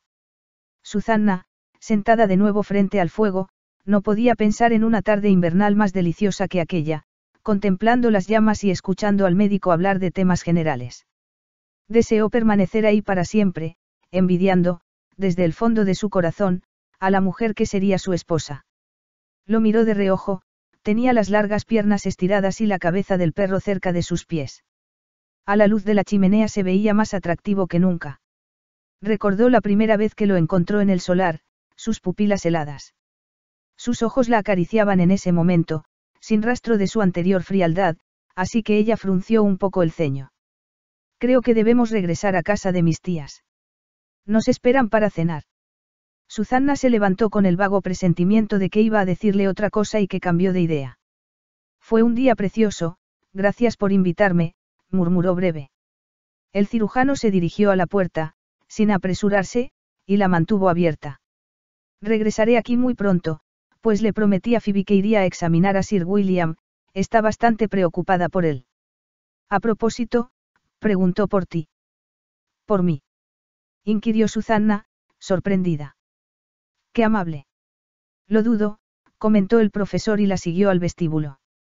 El médico dejó Ramsbourne House después de cenar y, luego de despedirse de sus tías, invitó a Susanna a que lo acompañara fuera de la casa. Lo obedeció, pensando que quizá jamás volvería a verlo pues planeaba estar muy lejos cuando él regresara. En la puerta, Guy se volvió para verla de frente y le puso las manos sobre sus frágiles hombros. La próxima vez que te visite arreglaremos lo que respecta a tu futuro, de una vez por todas. No más empleos que no conduzcan a ninguna parte conseguiremos algo permanente. Se inclinó, la besó con pasión y se fue antes que ella pudiera pronunciar palabra. Su beso la estremeció de tal manera que no recordó sus palabras hasta mucho después, a medianoche. Había dicho algo permanente, pero quizás se refería a un lugar donde pudiera verlo y estaba decidida a evitarlo a cualquier costo. Antes había mencionado el entrenamiento para enfermera y quizá había hablado con alguien del hospital donde trabajaba para que la aceptaran, pero tampoco eso resultaría. Debo decidir mi futuro yo misma, le dijo a un somnoliento Horacio, sin ataduras, y permaneció despierta hasta el amanecer, planeando cómo resolver su vida. Al día siguiente, mientras las señoras dormían su siesta, Susanna se dedicó a escribir un anuncio en La Mujer, un periódico semanal de la localidad, lo cual fue posible porque Snow le entregó un sobre con 50 libras esa mañana, diciendo que el profesor le había ordenado que se lo subiera en cuanto la joven despertara. En la nota que garabateó el médico le rogaba aceptar el dinero, me lo pagarás más tarde, añadió, para tranquilizarla. No quería aceptarlo, pero con ese dinero podía hacer muchísimas cosas, no solo anunciarse, sino asistir a las entrevistas que concertara. Estaba pasando su anuncio en limpio cuando Snow se presentó en la habitación caminando de puntillas. La señorita Davinis está en la puerta. ¿Quiere verla? Le expliqué que las señoras duermen, pero ella insistió en que es a usted a quien quiere ver. A mí. Susanna casi brinca por la sorpresa. Quizá la señorita Davinis venía a ofrecerle su puesto de guía de nuevo o quizá se había desocupado la cabaña y podía alquilarla, pero se ubicaba demasiado cerca de la casa del profesor. Gracias, Esno. Dígale que pase. No le importará a Lady Manbrook. Desde luego que no, señorita. Conoce a la señorita Davinis. Phoebe entró en el cuarto con el aire de una persona que se siente como en su casa. Se detuvo un momento cerca de la puerta, estudiando a Susanna, quien se quedó parada, titubeante, al lado de la mesa. Hola, la saludó Phoebe, estoy de paso hacia mi casa y me pareció que era una buena oportunidad para pasar a visitarte, se sentó desabotonándose su abrigo de piel. Apuesto a que te preguntas por qué quise verte. Sí, es cierto. Phoebe sonrió, mirándola con fijeza. Vino Guy el profesor Bowers Bentink a verte este fin de semana. No a mí en especial. Vino a visitar a sus tías. Oh, a mí me dio la impresión de que venía a verte, continuó Phoebe, sin alterarse. Lo preocupas, piensa que debes conseguir un trabajo permanente. Hizo una pausa para observar la reacción de Susanna y sonrió cuando ésta respondió. Pues sí, me aseguró que le gustaría que me quedara aquí y que pensaba que ya surgiría algo. Te contó que nos íbamos a casar. Inquirió Phoebe y notó cómo el color abandonaba las mejillas de Susanna. No, creo que no. Desde luego, lo entiendo, revelas con demasiada facilidad tus sentimientos y a él no le gusta herir a las personas. La chica no contestó, permaneció sentada escuchando a Phoebe. Pues verás, tuvimos una idea espléndida. Necesitaremos aumentar nuestra servidumbre, así que le sugerí que te contratáramos como una especie de secretaria, ya sabes, para contestar el teléfono, escribir notas, tomar los recados de Gui, ayudar en lo que se ofrezca. Tendrá tu propio cuarto, desde luego, y el salario. Así que ese era el trabajo que el profesor planeaba ofrecerle, pensó Susanna, y nada le pareció más imposible de aceptar. Deseó poder gritar de rabia y dolor y arrojarle algo a la joven que estaba frente a ella, sin embargo, dijo con voz tranquila. Muy amable, señorita Davinis. Me tomó por sorpresa, pues no era lo que tenía en mente. ¿Y qué era lo que tenías en mente? Phoebe fingió cierta amistad, su estratagema funcionaba como lo había imaginado.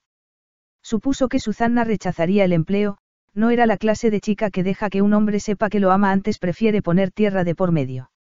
Irme de inmediato, lo antes posible. Me atrevo a decir que es una buena idea, después de todo, aunque Gui hubiera querido ayudarte. Necesitarás dinero. Gracias, tengo suficiente, replicó Susanna, pensando en las 50 libras. Avísanos si necesitas algo, le pidió Phoebe, levantándose y abotonándose el abrigo. A Will le encanta ayudar a los perros apaleados a encontrar refugio. Susanna también se puso de pie y colocó a Horacio en el suelo. El gato había estado contemplando con fijeza a Phoebe y de repente corrió hacia ella y le clavó las garras en las medias, rasgándoselas. Phoebe se volvió y le lanzó un puntapié, pero para ese entonces el gato ya se había escondido debajo de la mesa. Santo animal, gritó, me arruinaste mis medias y creo que también mi abrigo. Eres una mascota estúpida. Fulminó a Susanna con la mirada. Deberías mandarlo a matar, ya me las pagarás. Salió hecha una furia, pasó frente a un atónito Snow y cerró la puerta con fuerza. ¿Qué sucedió? inquirió el mayordomo. Horacio la rasguñó, Snow, Susanna se agachó a acariciar al menino que parecía incapaz de romper un plato. ¿Quiere que lo mande matar? El criado se permitió un leve cambio en su expresión. Nunca conocía un animal más dócil, señorita. Es un gato encantador, si me permite expresar mi opinión. Cuando se fue, Susanna se sentó con el gato sobre sus rodillas. No te culpo, Horacio, le susurró. Si yo tuviera garras, hubiera hecho lo mismo. El menino se acurrucó, ronroneando satisfecho, y no pareció notar que su ama le mojaba la cabeza con sus lágrimas. Capítulo 9. Susanna tuvo tiempo de ir al pueblo a enviar sus cartas por correo a la revista y el periódico que había escogido. Dejó a Horacio durmiendo ante la chimenea, se puso su ropa para salir y caminó deprisa hasta la tienda que tenía una pequeña oficina de correos anexa. La tienda estaba llena de gente y la señora Maddox, la única dependiente, discutía las cualidades del tocino con un cliente. Susanna caminó hasta el rincón donde estaban los diarios y, una gran variedad de revistas para que las hojearan los visitantes. Tomó el periódico matutino. Lo volvió a dejar en su lugar y sus ojos se posaron en el tablero que colgaba de la pared.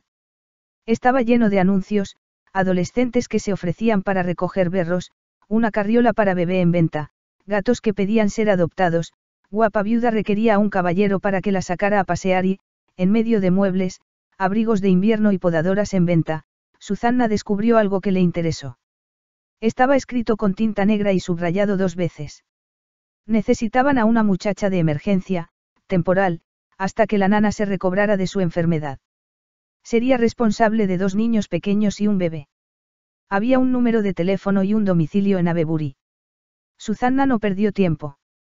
Cruzó la calle y se metió en la caseta telefónica tan pronto como se lo permitieron sus piernas, entonces recordó que no tenía monedas. Perdió diez preciosos minutos en la tienda cambiando un billete, pero al fin pudo comunicarse con la señora Coffin. La señora escuchó lo que Susanna tenía que decir y luego se quedó callada por tanto tiempo que la chica bailaba de impaciencia. Por fin respondió con su agradable acento campesino. Está bien, querida, si consigues ese trabajo me quedaré con Horacio, pero no más de una semana o dos. Susanna dejó escapar un suspiro de alivio, le dio las gracias, colgó y enseguida volvió a levantar el auricular para marcar el número telefónico del anuncio. Una voz nerviosa le contestó y cuando la joven preguntó si el puesto ya estaba ocupado, la mujer empezó un relato acerca del bebé enfermo, los niños mayores que se habían comido el pastel que la cocinera acababa de hornear, terminó diciendo que los hombres de la mudanza llegarían al día siguiente. Susanna esperó a que tomara aliento y preguntó. Entonces, ¿puedo ir a verla? Quizá pueda ayudarla. ¿Cuándo vendrá? Susanna observó el reloj de la iglesia a través del cristal de la caseta telefónica. No estoy segura de cuándo pasan los autobuses. Me encuentro en Ramsbourne, St. Michael. Mandaré al jardinero a que la recoja. ¿En qué calle? Susanna se lo dijo y añadió. Después de la entrevista, deberán regresarme al mismo sitio, si es posible. De acuerdo. El jardinero llegará en unos minutos. Solo queda a uno o dos kilómetros de distancia. El viejo que la recogió en una camioneta era parco de palabras, aunque no se mostró hostil. A un kilómetro de distancia del pueblo, tomó un camino secundario y se detuvo ante una casa descuidada, sin cortinas en las ventanas y con la puerta abierta a pesar del frío. Había una cajas llenas de cosas rotas en el jardín y alguien martilleaba con energía. Susanna bajó de la camioneta, le dio las gracias al chofer y llamó a la puerta aunque ésta estaba abierta. Una voz que surgía de algún lugar de la casa le suplicó que entrara y la joven caminó entre maletas abiertas y sillas patas arriba. La cocina era una habitación agradable, tibia y cómoda y, en ese momento, estaba llena de personas. Dos niños pequeños sentados ante la mesa, bebían té, una mujer de edad avanzada lavaba verduras y la dueña de la voz se hallaba sentada en una mecedora, con un bebé en los brazos. Disculpe el desorden. Nos estamos mudando, agregó, sin necesidad. Desde luego, a la nana se le ocurrió enfermarse de varicela cuando más nos hacía falta. Es usted fuerte. Los niños son terribles. Tiene referencias. Vive cerca. No recuerdo haberla visto. A propósito me llamo Meredith. Mi marido ya está en York, compramos una casa allá, pero no puede regresar a darme una mano. No sabe lo que le pasó a la nana. Como parecía que no había necesidad de contestar a ninguna de las preguntas, Susanna recogió una rebanada de pan con mantequilla, que uno de los niños arrojó al suelo y esperó con paciencia. Cuando la señora Meredith terminó de hablar, le dijo. Mi nombre es Susanna Ligfoot. Viví mucho tiempo en Marlborough, con una tía. Ella murió hace poco y busco un trabajo temporal, antes de decidir lo que haré. ¿Cuándo puede empezar a trabajar para nosotros? Mañana nos mudamos. Supongo que tiene quien la recomiende. Susanna le dio los nombres de la señora Coffin y del doctor Warren. ¿Y cuándo puede empezar? Insistió la señora Meredith. Le advierto que esto será espantoso. La nana tardará dos semanas en recuperarse y yo no puedo con los niños, sonrió de repente. El salario es muy bueno, desde luego, y le pagaremos su pasaje de regreso. La mujer era muy bonita y no estaba acostumbrada a encargarse de las tareas domésticas y los niños, pensó Susanna, le simpatizaron. Si acepta mis referencias, vendré mañana, antes de la mudanza. ¿Le parece bien? Mi querida muchacha, no tiene idea del alivio que me proporciona que alguien se encargue del bebé y los niños. Puedo llamarle por teléfono. Susanna le dio el número de la señora Coffin, lo menos que supiera Lady Manbrook de ese asunto, mejor, en caso de que el profesor preguntara por ella. No quería engañar a la anciana, pero no le quedaba otro remedio si quería desaparecer por completo. El viejo jardinero la llevó al pueblo y durante el trayecto reflexionó en su buena suerte. También tuvo tiempo de preocuparse por las mentiras que le contaría a Lady Manbrook, como era una chica sincera por naturaleza, le molestaba recurrir a esa clase de estratagemas, pero resultaban inevitables si no deseaba que el profesor se enterara de su paradero. Le agradeció al viejo su molestia, caminó hasta la mansión y esa noche les explicó a sus anfitrionas que, a la mañana siguiente se iría a cuidar a una amiga enferma en el pueblo.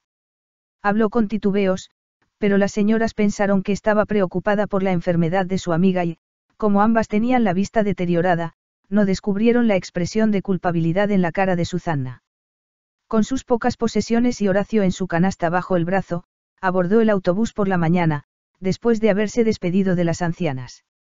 No le dijo a nadie a dónde iría y nadie se lo preguntó, que provenía de un pueblo cercano era del conocimiento común, pero el nombre del lugar jamás había sido mencionado. El autobús estaba medio vacío y ninguno de los pasajeros la conocía. Se sintió cada vez más segura a medida que se acercaba a la casa de la señora Coffin. Solo se quedaría un par de días, pagándole a la señora la modesta suma que le pidió por darle hospedaje. Y le pagaré por la comida de Horacio antes de irme, le prometió Susana. La señora Meredith me contrató por dos semanas a lo sumo, así que le encargaré al gato, si no es molestia. Claro que no, cariño, no me molesta en lo más mínimo, ni tampoco al perro, aunque mi gato se pondrá celoso, se rió un poco y fue a atender a un cliente, dejando a Susana a solas para que instalara a Horacio junto a la chimenea y desempacar sus cosas. Odiaba decirle adiós a Horacio, que había llevado una vida de trotamundos en el último mes, el menino le lanzó una mirada de reproche cuando le acarició la cabeza. No te preocupes, le rogó la señora Coffin, yo lo cuidaré, y ya verás, conseguirás un empleo cuando regreses. Susana la abrazó con ternura. No le diga a nadie dónde estoy, le pidió. Nadie me lo preguntará, ¿no es cierto? No, desde luego que no, respondió Susana, inclinando la cabeza. Esta vez el jardinero la recogió en Marlborough y cuando la dejó en la casa observó que ésta se encontraba en un caos total, dudó que la mudanza pudiera efectuarse a tiempo. La señora no puede arreglárselas sin la nana y sin el señor, los niños hacen lo que quieren.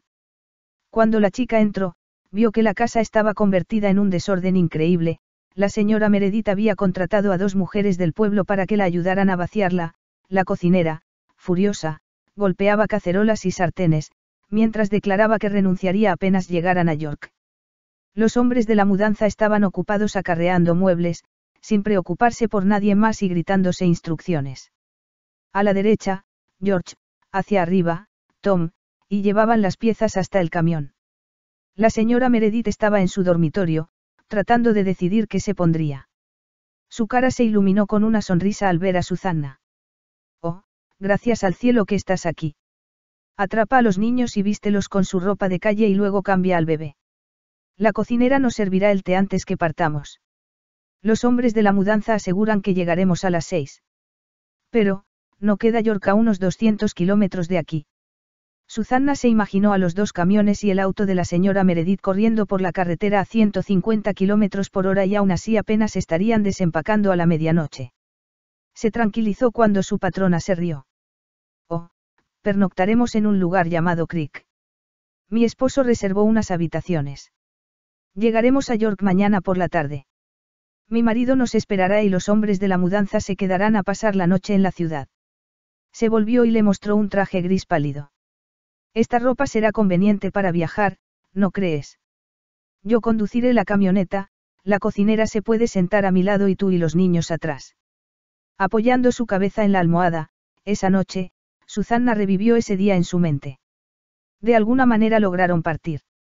Los camiones se adelantaron y la señora Meredith los siguió, después de revisar por última vez si no habían olvidado algo en la casa. Era una conductora experta y pronto alcanzó a los camiones. Todos se detuvieron a almorzar en un albergue del camino, donde Susana se mantuvo ocupada alimentando a los niños, llevándolos al baño, dándole el biberón al bebé y comiendo con rapidez ella misma. El bebé era una criatura adorable que dormía varias horas seguidas permitiéndole entretener a sus hermanos, cansados y aburridos al final de la tarde. Hicieron una breve parada para tomar el té, partieron de nuevo y al fin llegaron al hotel. El señor Meredith había organizado todo de maravilla, dejó instrucciones por escrito y les reservó cuartos agradables.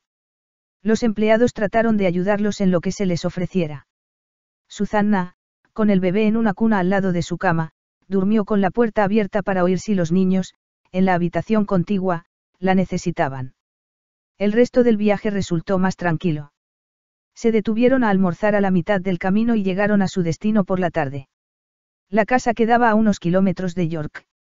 Era una granja amplia, agradable a la vista, rodeada por hectáreas de terreno.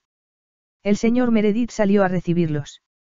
Les mostró el cuarto donde dormirían los niños, ordenó que se colocaran ahí los muebles necesarios y le pidió a Susana que bañara a sus hijos y les diera de cenar antes de encargarse del bebé. Cenó con la cocinera y el señor Meredith le agradeció que hubiera ayudado a su esposa. Era un hombre amable, un poco pomposo, pero era un triunfador y adoraba a su esposa, como resultaba obvio para cualquier observador. Debe de ser estupendo casarse con alguien que nos ame, pensó Susana y recordó al profesor sin poderlo evitar. Intentaba reflexionar acerca de su futuro durante las semanas que pasaría con los Meredith, pero tenía poco tiempo para hacerlo. Los niños eran encantadores, llenos de energía y muy traviesos. Desaparecían una docena de veces al día, se escondían en el desván, en los guardarropas y se peleaban como dos cachorros salvajes. En cambio el bebé era una criatura plácida, que no molestaba a Susana en absoluto. Aún así, sus días estaban llenos de actividad y no contaba con un minuto libre para decidir su futuro. Con la ayuda de costureras, limpiadores de ventanas, decoradores y una sirvienta, la casa pronto se convirtió en un hogar. A los niños se les asignó el ala de la granja que tenía su propia entrada, por lo tanto, Susana veía poco a la señora Meredith, aunque cada noche, después que los niños se dormían y el bebé tomaba su alimento de las diez, invitaba a la chica a tomar una copa y cenar.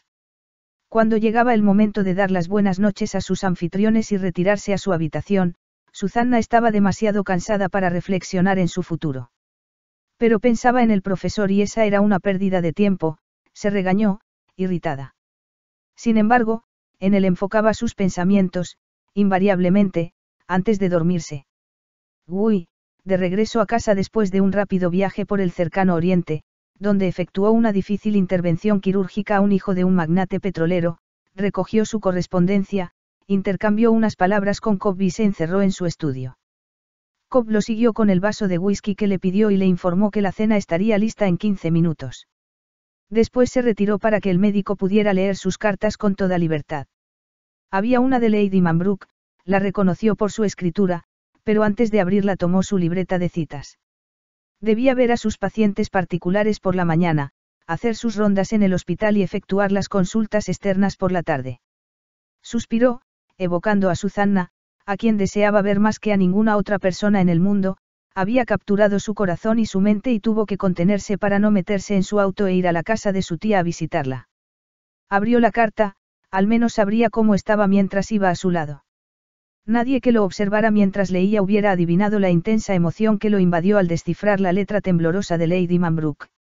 Su rostro permaneció tan tranquilo como de costumbre, solo apretó los labios y la mandíbula. Había cometido un error, de acuerdo con la información de su tía. Ya no sabía dónde se encontraba Susana, la chica había partido de repente, sin decir a dónde iba. El profesor levantó el auricular y llamó a su secretaria. La mujer escuchó lo que le decía y luego le informó. Dos pacientes en la mañana, señor, y uno por la tarde. También tiene una operación. No la cancele, le ordenó, pero acomode a los pacientes para otro día y no dé más citas hasta nuevo aviso. ¿Cuánto tiempo estará ausente, señor? No estoy seguro. Me mantendré en contacto con usted. Colgó y llamó al hospital para informarle a uno de sus colegas su cambio de planes. Cobb llamó a la puerta para anunciarle que la cena estaba lista, mas el profesor no le dio tiempo de hablar. Cobb, la señorita Ligfoot ha desaparecido. Iré a Great Chisbourne mañana por la noche y me quedaré allí un par de días. Por favor, prepara mi maleta antes que yo regrese del hospital. Desde luego, señor, afirmó el criado, atónito. Dice que desapareció.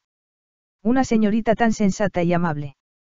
Mi esposa se llevará un tremendo disgusto.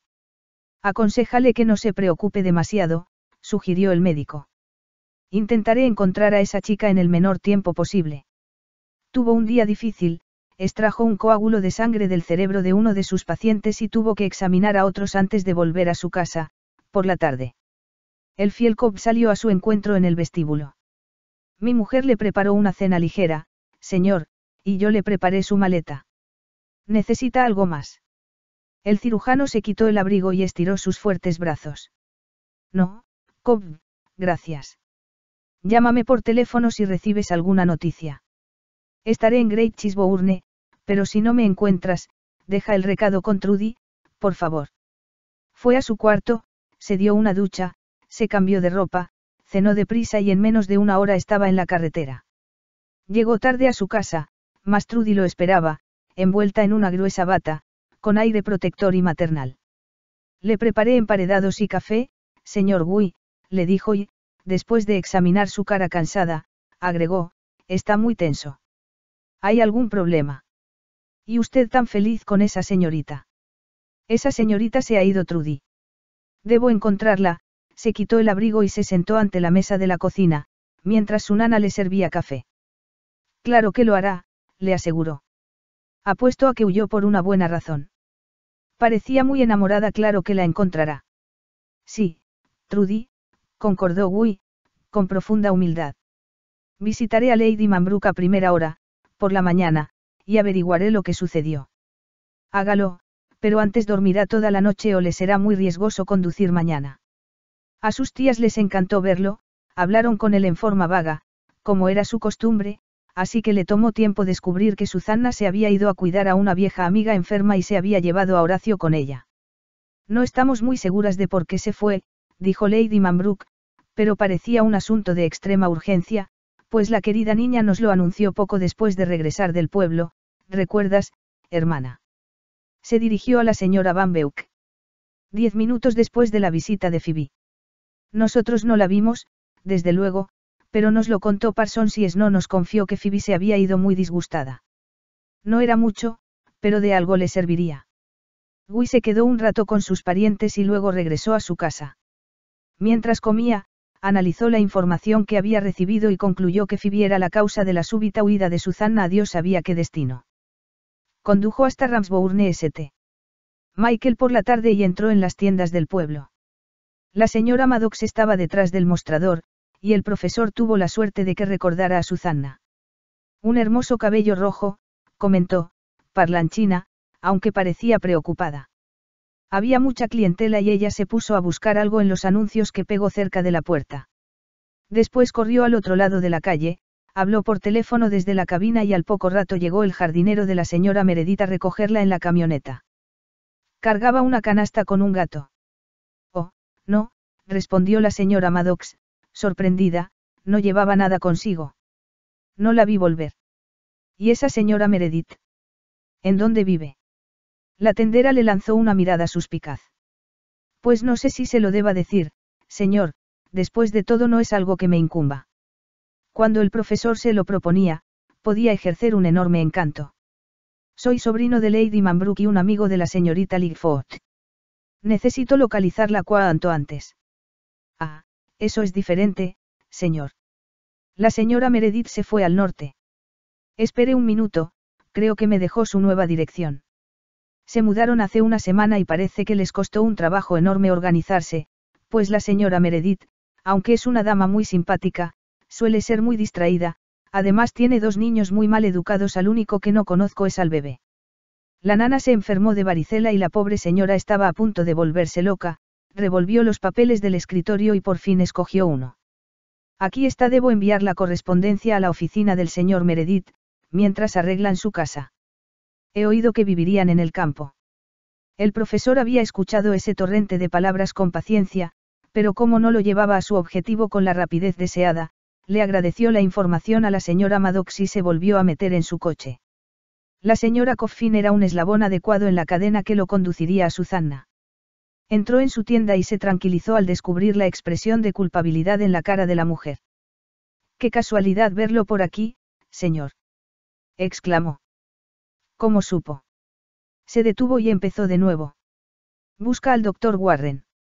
Regresará de hacer sus visitas a domicilio en un rato. Vine a verla, señora Coffin. ¿Me puede dedicar cinco minutos? La señora contempló la calle. Esta es la hora más complicada del día, observó que sonreía y que no habría manera de disuadirlo. Pero puede pasar, lo invitó con resignación y alzó la puerta del mostrador para que se reuniera con ella. La trastienda era un cuarto pequeño repleto de muebles, Había un fuego prendido en la chimenea.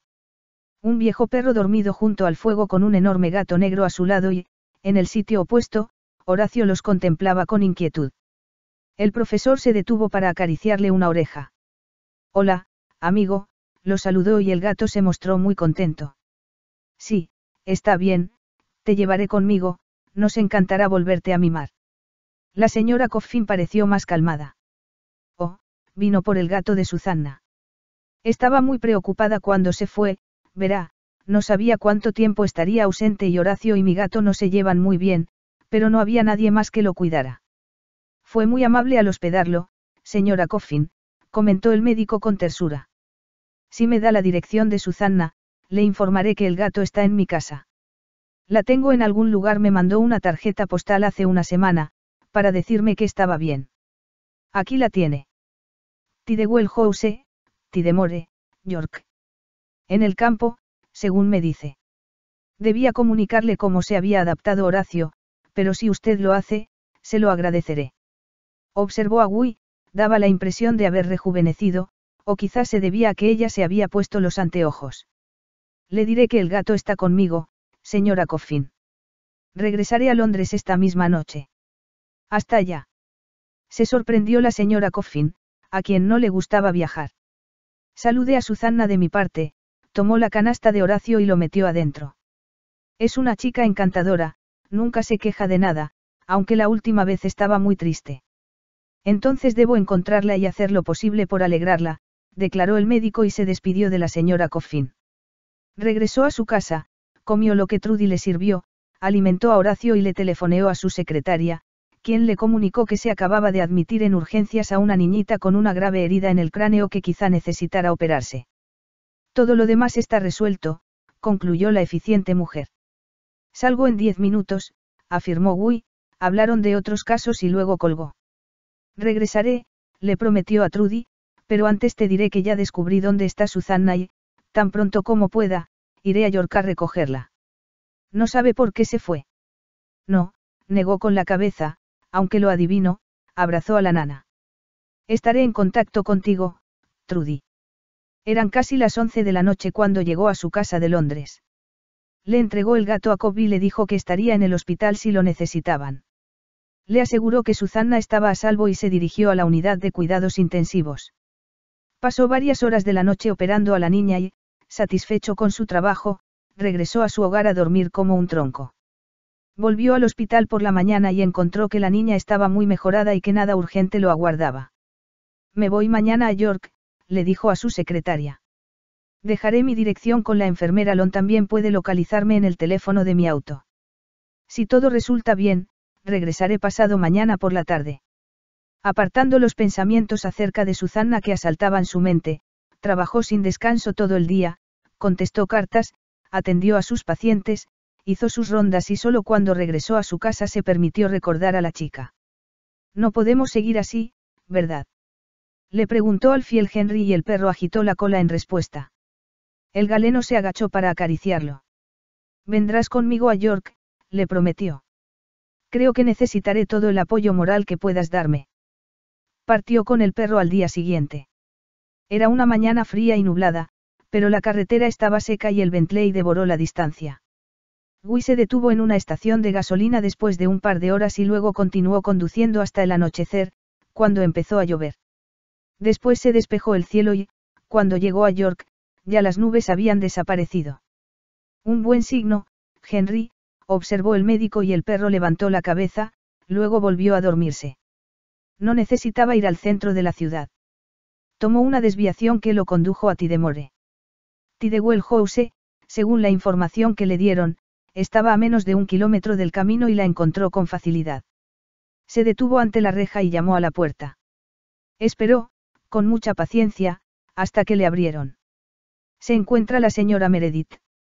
Le preguntó a la mujer madura que lo recibió. Me gustaría hablar con ella. Sí, la señora está en casa. ¿A quién anuncio, señor? A Bowersbentink. Lo hizo pasar al vestíbulo, donde aún había cajas sin abrir y pocos muebles. Contempló la habitación sin mucho interés, temblando de impaciencia y solo se calmó cuando oyó que una puerta se abría y aparecía la dueña de la casa. Se dieron la mano, mientras él se disculpaba por molestarla. Creo que trabaja con usted la señorita Ligfoot, estoy ansioso de verla. La señora Meredith sacó inmediatamente las conclusiones correctas. Este no es un hombre que demuestre sus sentimientos, se dijo, pero está hirviendo por dentro. Sí, está aquí. Es muy oportuno que haya venido por ella, pues mi nana llegará mañana y Susana debe volver a su pueblo. Ahora está con los niños en el jardín, pero regresará en un momento. Viene de muy lejos.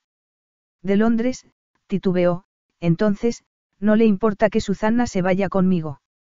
No veo por qué, le sonrió, intuyendo un inminente idilio.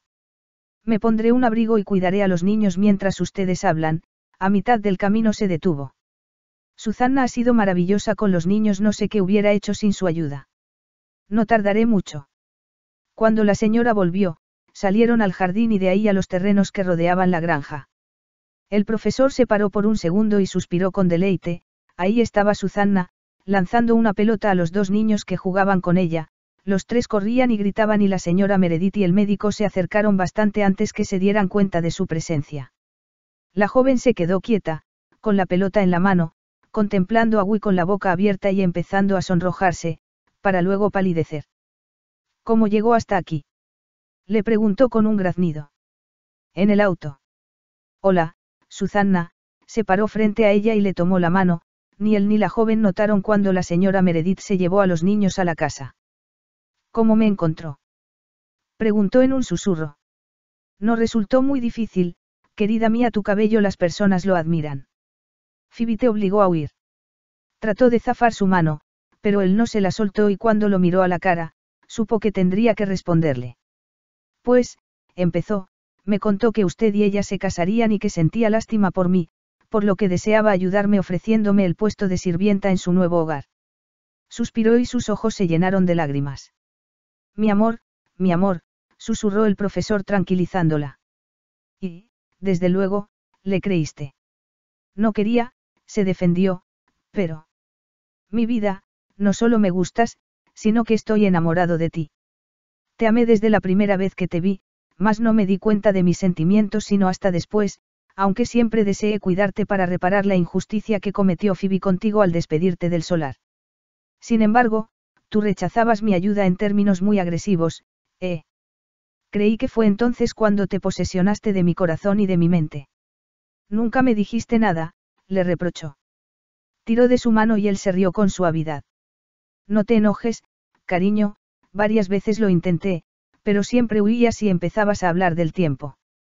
Ahora no te lo permitiré. Te casarás conmigo, Susana. Y quiero que me contestes en este instante, así que no discutas. Yo nunca. Vio sus pupilas y rectificó, oh, uy, claro que me casaré contigo y lamento haber huido.